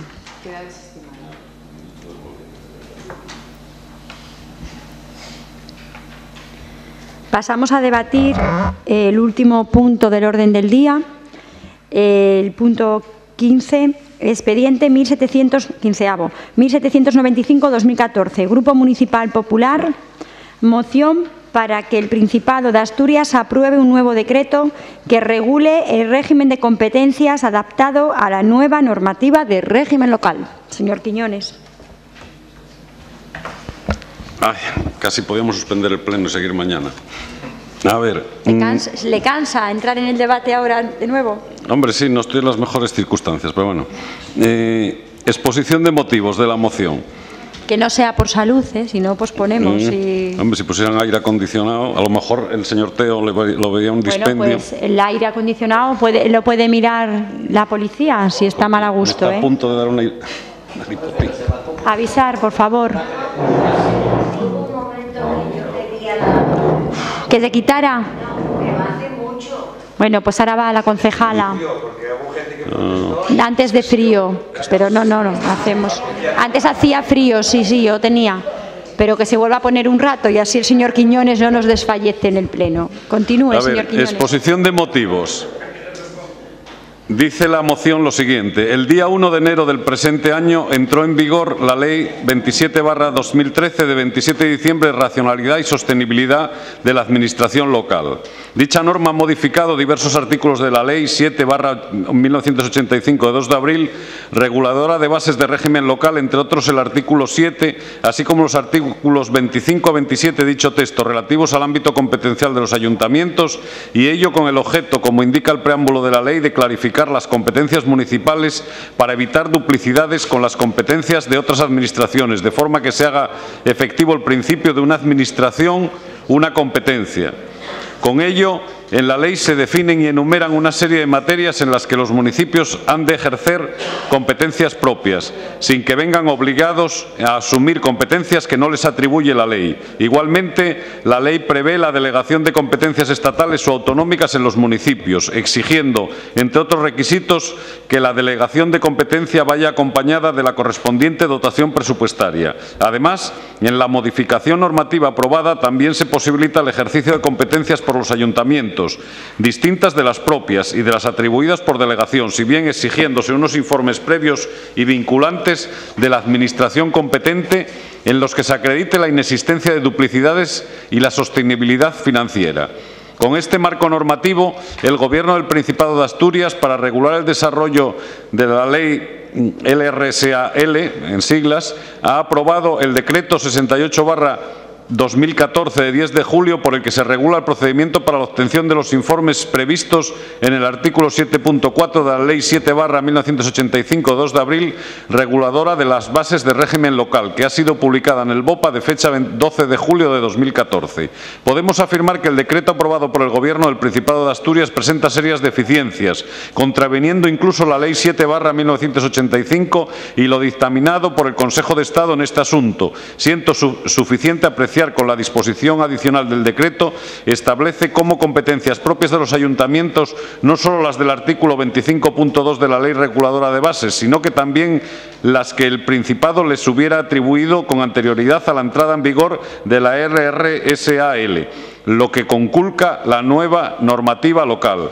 Pero es que además el decreto 68-2014 tampoco garantiza la prestación homogénea de los servicios en toda la comunidad autónoma como obliga el artículo 27.2 de la Ley de Bases de Régimen Local, ni garantiza la financiación íntegra por parte del Principado de Asturias de los servicios prestados por los municipios en el ejercicio de competencias distintas a las propias, ni regula las obligaciones de control que tiene la comunidad autónoma, particularmente el garantizar la sostenibilidad financiera y evitar la ejecución simultánea de un mismo servicio por dos administraciones, como claramente establece el artículo 7.4 de la Ley de Bases de Régimen Local.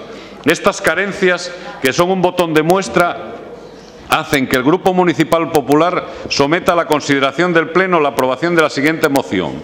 Que por parte del Ayuntamiento de Castrillón se inste al Gobierno del Principado de Asturias para que proceda a la aprobación de un nuevo decreto o a la modificación del actual decreto 68-2014 de 10 de julio con el fin de que se adecue definitivamente a la nueva normativa local el régimen de competencias que no siendo de ámbito local en la actualidad siguen estando en manos de los ayuntamientos al tiempo que regule el procedimiento que asegure la prestación homogénea de los servicios públicos para todos los asturianos, evitando la duplicidad de competencias, garantizando en todo caso la estabilidad presupuestaria y la sostenibilidad financiera, particularmente en el caso de ejercicio de las competencias distintas de las propias o delegadas, regulando igualmente la obtención de los informes exigidos por la ley, así como la financiación íntegra con la correspondiente dotación presupuestaria de aquellos servicios prestados por los ayuntamientos en el ejercicio de una competencia delegada o distinta de la propia, que del presente acuerdo se dé traslado a los grupos parlamentarios con representación en la Junta General del Principado. Sí, intervenciones. Señor Garrido, ¿alguna más? Señor Galán, ¿alguna más? Señor Galán, usted primero. Bueno, lo que dice aquí el Partido Popular en esta moción, pues no sé si leería el decreto de, del Principado, pero yo no voy a leer, pero voy a irme por encima. ¿eh? Artículo 2, competencias propias. Artículo 3, competencias delegadas. Artículo 4, competencias distintas propias y las atribuidas por delegación. Artículo 5. Informe de no duplicidad. Artículo 6. Informe de la sostenibilidad financiera. Artículo 7. Notificación de, informes. Artículo 8. innecesari- Innecesidad de los informes. Artículo 9. Convenios. Artículo 10. Financiación de las competencias distintas de las propias y las, de- las atribuidas por delegación. Y luego la disposición final que dice usted, que yo aquí he leído el, el- el Real Decreto y todo lo que dice usted aquí está contemplado en este Real Decreto. Yo no sé, dice que, que tiene deficiencias, no sé. Ustedes dirán que tiene deficiencias, pero aquí estoy leyendo todo lo que está diciendo aquí está contemplado en el Real Decreto.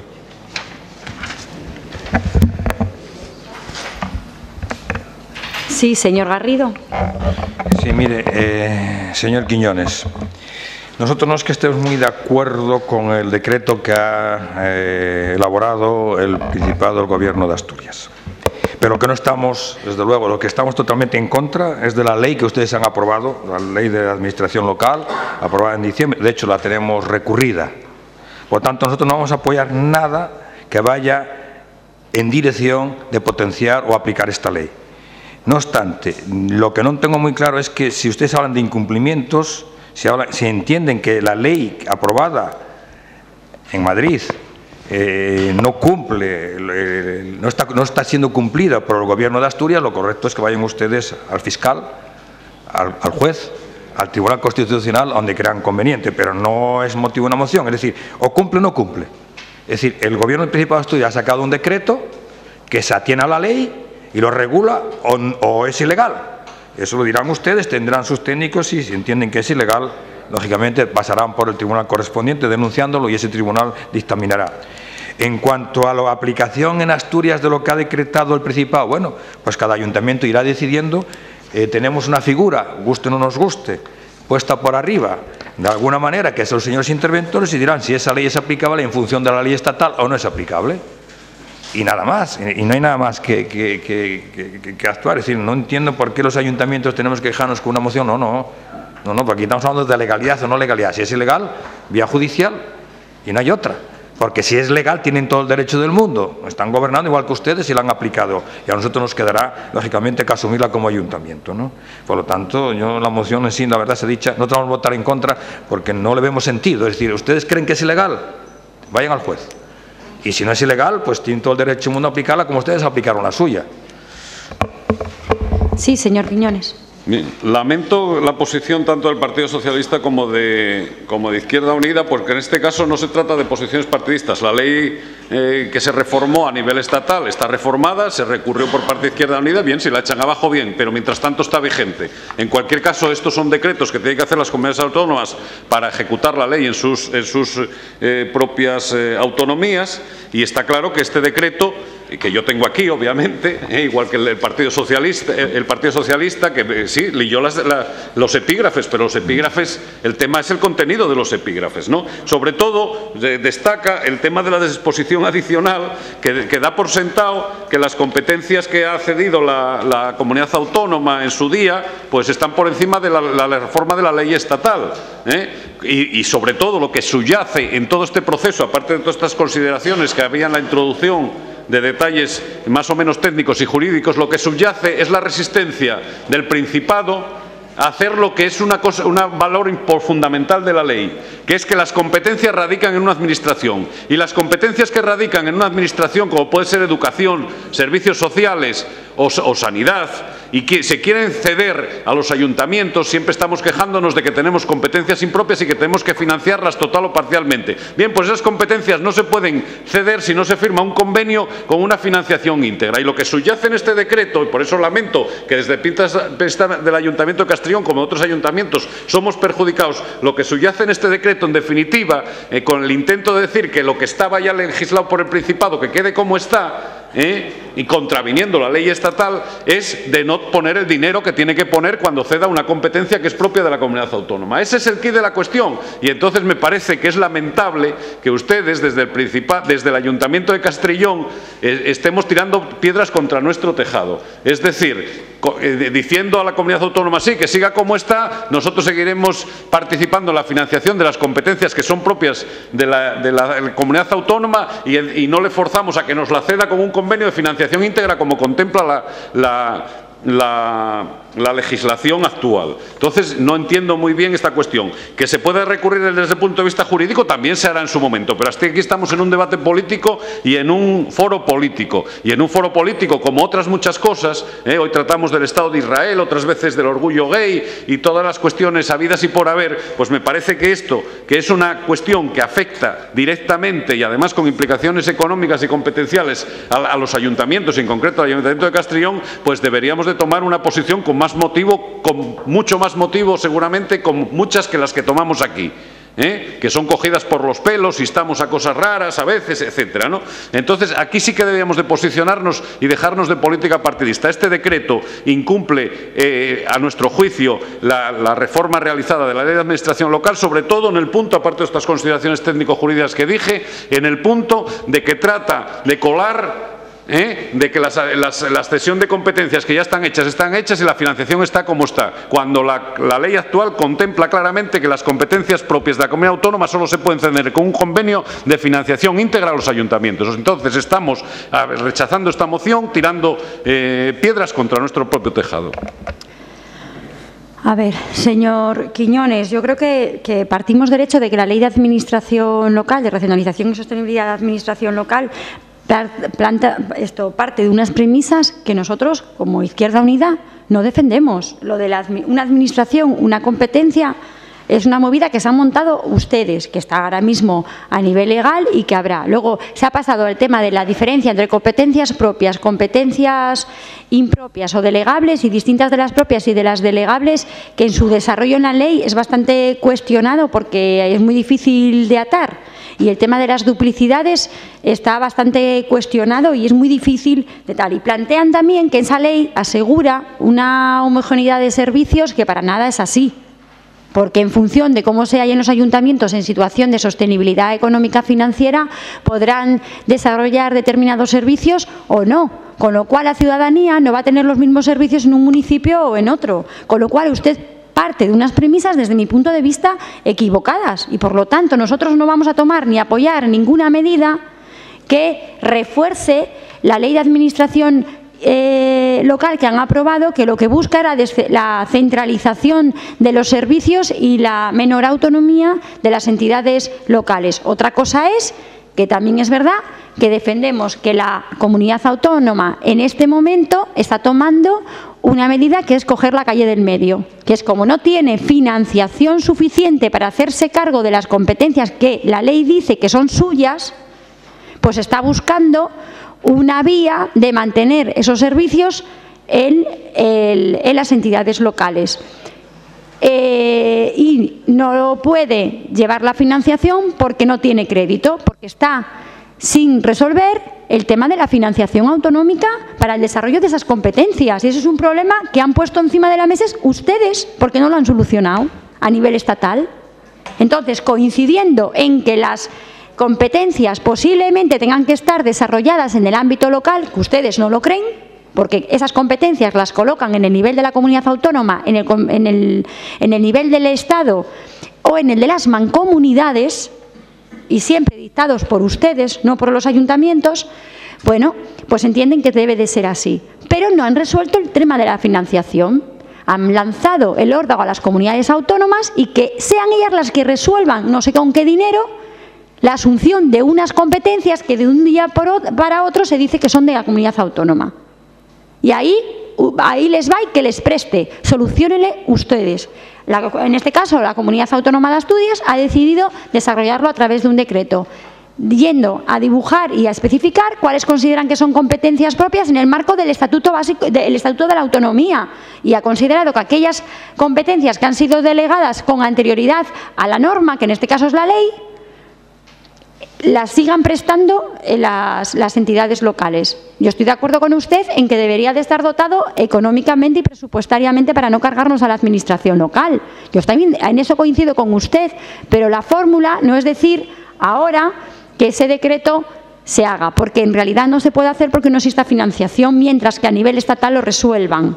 Con lo cual entiendo que es un caramelo envenenado el que quiere meter con esta moción y nosotros no lo vamos a apoyar aunque también estamos de acuerdo en que en ese decreto hay cuestiones que habría que mejorar porque nos pone a los ayuntamientos, y en eso sí coincidimos, en una situación de falta de financiación para desarrollar los servicios que Izquierda Unida piensa que lo podríamos desarrollar desde el ámbito local porque es lógico que se desarrollen desde ese ámbito. Y en eso no coincidimos con usted, por eso no vamos a apoyar la moción. Sí, señor Galán, y luego Garrido. Le voy, a leer, el artículo 10. Financiación de las competencias distintas de las propias y las atribuidas por delegación. Eh, la Administración del Principado de Asturias podrá aportar financiación a los consejos para el ejercicio de competencias distintas de las propias y las atribuidas por delegación siempre que éstas presenten un informe de no duplicidad y de sostenibilidad financiera.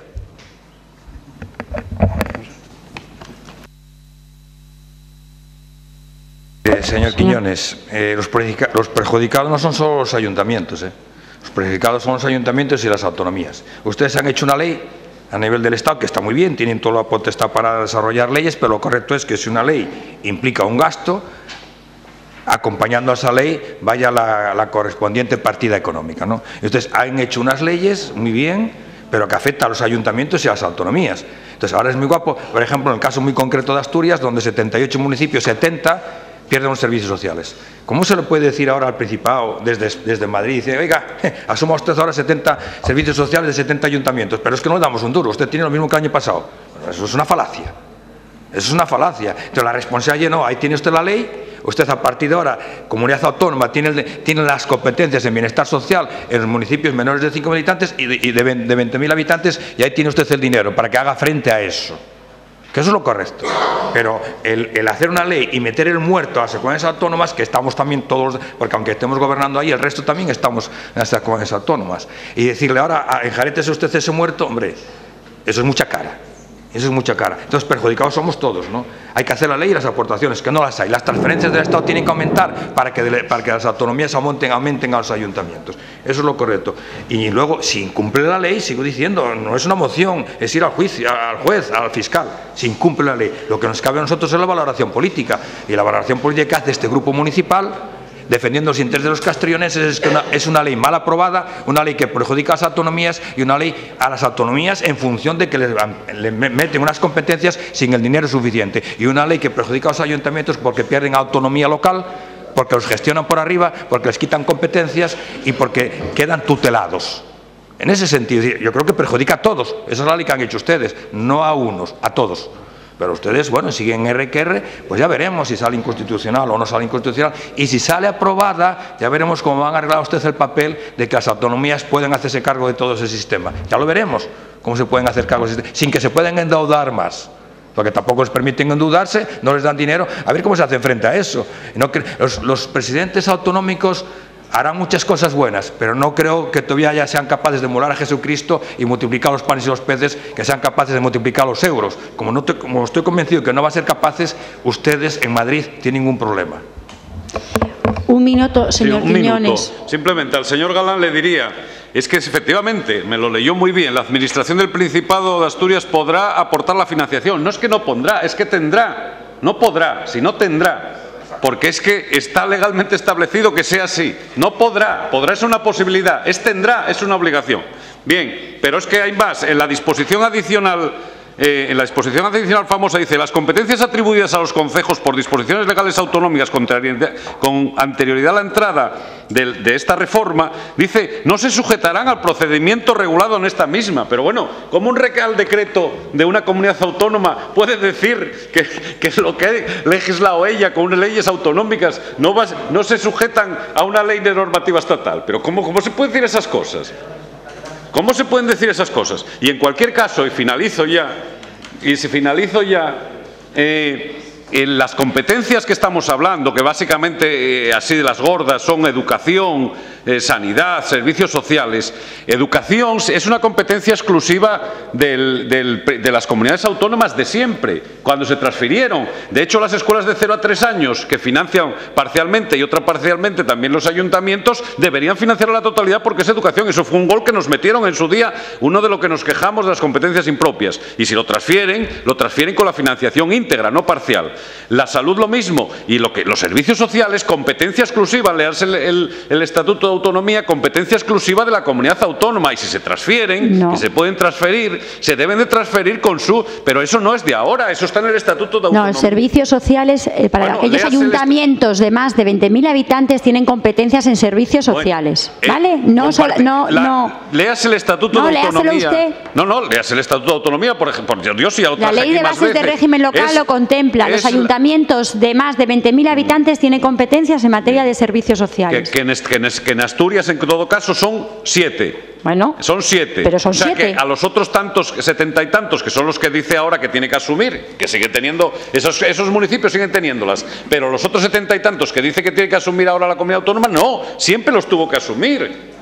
Siempre los tuvo que asumir porque ellos no lo tienen esa competencia y sí lo tiene por el Estatuto de Autonomía la comunidad autónoma. Y no digo nada la educación, que nos estamos financiando, aunque sea parcialmente, las escuelas de 0 a 3 años. Entonces son cosas que ya tenían que estar asumidas. Sí, señor Quiñones, pero el problema es que hubo una política de descentralización durante muchos años en la que se descentralizaron servicios con la coparticipación financiera de los ayuntamientos, en consenso de todos los grupos políticos y de todos los gobiernos. Y siempre nos hemos quejado. Lo que no se puede es decir de repente que aquellas competencias son de una determinada administración pero sin dotar presupuestariamente y además impidiendo a los ayuntamientos que coparticipen en esa financiación, porque de repente ¿qué pasa? Que hay unos servicios que no se prestan si atendemos a eso, porque no va a haber solvencia económica para desarrollar los servicios que se estaban prestando hasta ese momento. Con lo cual, ¿qué se consigue?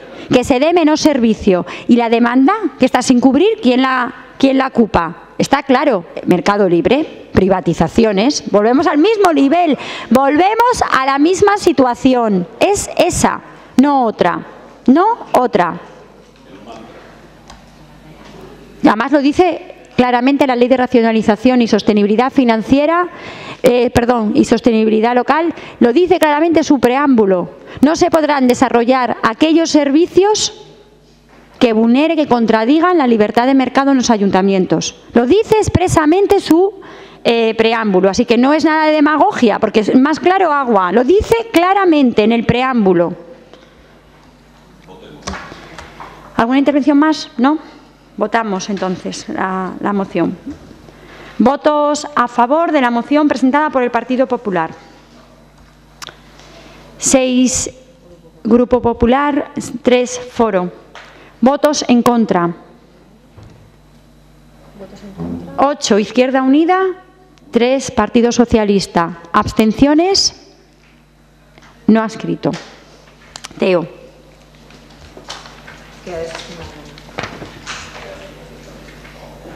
Desestimada, ¿no?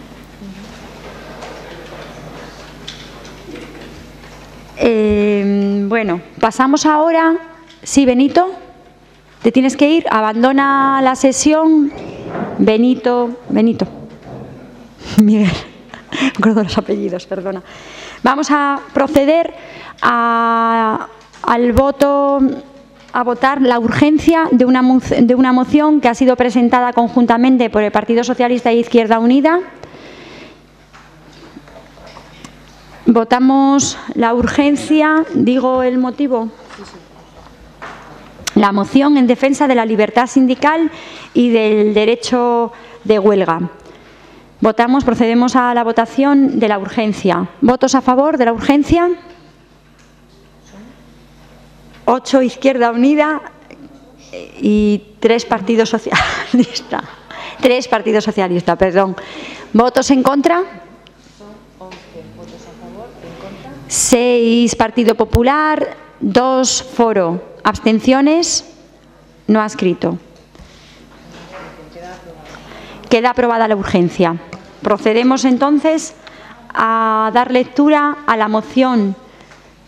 Sí, señora González.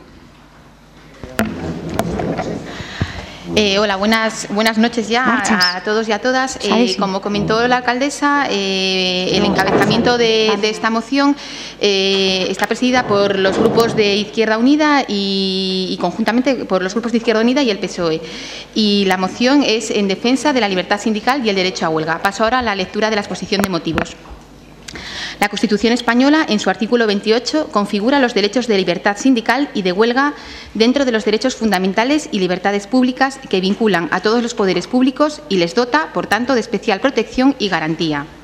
Sin embargo, tras muchos años de ejercicio democrático, ambos derechos están hoy seriamente cuestionados por las autoridades públicas, de forma que la participación legítima en huelgas está suponiendo para muchos trabajadores y trabajadoras la persecución con numerosas causas y actuaciones administrativas y penales abiertas. En un claro intento de frenar las protestas sociales, se está criminalizando a los sindicatos, con numerosas acusaciones e imputaciones y competiciones de cárcel incluidas que van desde los dos a los ocho años de prisión, dirigidas contra el movimiento sindical, sus responsables y militantes por el ejercicio legítimo y constitucional del derecho de huelga. Asturias no es ajena a esta situación y se constata una amplia tipología de supuestos, desde procedimientos administrativos a acusaciones e imputaciones por los delitos de desórdenes públicos, daños o atentado. Como ha declarado el Tribunal Constitucional, la huelga es un instrumento de presión necesario para la afirmación de los intereses de los trabajadores en los conflictos socioeconómicos, como también establece que un sindicato sin derecho al ejercicio de la huelga quedaría en una sociedad democrática vacío prácticamente sin contenido.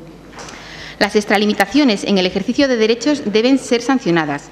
No obstante, cualquier sanción impuesta por actuaciones ilegítimas debe guardar la debida proporcionalidad con la falta o delito cometido y las autoridades deberían excluir el recurso a medidas de encarcelamiento contra quienes organizan o participan en una huelga pacífica.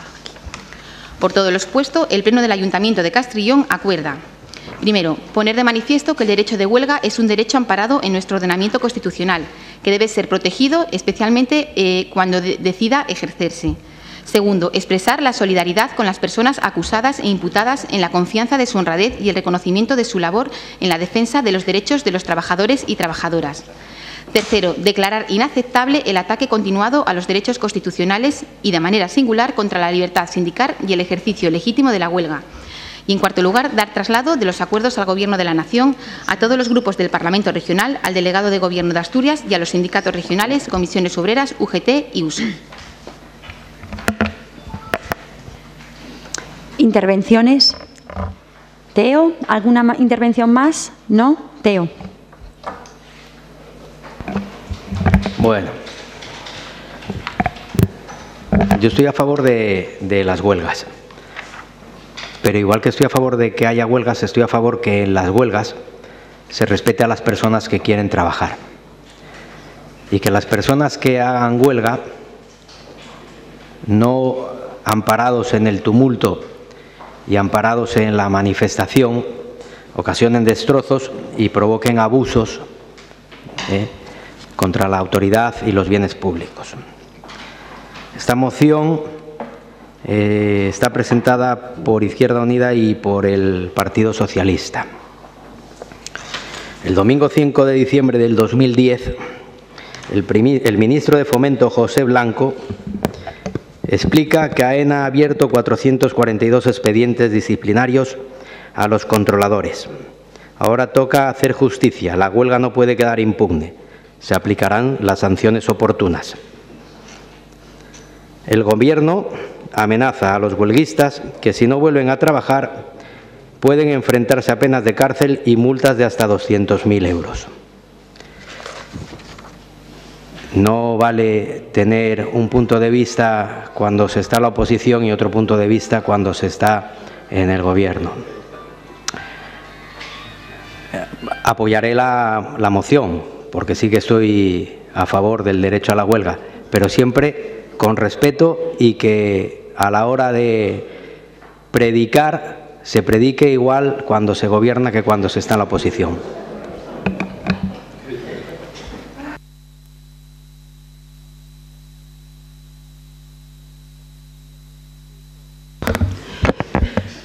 Por alusiones, dos minutos nada más. Vamos a ver.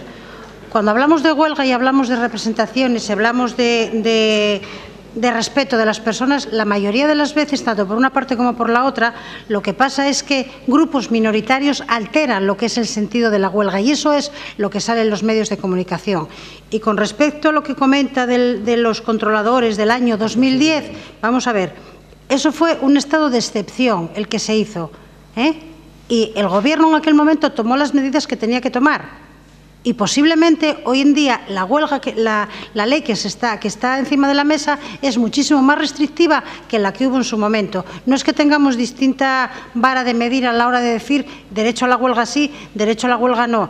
Yo reconozco que, mmm, las situaciones a veces son complicadas a la hora de decidir o a la hora de valorar, pero, pero, no nos dé nosotros lecciones ni de ética ni de moral, señor Pozo. Usted no es quien para darle al PSOE lecciones ni de ética ni de moral, porque no puede.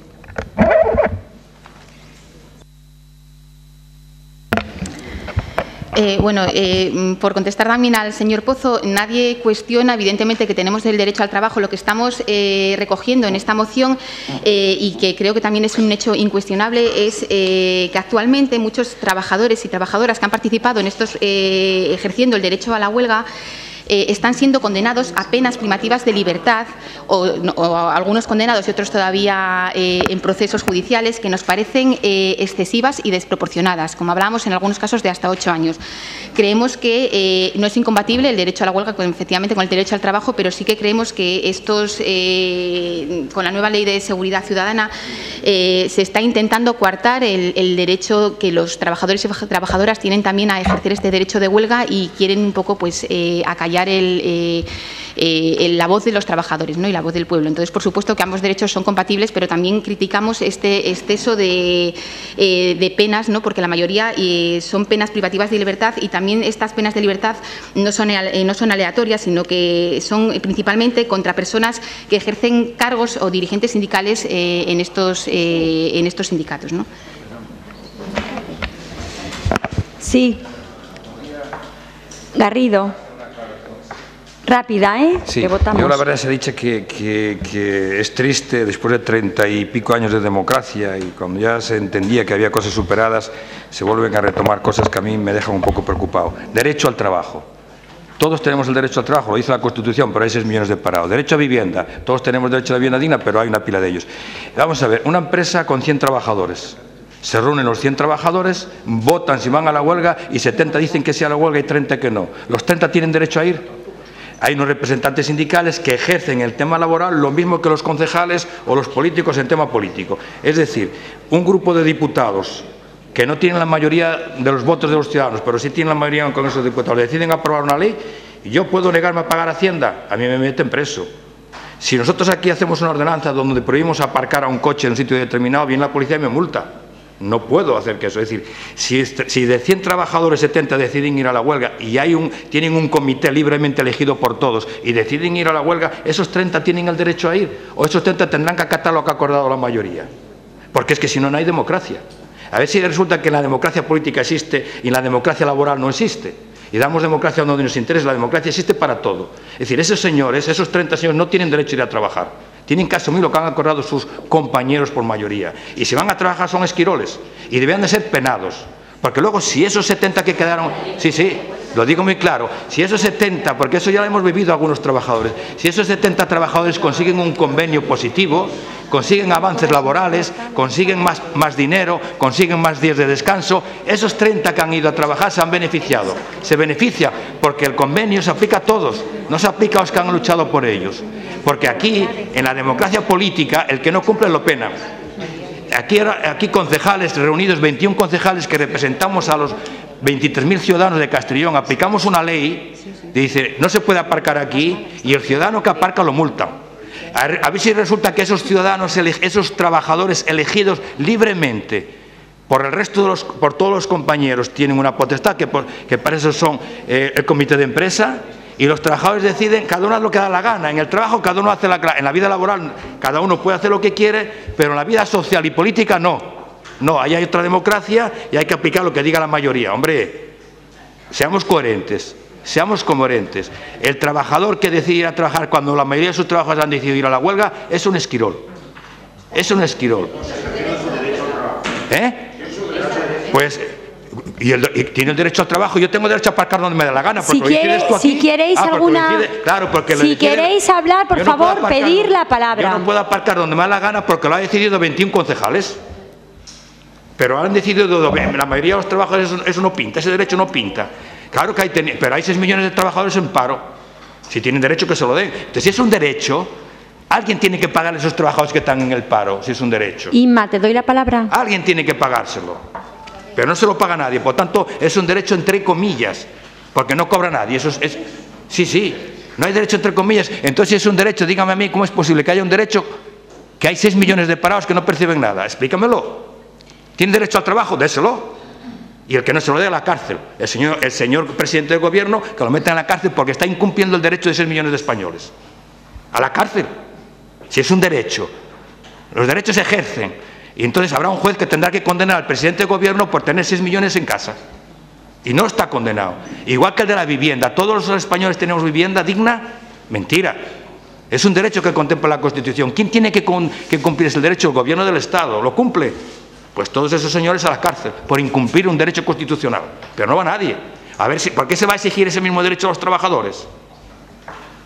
¿Por qué? Porque interesa porque interesa acabar con los sindicatos. Ese es el tema. El interés, es decir, los partidos políticos tienen toda la potestad de legislar leyes y los sindicatos no tienen la potestad de legislar el mundo laboral. Ese es el problema. Sindicatos no tienen potestad ninguna en el mundo laboral y los políticos tenemos toda la potestad en el mundo legislativo y político. Y marcamos leyes que tienen que cumplir los ciudadanos aunque no estén de acuerdo. Pero los sindicatos no. No. Ese es el problema real. Hombre, por favor. Por favor. Sí, quería intervenir el señor Teo y terminamos. Teo. Garrido, apaga. Ah, sí, sí, perdón, perdón. A ver, Garrido, yo cuando hablé de derecho al trabajo, eh, no estaba hablando de un caso específico de una huelga sectorial en una factoría y que la factoría cierre y vayan 100 a trabajar y 30, o sea, 30 vayan a trabajar y 100, y 100 vayan a la huelga. Yo hablo en términos más globales, una, eh, huelga de educación, como decía la señora Rosell, hay grupos minoritarios que van a, romper la huelga y lo que no pueden hacer ni se puede permitir es que cualquier establecimiento que esté abierto al camino y a su paso, lo cierren, lo precinten ¿eh? y tengas que cerrar porque el que está en la manifestación, o una huelga general, o una huelga general, oiga, yo voy a la huelga o no voy a la huelga, usted quiere ir a la huelga, vaya a la huelga, yo si no quiero ir a la huelga, porque soy un autónomo, usted no me tiene por qué partir la cara o cerrarme el local o romperme las lunas. Yo estoy de acuerdo en que se respete el derecho a la huelga, pero que los huelguistas y los sindicatos respeten el derecho de las personas que no quieren hacer huelga y no haya represalias contra ellas.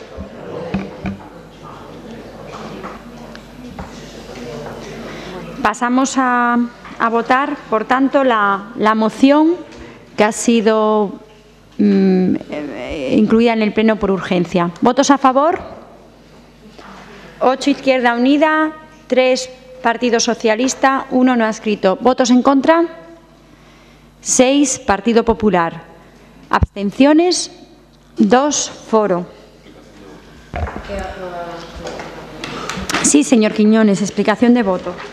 Bien, nosotros hemos votado primero en contra de la urgencia de la moción, puesto que no consideramos que sea una moción para nada urgente. Y en segundo lugar, podría entrar en el próximo pleno sin ningún problema, puesto que no, tiene, no, no le vemos la urgencia por ningún lado.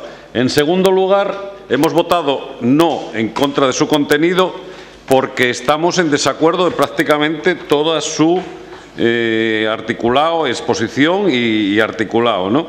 En el sentido de que expresar la solidaridad con las personas acusadas e imputadas en la confianza de su honradez y el reconocimiento de su labor en la defensa de los derechos de los trabajadores y trabajadoras. Vamos a ver. Explicación de voto, no entremos en debate otra vez. Bueno, pero estoy explicando el voto. Pero bueno, ¿cómo explico el voto? Bueno, explicación del voto. ¿Cómo lo explico? es que no lo sé. que, no, entre a debatir otra vez el contenido de la Yo no entro en debate, en todo caso entrarían ustedes. Yo estoy explicando por qué vamos a votar en contra. ¿O cómo? ¿Por qué hemos votado en contra? Quiero decir, y si, y, si, y si, quiere que hable del Real Madrid-Barcelona, pues hablo del Real Madrid-Barcelona, pero tendré que argumentar... No, del Real Madrid-Barcelona no estamos hablándolo en el punto. Pues eso le digo, si no me deja hablar de lo que está... Venga, pues explique el voto. Bien, es, es claro que quien imputa y quien juzga no es el Gobierno, como parece darse aquí, sino el Poder Judicial, que es un poder independiente. Eso en primer lugar. En segundo lugar, no conozco ningún sindicalista ¿eh? que no esté juzgado por casos de corrupción o por casos de violencia y desmanes. ¿Eh? Quiere decir, los que están juzgados estarán por eso, como están los políticos, como están los empresarios, etcétera, etcétera. A no ser que se quiera dar derecho a pernada a, los representantes sindicales. Tendrán que comparecer en la justicia cuando, cometan eh, eh, actos ilegales, bien sea por corrupción, que hay bastantes también en determinados sindicatos, en determinadas zonas, como parece, o bien sea por, por desmanes, violencia o coacciones. Y eso parece que es normal, está en la legislación y lo hace el Poder Judicial, no lo hace el Gobierno. ¿eh? Y declarar inaceptable el ataque continuado a los derechos constitucionales y de manera singular contra la libertad eh, sindical y el ejercicio legítimo de huelga. Yo no entiendo dónde está no, compartimos que haya ningún ataque en ese sentido.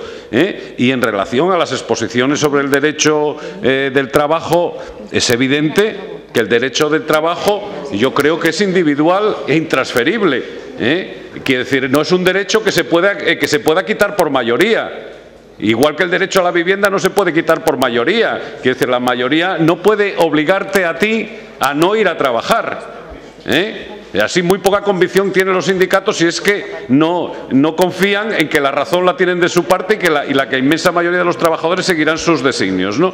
Entonces el derecho al trabajo no es un derecho votable. Finalice, ¿Eh? señor. Sí, ya está acá. Por eso estamos votando en contra. Porque el derecho al trabajo, ¿eh? igual que lo que se dijo de las de cuando hay una huelga general, obligar con coacciones al cierre de establecimientos, etcétera, eso además va en contra de los convocantes de la huelga. ¿Eh? porque pierden la credibilidad. Entonces, el derecho al trabajo no es un derecho votable, ni que se le quite a uno por mayoría. ¿eh? como los derechos fundamentales. El derecho al trabajo lo tienen las personas y los trabajadores, si lo ejercen o no lo ejercen, y ninguna mayoría se lo quita, como no pueden quitar el derecho a la vida, tampoco ninguna mayoría. Entonces, que quede claro ¿eh? esas cuestiones, porque si no tenemos claro esas cuestiones podemos deslizarnos por una pendiente muy peligrosa. ¿Alguna intervención de explicación de voto? ¿No? Pues pasamos entonces a control por el Pleno de otros órganos. a la declaración. Votamos la urgencia de la declaración que presenta el Partido Popular, a la que dio contenido ya con, anterioridad. O sea, es fuera del orden del día. Fuera del orden del día, otro asunto de urgencia, que sería el 17, me parece. ¿Y la, y la declaración cómo se llama, señor Quiñones? declaración institucional, en este caso del Ayuntamiento de Castellón, con motivo de la declaración de 2014 como Año Internacional de Solidaridad con el pueblo palestino. Ah, Sí, bueno, está aquí. Bueno, pero la leo si queréis, y así no es, breve. Eh, declaración institucional del Ayuntamiento de Castellón con motivo de la declaración de 2014 como Año Internacional de Solidaridad con el pueblo palestino por la Asamblea General de Naciones Unidas. Eh, con motivo de la declaración del 2014 como Año Internacional de Solidaridad con el Pueblo Palestino por la Asamblea General de Naciones Unidas, el Pleno del Ayuntamiento de Castrillón reclama, primero, el cumplimiento de las resoluciones de las Naciones Unidas. Segundo, el respeto absoluto de los derechos humanos de palestinas y palestinos. Tercero, el principio de retorno de las personas y comunidades a las tierras y casas de las cuales fueron expulsadas. Cuarto, que cesen los enfrentamientos y bombardeos sobre la franja de Gaza. Manifestamos nuestro más firme compromiso con los derechos inalienables de las personas, con la libertad y con el más pleno respeto de la dignidad humana. El Ayuntamiento de Castrillón no escatimará esfuerzos en contribuir desde Castrillón a construir un orden internacional bajo el respaldo de la legalidad internacional, un mundo en el que la fuerza quede siempre sometida al derecho y realizamos un llamamiento a un arreglo negociado para una, una paz justa y duradera. Esa sería la, declaración que someteríamos. Bueno, pues votamos, votamos la urgencia. ¿Votos a favor de la urgencia? Unanimidad. Estando presentes 20 concejales, ¿eh? a la falta de uno. Y votamos entonces la declaración. ¿Votos a favor? Unanimidad. Sacamos algo. Pues pasamos entonces al control por el Pleno de otros órganos de Gobierno. Resoluciones, dar cuenta. ¿Hay alguna resolución por la que queráis preguntar? No, no. Pues pasamos al control de órganos de gobierno. Ruegos y preguntas. ¿No? ¿No hay ningún ruego, ninguna pregunta? No me lo puedo creer. Vale, muy bien. Bueno, pues damos por finalizado el pleno en el día de hoy la sesión y antes de levantarnos damos la voz.